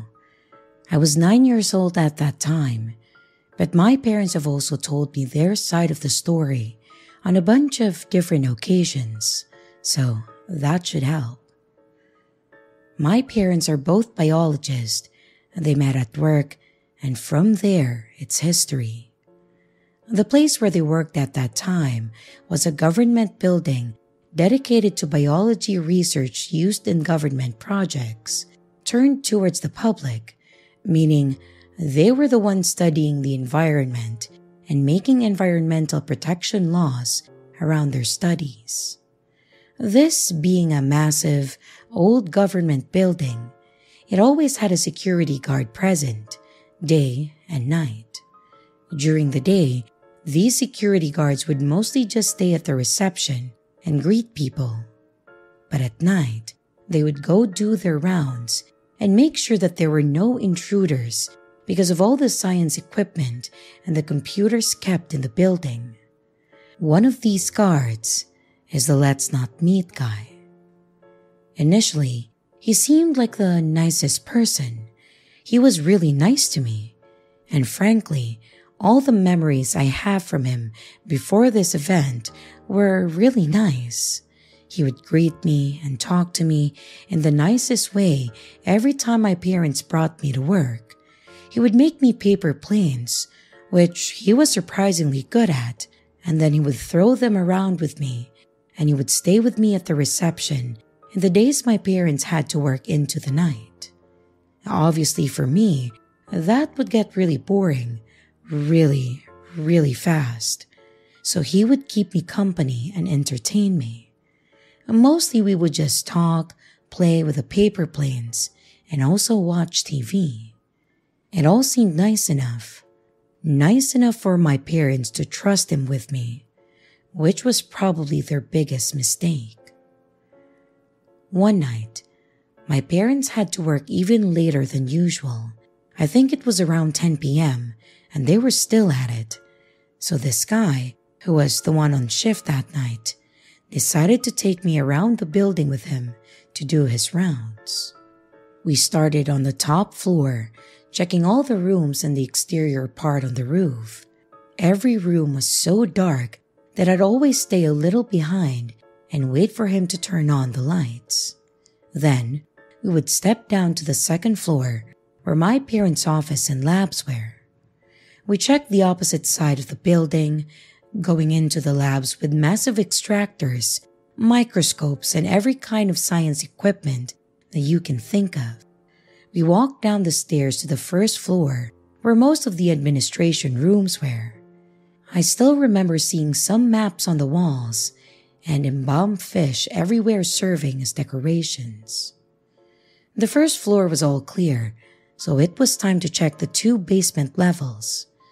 I thought it would have made sense to check the labs on the right side first, as the left side had a flight of stairs at the end leading up to where my parents were. But for some reason, he decided that we'd go check the side first. We checked all the labs, but I noticed that his pace was accelerating and he was starting to look and sound happier. excited even. Once again, we checked all the labs, all the corners from one end to the other, turning the lights on ahead of us and then turning them off behind us when we left. When we got to the last area, he turned all the lights on and then we went inside.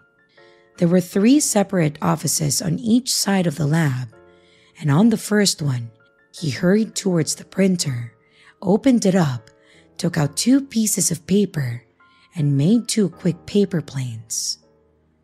And that's when everything changed.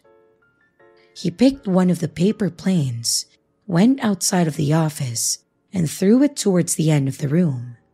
Then he told me that the one he just threw was mine and that we could throw them around in there. So I ran to the other side of the room to pick up my plane, excited to play with it. And suddenly, the lights went off. When I turned around to check what was happening, I saw him getting out of the lab, turning the lights off, and then locking the door. I ran to the door and I punched it and I kicked it while screaming for him to open, panic taking over me because of how scared I was of being in the dark at that time. And through the glass on the door, I could see him scurrying away in the corridors, turning the lights off as he went and disappeared after turning a corner. I'm pretty sure that everything I felt, every shadow, and every creepy monster that I saw in there while waiting was part of my imagination because of how scared I was. I balled up against a corner and I could see shadows moving around me in the dark. I could only cry, lost, without knowing what was happening and why he was doing that. My parents finished work eventually, and when they did, they packed up their things and made their way to the lobby to pick me up and go home. When they got there, the security guard was at the reception, but I was nowhere to be found. They panicked, of course, must have shouted a hundred different cuss words at the guy, and I'm not sure how my dad didn't murder him right then and there. But when they first asked the guy where the hell I was and what he had done with me, he simply said that he had gone to do the rounds with me, and I must have gotten lost somewhere. This is a building that would take you about an hour and a half to check from the top to the bottom, so even if you're rushing so, must have gotten lost somewhere is not exactly helpful. They looked for hours without finding me. It was only when I saw a light far at the end of the corridors leading to the lab that I was in that I got the courage to stand up, rush towards the door, and start punching it as hard as I could. They finally found me there and made the guard unlock the door to get me out. I don't really remember sleeping that night and if I did, it must have been out of exhaustion. But I know I made my mom stay in the bedroom with me the entire night. Of course, my parents made a complaint against the guard, and when they did, the guy started being investigated.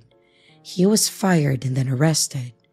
Not because of locking me away, where he probably hoped no one would find me, but because he had been partnering with other criminals to steal computers and equipment from the building to sell in some shitty market along with the information in the hard drives and make money off of it.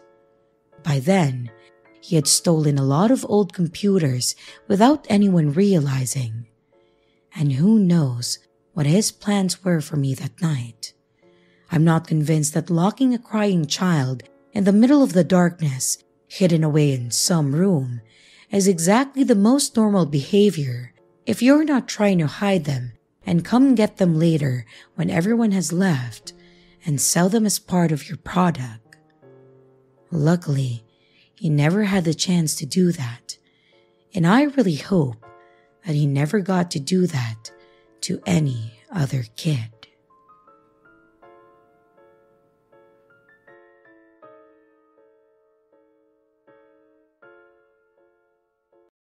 Hello everyone, it's your creepy sister here. Thank you so much for watching the video. I really appreciate each and every one of you. But I would also like to thank my amazing patrons, my top tippers, and my dearest channel members. Thank you very, very much. I really appreciate it with all of my heart. If you want to support the channel further, you could also choose to become a patron, a tipper, or a channel member. But remember, it's appreciated, but never a requirement. I would also like to announce that we have merch now. The link is in the description of the video, along with all my other social media links, like my Discord server, Twitter, Instagram, and others. You can connect with me and send your stories there. And don't forget to like and subscribe if you haven't yet, and comments are highly appreciated. And remember, your fear feeds me.